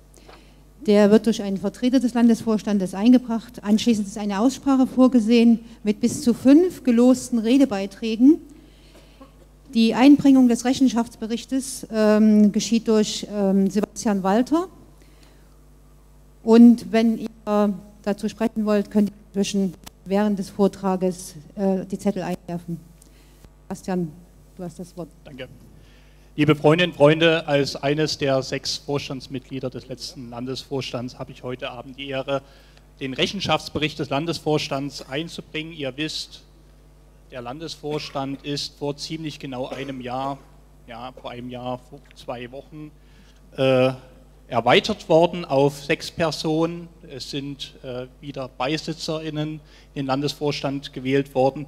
Und äh, die Arbeit des neuen Landesvorstandes stand natürlich, das hat man auch schon in Redebeiträgen gehört, sehr stark im Zeichen natürlich der Bundestagswahl. 2017 ist bekanntermaßen eine Bundestagswahl gewesen, äh, die ja, eine Bundestagswahl der härteren Sorte war, wo gerade hier in Sachsen der, Gesicht, äh, der, der Wind uns ziemlich ins Gesicht, Gesicht geblasen hat. Und uns als Landesverband, uns als Landesvorstand war es wichtig, neben der Bundestagswahlkampagne, neben der Strategie der Bundestagswahlkampagne äh, des Bundesverbandes auch noch eine eigene sächsische Strategie äh, mit aufzusetzen, also sozusagen ganz fokussiert die Themen der Bundestagswahl aufzugreifen, fokussiert in den sächsischen Regionen darzustellen, die äh, gerade unsere Region stärker betreffen. Das heißt, wir hatten unter anderem ein Verkehrsplakat äh, neben der allgemeinen Bundestagswahlkampagne produziert, aber dazu werde ich einiges später noch dazu sagen. Zu, diesem, äh, ja, zu dieser sächsischen Strategie gehörte eben auch, dass wir als Landesvorstand einen grünen Tag äh, organisiert haben. Wir haben äh, im Landesverband diesmal einen grünen Tag gehabt in, im letzten Jahr mit rund 120 Mitgliedern. Aus meiner Sicht war das ein voller Erfolg. Im Ergebnis dieses Grünen Tages hatten wir auch so viele Änderungsanträge aus dem Landesverband Sachsen wie noch nie auf einer BDK, also auf der Programm-BDK für die Erarbeitung des Bundestagswahlprogramms. Wir haben diese sächsische Strategie zur Bundestagswahl auch weiter untersetzt mit mehreren landesweiten Thementouren. Vielleicht ist einigen von euch noch die Kaffeetour oder die Kaffeebechertour bekannt. Äh, wir hatten das Thema, das ist ja auch durchaus aktuell in der Diskussion, das ganze Thema Müll im Meer oder beziehungsweise Müllvermeidung am Beispiel von Coffee-to-Go-Bechern aufgegriffen. Einige Kommunalverwaltungen, die ja auch mit Grün besetzt sind, haben auch das Problem angezeigt, dass eben nicht nur ein Problem im Meer ist, sondern eben auch direkt in Sachsen. Wir haben zudem, wie auch schon in der Vergangenheit, eine Briefwahltour aufgesetzt. Wir haben dabei die Hochschulstädte in Sachsen besucht. Wir haben damit äh, die Kreisverbände in die frühzeitige Adressierung an die Wählerin eingebunden. Wir haben zudem eine Kita-Tour durchgeführt. Weiterhin auch über die Bundestagswahl hinaus eine Baumschutztour, also das ganze Thema Baumschutz, was ja auch ein Landesthema ist unter dieser großen Koalition, äh, weitergetrieben und nicht zuletzt, wie ich schon angesprochen hatte, neben den äh, Plakaten der Bundestagswahl aus, der, äh, aus dem Bundesverband ergänzend ein Verkehrsplakat produziert, was sehr stark neben dem Bundesthema der Elektromobilität auch den ÖPNV, den Nahverkehr hier in Sachsen adressiert hat. Wir hatten dabei das Glück, äh, unsere gute Zusammenarbeit mit den anderen ostdeutschen Ländern auszuspielen. Da hatten auch andere ostdeutsche Bundesländer, andere ostdeutsche Landesverbände dieses Plakat abgenommen.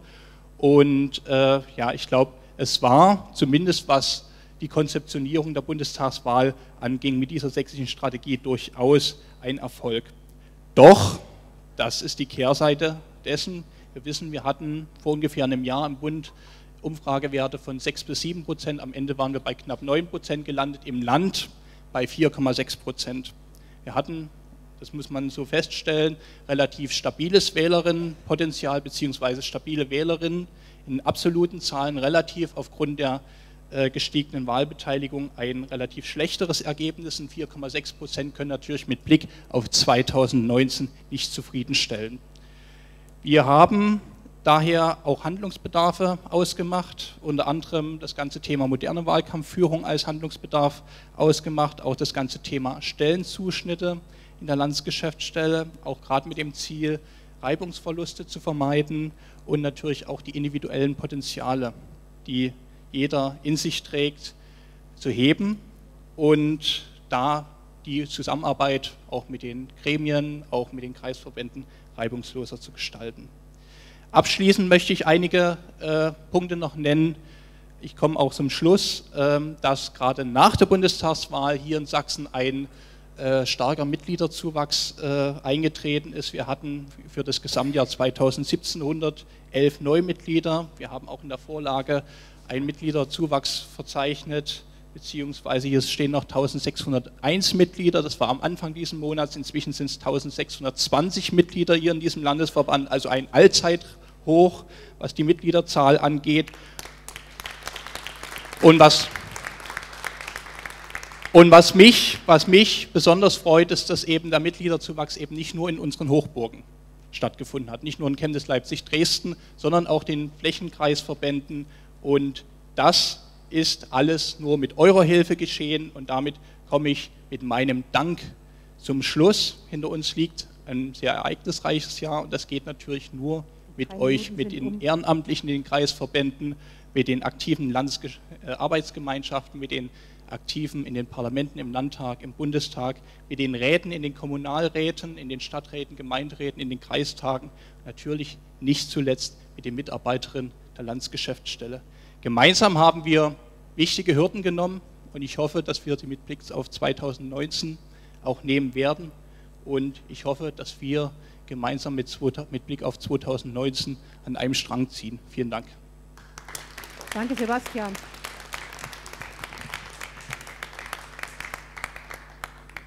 Gibt es Redebeiträge? Möchte jemand etwas dazu sagen? Wir haben bis jetzt eine Wortmeldung eine männliche Wortmeldung. Und wenn sich jetzt keine Frau meldet, möchte ich die Versammlung befragen, ob wir mit, dem, mit der männlichen äh, Wortmeldung anfangen wollen. Wer ist dagegen? Wer enthält sich? Dann gehen wir davon aus, dass die meisten dafür sind und Michael Schmatt Schmelig, Entschuldigung.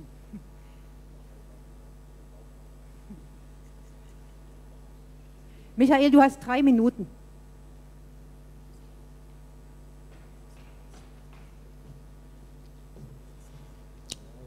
Liebe Mitstreiterinnen und Mitstreiter, seht mir nach, dass ich etwas Schwierigkeiten habe, das Wort Freundinnen und Freunde so ganz einfach in den Mund zu nehmen, weil Freunde gehen eigentlich ja ein bisschen ehrlicher miteinander um.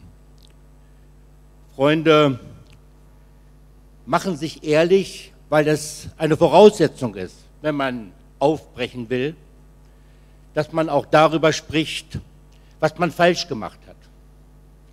Und da muss ich ganz offen sagen, dass sich dieser Rechenschaftsbericht doch in vieler, vielfacher Hinsicht eine unglaubliche Beschönigung darstellt des Zustandes, in dem sich Grüne hier in Sachsen befinden. Wir stehen mit dem Rücken an der Wand. Liebe Freundinnen und Freunde, sage ich jetzt mal, wir stehen mit dem Rücken an der Wand und wir tun so, als ob wir daran eigentlich nicht selbst die Schuld haben. Ich behaupte, Wir sind hauptsächlich verantwortlich dafür, dass wir in einem Land, das in der Mehrheit bei der letzten Bundestagswahl AfD gewählt hat, in einem Land, in dem ökologische Fragen an die Wand gedrückt werden, selbst sozusagen mit dem Rücken an der Wand stehen. Und da sage ich einfach mal, wenn ich dann reinschaue, alleine über das, was zum Beispiel über die Landesgeschäftsstelle gesagt wird, mit keinem Wort werden die Probleme wirklich dargestellt. Hier wird so getan, als ob Herausforderungen zu lösen sind, Herausforderungen von Problemen, die teilweise selbst verursacht wurden. Und ich weiß, dass es schwierig ist, in dieser Partei offen und ehrlich auch Probleme aufzuarbeiten. Die bleierne Zeit, die wir mit Frau Hermenau hinter uns haben, ist nie in dieser Partei aufgearbeitet worden. Es hat nie eine offene Diskussion darüber gegeben, wie wir vielleicht auch anders, ehrlicher miteinander umgehen und umgehen sollten. Stattdessen wurden Probleme verschwiegen, kleingeredet, möglicherweise den anderen die Schuld gegeben. Und ich glaube, wenn man aufbrechen will, dann darf man nicht nur vielleicht den einen oder anderen im Personaltableau auswechseln. Dann muss es auch sowas geben wie eine kollektive Verantwortung derjenigen, die im letzten Jahr die Verantwortung für diese Landespartei getragen haben. Und sie müssen auch kollektiv dazu stehen, welche Fehler gemacht wurden. Und das fehlt mir. Und da fordere ich auch den Landesvorstand, die Sprecher auch, aber den Landesvorstand auf, diesen Diskurs hier mit den Mitgliedern einzugehen, weil ich glaube, der Rechenschaftsbericht jedenfalls drückt nicht aus das Defizit, welches diese Partei hier in Sachsen hat. Und ich darf euch eins sagen, Heimat, ja, die Grünen sind meine politische Heimat. Seit 35 Jahren. Und ich habe in diesem Haus manchmal gefroren, manchmal vor Angst geschwitzt. Aber ich habe immer versucht, dieses Haus auch zu renovieren, immer an der Verbesserung des Hauses zu arbeiten. Und man kann nicht aufbrechen, ohne dass man dieses Haus verbessert. Vielen Dank.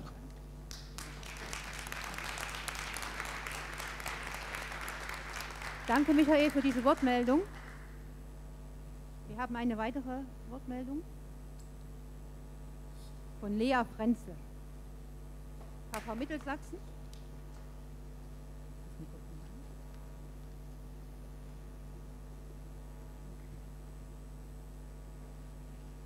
Lea, du hast das Wort. Du hast drei Minuten Zeit.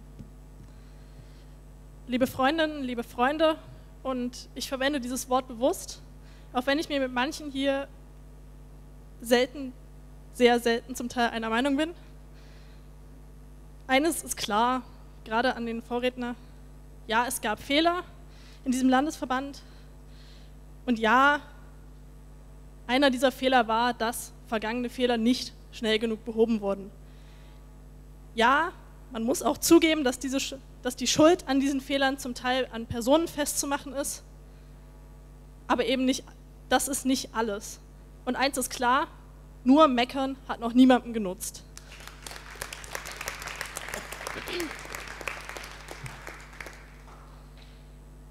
Reminiszenzen an vergangene Zeiten, so ehrenvoll ich das finde, seit 35 Jahren Mitglied dieser Partei zu sein, ja, sind schön. Es gab sicherlich bessere Zeiten für die Grünen, als wir sie jetzt haben. Es gab auch bessere Zeiten in Sachsen, als wir sie jetzt haben. Aber wir sind doch dazu da, diese Zeiten hier wieder besser zu machen. Und dazu müssen wir nach vorne schauen. Und das ist eigentlich das, was ich euch mit auf den Weg geben will. Schaut nach vorne, wenn wir aufbrechen wollen.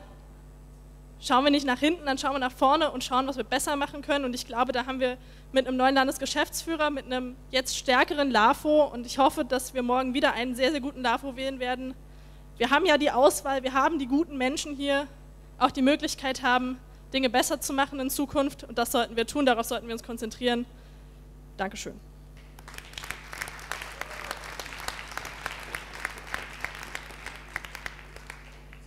Vielen Dank, Lea. Sind noch weitere Redebeiträge? Also es hat sich keiner angemeldet, aber möchte vielleicht noch jemand spontan etwas sagen? Damit sind wir am Ende der Aussprache. Eine Abstimmung über den Rechenschaftsbericht ist nicht vorgesehen. Und wir beenden damit den Top 4. Vielen Dank.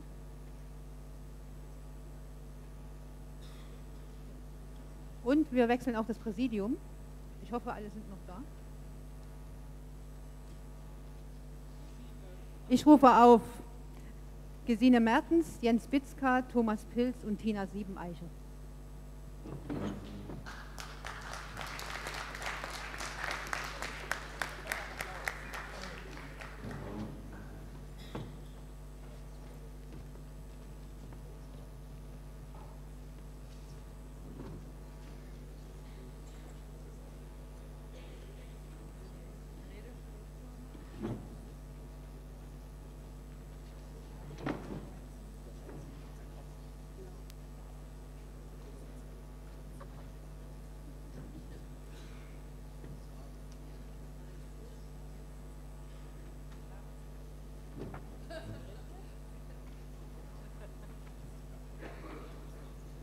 Ja, von uns auch einen schönen guten Abend vom neuen Präsidium. Ja, ich glaube, wir haben uns jetzt, wir sind das letzte Aufgebot für heute. Wir haben uns jetzt hier eingerichtet.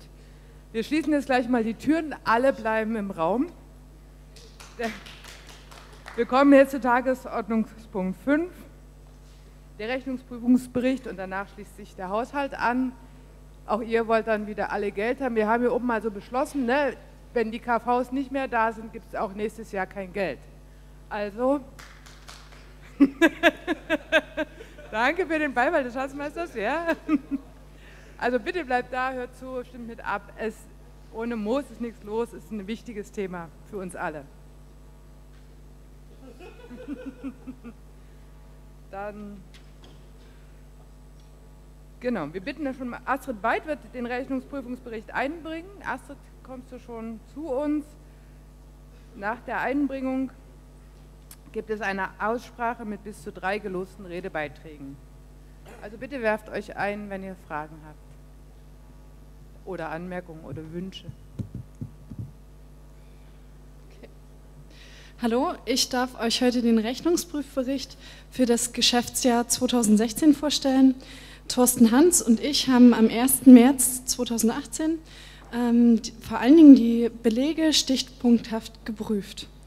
Ähm, hauptsächlich achten wir darauf, ob die Be Belege richtig in den Haushalt eingeflossen äh, sind. Das ist unsere Hauptaufgabe. Ähm, Im Allgemeinen werden die Belege in der Landesgeschäftsstelle aufgewahrt. Wir bekommen dann vier, fünf Ordner und ähm, die dürfen wir mit dem Haushalt durchgehen und uns die Kostenstellen zum Beispiel anschauen. Ähm, dabei ist uns Folgendes aufgefallen. Die Einnahmen sind wesentlich höher als erwartet. Wir haben ungefähr 34.000 Euro mehr Einnahmen.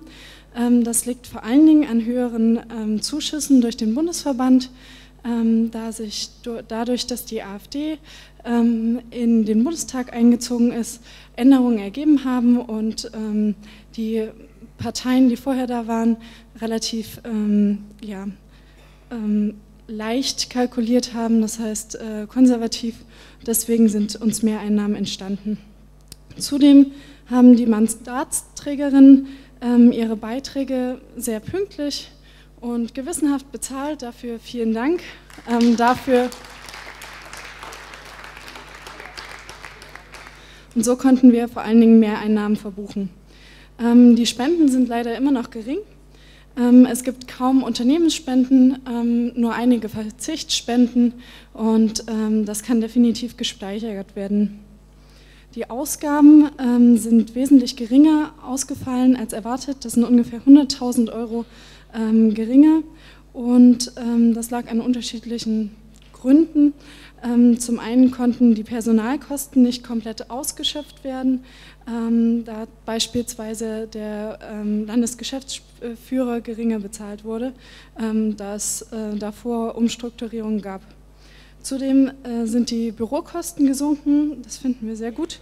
Ähm, darin verbirgt sich leider ein Fehler, die sind nochmals um 5.200 Euro geringer als ähm, im Haushalt ähm, berechnet, da äh, in den Bürokosten Kosten für die Wirtschaftsprüfer eingebucht waren, ähm, dadurch ändert sich letztlich der Saldo nicht, aber sie sind halt im falschen Punkt eingebucht. Weiterhin ist die Gremienarbeit gestiegen, ähm, vor allen Dingen der Landesparteirat und ähm, durch die Mitarbeit ähm, an BAG haben Mitglieder ähm, mehr Kosten abgerufen, vor allen Dingen Fahrtkosten. Ähm, und somit konnte der Punkt besser ausgeschöpft werden. Die Öffentlichkeitsarbeit ähm, ist ebenfalls geringer ausgefallen, um die 16.000 Euro. Ähm, das liegt um, zum einen daran, dass der Aufwind nicht mehr verlegt wird und nicht mehr verschickt wird. Es gab eine Neuauflage vom Schrägstrich und da Sachsen als einziger noch Landesseiten wollte und diese nicht realisiert werden konnten, sind keine Beträge oder keine großen Beträge da reingekommen. Zudem wurden 2016 ähm, Projekte geplant, zum Beispiel das Lausitz-Konzept und ähm, Projekte zum Thema Hate Speech. Die wurden aber 2017 noch nicht abgerechnet, da sie erst äh, 2016 noch nicht abgerechnet, da sie 2017 erst stattfanden und ähm, somit sind dort weniger Ausgaben vorhanden. Ähm, bei den Zuschüssen an Gliederungen hat sich nicht so viel getan. Die Sherpa-Kosten sind etwas gesunken ähm, was letztlich dem Landesverband dient. Ähm, wir schließen das Haushaltsjahr 2016 mit einem Plus von 151.000 Euro ab. Das ist ähm, sehr viel. Wenn wir das auf die mittelfristige Finanzplanung beziehen, sind es nur noch 120.000, denn es fließt ein Teil zurück. Zum Beispiel werden Frauenförderungsprogramme stärker bezuschusst ähm, für den Wahlkampf äh, in diesem Jahr, für die Landtagswahl, ähm, gab es Zuschüsse, ähm, die durch die Mehrkosten oder die durch das hohe Plus zustande kommen. Und auch 2019 werden vor allen Dingen die Kreisverbände im Kommunalwahlkampf stärker unterstützt. Letztlich Genau, ein Teil wandert natürlich auch in die Rückladen, ähm, auch für weitere Wahlkämpfe. Letztlich ist die Buchführung sehr gut. Ähm, es ist alles relativ sinnvoll gebucht und ähm, die Ordnerführung und Belegführung ist äh, vorbildlich. Zum Schluss ähm, ist noch zu sagen, dass es sehr positiv wäre, wenn es äh, verstärkt Spenden geben würde. Das könnt ihr zum Beispiel selbst generieren, indem ihr Verzichtsspenden in, zur Landesgeschäftsstelle einreicht. Das heißt, ähm, ihr rechnet eine Fahrt ab und spendet äh, das dem Landesverband. Ähm, dadurch könnt ihr selbst diesen Posten erhöhen und unsere Einnahmen erhöhen. Wir können nur als Rechnungsprüfung ähm, eine Entlastung des Vorstandes für das Geschäftsjahr 2016 empfehlen. Genau. Und ich wünsche euch viel Spaß beim nächsten Haushaltspunkt. Liebe Astrid, vielen Dank für die Einbringung. Bisher hat noch niemand einen Redebeitrag angekündigt. Möchte jetzt spontan noch jemand nach oben kommen und Fragen stellen, Meinungen äußern? 3, 2, 1, los, stopp, schade. Niemand da. Dann kommen wir zur Abstimmung. Der Rechnungsprüfungsbericht schlägt der Rechnungsprüfungsbericht hat euch die Entlastung des Vorstandes für das Geschäftsjahr 2016 vorgeschlagen. Wir stellen diesen Vorschlag nun zur Abstimmung. Wer den Landesvorstand für das Geschäftsjahr 2016 entlasten will, den bitte ich um das Kartenzeichen. Vielen Dank. Gegenstimmen? Nein, keine. Und Enthaltungen? Zwei Enthaltungen. Dann ist die Entlastung, dann ist der Vorstand, der Landesvorstand mit einer großen Anzahl von Pro-Stimmen keinen Gegenstimmen und zwei Enthaltungen entlastet.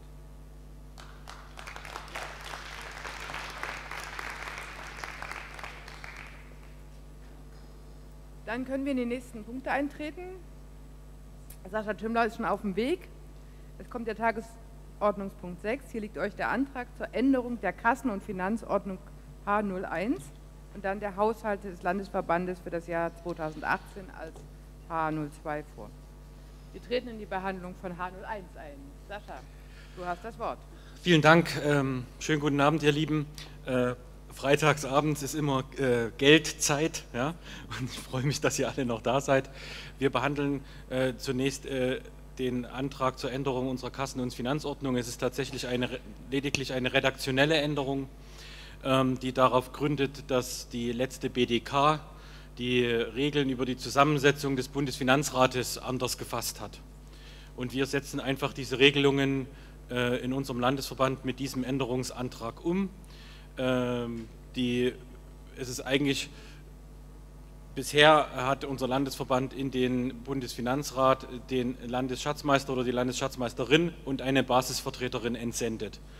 Nunmehr ist die Regelung des Bundesverbandes, ähm, dass in den Bundesfinanzrat je, je Landesverband zwei Personen entsendet werden, möglichst ein Mitglied des Landesvorstandes und ein weiteres sachverständiges Mitglied. Das heißt, der bisherige Terminus Basisvertreterin fällt weg. Wir ersetzen diesen Begriff in dem Antrag einfach nur äh, durch den Terminus Sachverständiges Mitglied und erreichen damit etwas, was mir oder was uns im Landesvorstand sehr wichtig ist, nämlich, dass weiterhin die zweite Person, die aus dem Landesverband Sachsen in den Bundesfinanzrat entsendet wird, äh, sozusagen von den Kreiskassiererinnen und damit von der Basis entsendet wird. Und das wollen wir gern beibehalten. Deswegen bitte ich um Zustimmung zu diesem Änderungsantrag. Vielen Dank. Äh, Vielen Dank, Sascha. Ich frage jetzt nochmal die Landesgeschäftsstelle, ob es Änderungsanträge dazu gibt oder die Änderung, ähm, Antragskommission, weil das uns hier nicht vorliegt. Es gibt ein Kopfschütteln oder keine gegenteiligen Dinge. Dann gehen wir jetzt davon aus, dass es keine Änderungsanträge zu H01 gibt. Gibt es Menschen, die dazu sprechen möchten? Nein? Dann sind wir am Ende der Aussprache angekommen und treten nun in das Verfahren für Änderungsanträge ein. Frage nochmal, gibt es Änderungsanträge? Nein. Dann können wir darüber abstimmen.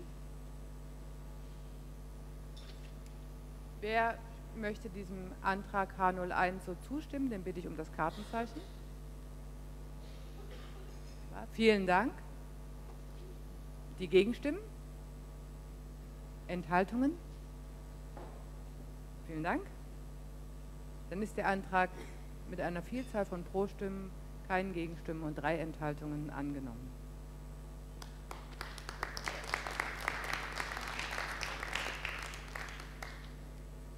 Dann, Sascha, komm wieder zu uns zur Einbringung des Antrages H02. Ja, vielen Dank. Redebeiträge. Wenn ihr reden möchtet, werft euch in die Boxen ein. Liebe Freundinnen und Freunde, euch liegt der von, den, von der Kreiskassiererinnenkonferenz und dem Landesvorstand beschlossene Haushalt für dieses Jahr vor und äh, wir bitten um eure Zustimmung dazu. Bevor wir abstimmen, möchte ich ein paar Schlaglichter auf diesen Haushalt werfen. Und ein bisschen was habt ihr jetzt auch schon von Astrid gehört, der ich äh, herzlich für ihre Arbeit danke und auch Thorsten.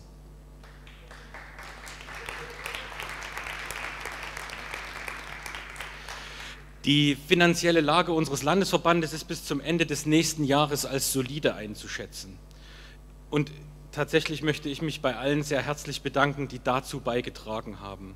Seien es die Menschen in der Landesgeschäftsstelle und der, ohne deren umsichtige Bewirtschaftung die Einhaltung der Budgets nicht möglich wäre seien es auch unsere Abgeordneten im Bundes- und Landtag, die durch ihre unglaublich disziplinierte Abführung der Mandatsträgerinnenbeiträge, und das kann man tatsächlich nicht oft genug wiederholen, denn jeder oder viele kennen noch andere Zeiten, erheblich zu unserer soliden Lage beitragen.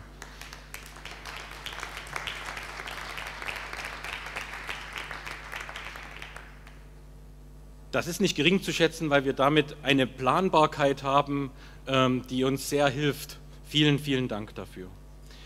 Der Haushalt 2018 zeigt drei Schwerpunkte aus meiner Sicht. Erstens konnten wir die Finanzausstattung der Kreisverbände auf ein solides und hoffentlich dauerhaftes Fundament stellen. Die Zuwendungen enthalten jetzt keine Sonderzahlungen mehr, sondern dieses System, wie wir es jetzt haben, soll auch zukünftig beibehalten werden. Zur Erinnerung mal, noch 2014 haben wir den Kreisverbänden knapp 50.000 Euro zugewendet. Für 2018 stehen gut 70.000 Euro bereit. Zweitens, wir wollen 2018 erhebliche Anstrengungen der Mitgliederentwicklung, insbesondere in der Förderung von Frauen, unternehmen. Und drittens können wir schon in diesem Jahr die Wahlkämpfe des nächsten Jahres vorbereiten, ohne dafür das bisher geplante Wahlkampfbudget 2019 schon im Vorfeld zu belasten. Das finde ich ist etwas, ähm, ja, worüber wir uns sehr freuen können. Erwähnen möchte ich allerdings auch, und dann ist natürlich der Schatzmeister immer der, der auch ein bisschen Wasser in den Wein gießt, dass natürlich die mittelfristige Finanzplanung, die zwar nicht Bestandteil des Haushaltsbeschlusses ist, die ihr aber vorliegen habt, starken Unsicherheiten unterliegt. Das hängt zu einem großen Teil mit der Landtagswahl im nächsten Jahr zusammen, aber auch mit den Entwicklungen der staatlichen Parteienfinanzierung und deren Verteilung in unserer Partei. Diese stellt die stärkste Grundlage unserer finanziellen Leistungsfähigkeit dar. Die BDK hat den Bundesfinanzrat beauftragt, die Verteilung unter den Landesverbänden zu evaluieren und gegebenenfalls anzupassen. Wir können nicht abschätzen, was dabei herauskommt. Von diesen Dingen können wir uns nur unabhängig oder un wenigstens unabhängiger machen durch die Erhöhung unserer eigenen Mittel.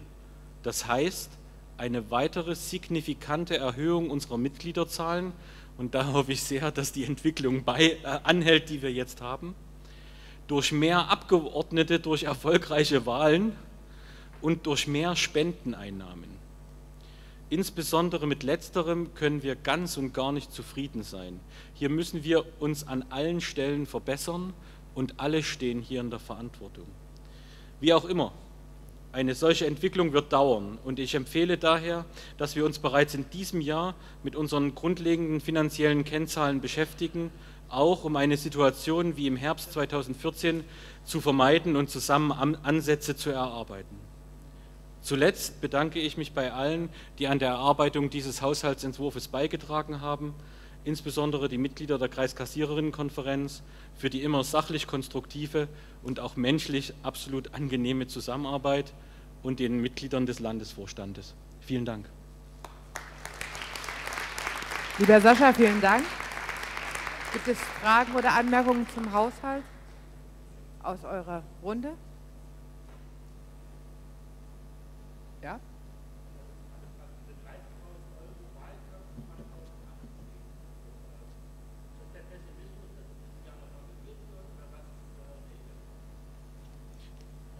wie ich bereits gesagt habe, ähm, wollen wir uns schon, wollen wir in diesem Jahr schon Mittel aufwenden für die Vorbereitung des Wahlkampfes nächst, im nächsten Jahr.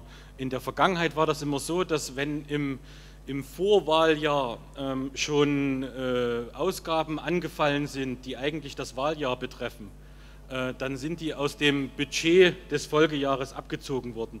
Das können wir dieses Jahr verhindern und ich kann sagen, ähm, diese Mittel stehen bereit äh, zum einen, weil wir gesagt haben, wir wollen uns schon in diesem Jahr äh, strategisch gern beraten lassen. Ähm, zweiter Punkt ist äh, die Finanzierung des Programmprozesses mit unter Umständen Regionalkonferenzen, die da stattfinden sollen.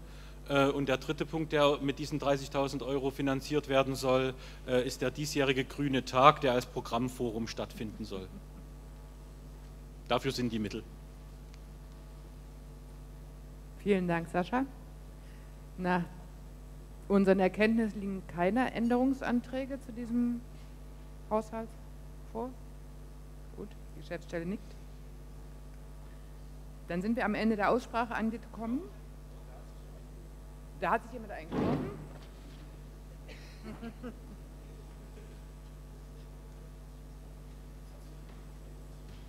Wer, wer ist eingerufen? Ah, Martin Widerstedt vom KV Leipzig. Ich begrüße den Leipziger Schatzmeister hier oben.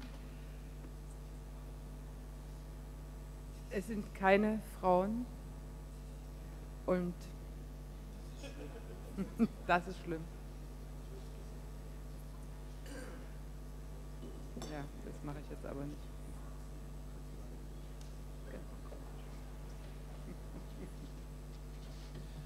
Ja, nur ganz kurz. Ich möchte die äh, Debatte ja gar nicht so äh, verlängern. Ich wollte nur sagen, lieber Landesvorstand, liebe Landesgeschäftsstelle, lieber Sascha, wenn ich jetzt viel von Sascha rede, dann meine ich alle.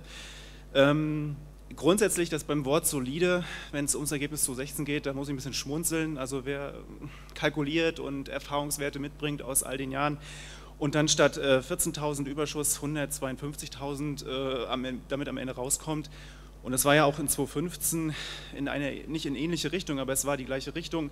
Das ist natürlich schon mehr als solide. Mir fällt das Wort nicht ein, was ich verwenden würde, aber solide, eine leichte Untertreibung. Dennoch möchte ich jetzt kurz sprechen zu 2018. Ähm, grundsätzlich, was für eine Schönheit, also vielen Dank dafür, was für eine Schönheit hast du uns hier präsentierst oder präsentierst du uns. Ich würde sagen, dieser Haushalt ist eine Schönheit. Er ist ähm, gut aufgestellt. Warum sage ich das? Warum sage ich das? Vor allem auch Leipziger werden schütteln, die mich kennen. Ich, wir gehen raus mit einem Minus von 64.000, aber ich finde ihn trotzdem sehr schön, sehr schick, weil ähm, ihr seid mutig. Also ihr geht äh, neue Wege dahingehend, dass ihr sagt, 30.000 werden vorweggezogen, schon Wahlkampfkosten werden in das vorhergehende Jahr reingenommen und werden hier quasi eingesetzt für Grüner Tag, für Wahlprogrammforen. Das sind einfach Debattenforen, das sind Plattformen, die ihr uns damit bietet, finanziell ausstattet, wo wir uns treffen können und wo wir quasi miteinander ins Gespräch kommen können, was ich sehr wertvoll finde. Gleichzeitig finde ich es super toll, dass ihr es äh, wagt, weiter die an der Schraube zu drehen, Stichwort Öffentlichkeit, Stichwort allgemeine Öffentlichkeit, Mitgliederkommunikation, Mitgliederbetreuung und Entwicklung. Liebe Leute, guckt euch die Zahlen mal an, die da aufgerufen werden, gerade bei Mitgliederbetreuung und Entwicklung. Da springt das Ganze mal so eben, 2017 waren es 3.500, jetzt auf über 11.750 Euro. Das ist ein ziemlich großer Sprung, da guckt jeder Schatzmeister schon mal genauer hin, was ist da los. Das soll natürlich für Frauenförderungskampagnen eingesetzt werden und da sollten wir auf gar keinen Fall diesen Landesvorstand äh, alleine lassen. Da sollten wir jetzt mit reingehen, das haben wir heute schon wieder alle gemerkt, es ist ein bisschen schmunzeln. Ich bin mit einer kleinen Träne im Auge, dass eben zu Beginn nur Männer gesprochen haben. Liebe Frauen, äh, ihr merkt, ihr seht, hier könnt, kann Geld jetzt verwendet werden, um eben solche Kampagnen zu machen. Wir in Leipzig haben immer wieder mal probiert, über äh, Postkartenmotive etc., wollten äh, Frauensprüche in die Umgebung bringen, in die Stadtgesellschaft hineinbringen und Frauen werben, politisch aktiv zu werden. Wir sind immer wieder so ein bisschen gescheitert. Das ist Ehrenamt, das liegt vor allem aber auch am Geld, was im Kreisverband dafür nicht da ist. Hier ist jetzt ein Landesverband, der hat die Mittel aufgestockt und vielleicht schaffen wir es gemeinsam auch Richtung Landesvorstand äh, das Signal zu senden, gebt die Mittel vielleicht auch dafür frei, für Postkartenkampagnen etc., damit wir äh, die Flyerstände, die Postkartenstände in unseren Kneipen vor Ort damit äh, befleiern können. Das wäre toll. Und gleichzeitig möchte ich trotzdem noch mal allen ins äh, Gedächtnis rufen, wir sind dafür verantwortlich, wir müssen Mitgliederbetreuung und Entwicklung hier denken. Guckt euch noch mal die Planzahlen 2016 und die Ist-Zahlen 2016 an. Wir alle haben bisher wenig Geld rausgenommen oder umgesetzt, um eben solche Kampagnen, um Mitgliederkommunikation zu fördern, äh, um Mitgliederbetreuung voranzubringen. Das ist auch eben ein Punkt, an dem es hakt und wir müssen das mehr mit Leben füllen und da sind wir alle gefragt. Deswegen, es ist eine Schönheit, dieser Haushalt meines Erachtens, der euch vorgelegt worden ist, aber er ist zugleich Verpflichtung für uns alle und wir dürfen auf gar keinen Fall den Landesvorstand alleine lassen und gefühlt haben wir das eigentlich gemacht die letzten Jahre. Und da müssen wir alle jetzt für 2019 kräftig dran drehen. Danke. Wow. Martin, vielen Dank. Wie schön, dass es Menschen gibt, die so für Zahlen brennen. Ich gucke nochmal, jetzt wirklich niemand mehr, der sprechen möchte dazu. Dann kommen wir zur Abstimmung über den gesamten Antrag. Wer dem Haushalt zu, so zustimmt, den bitte ich um das Kartenzeichen. Vielen Dank. Schönheit. Der Schönheit. Gegenstimmen gegen den Haushalt? Keine. Enthaltungen? Auch keine. Lieber Sascha, der Haushalt ist einstimmig angenommen.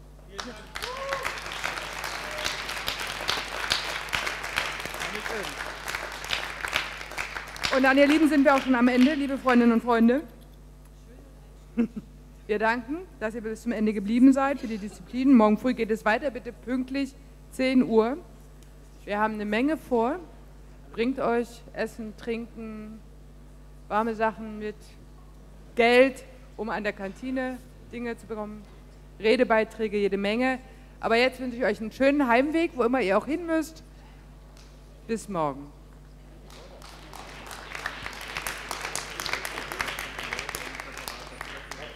Dank, Gerd. Das war ein sehr schöner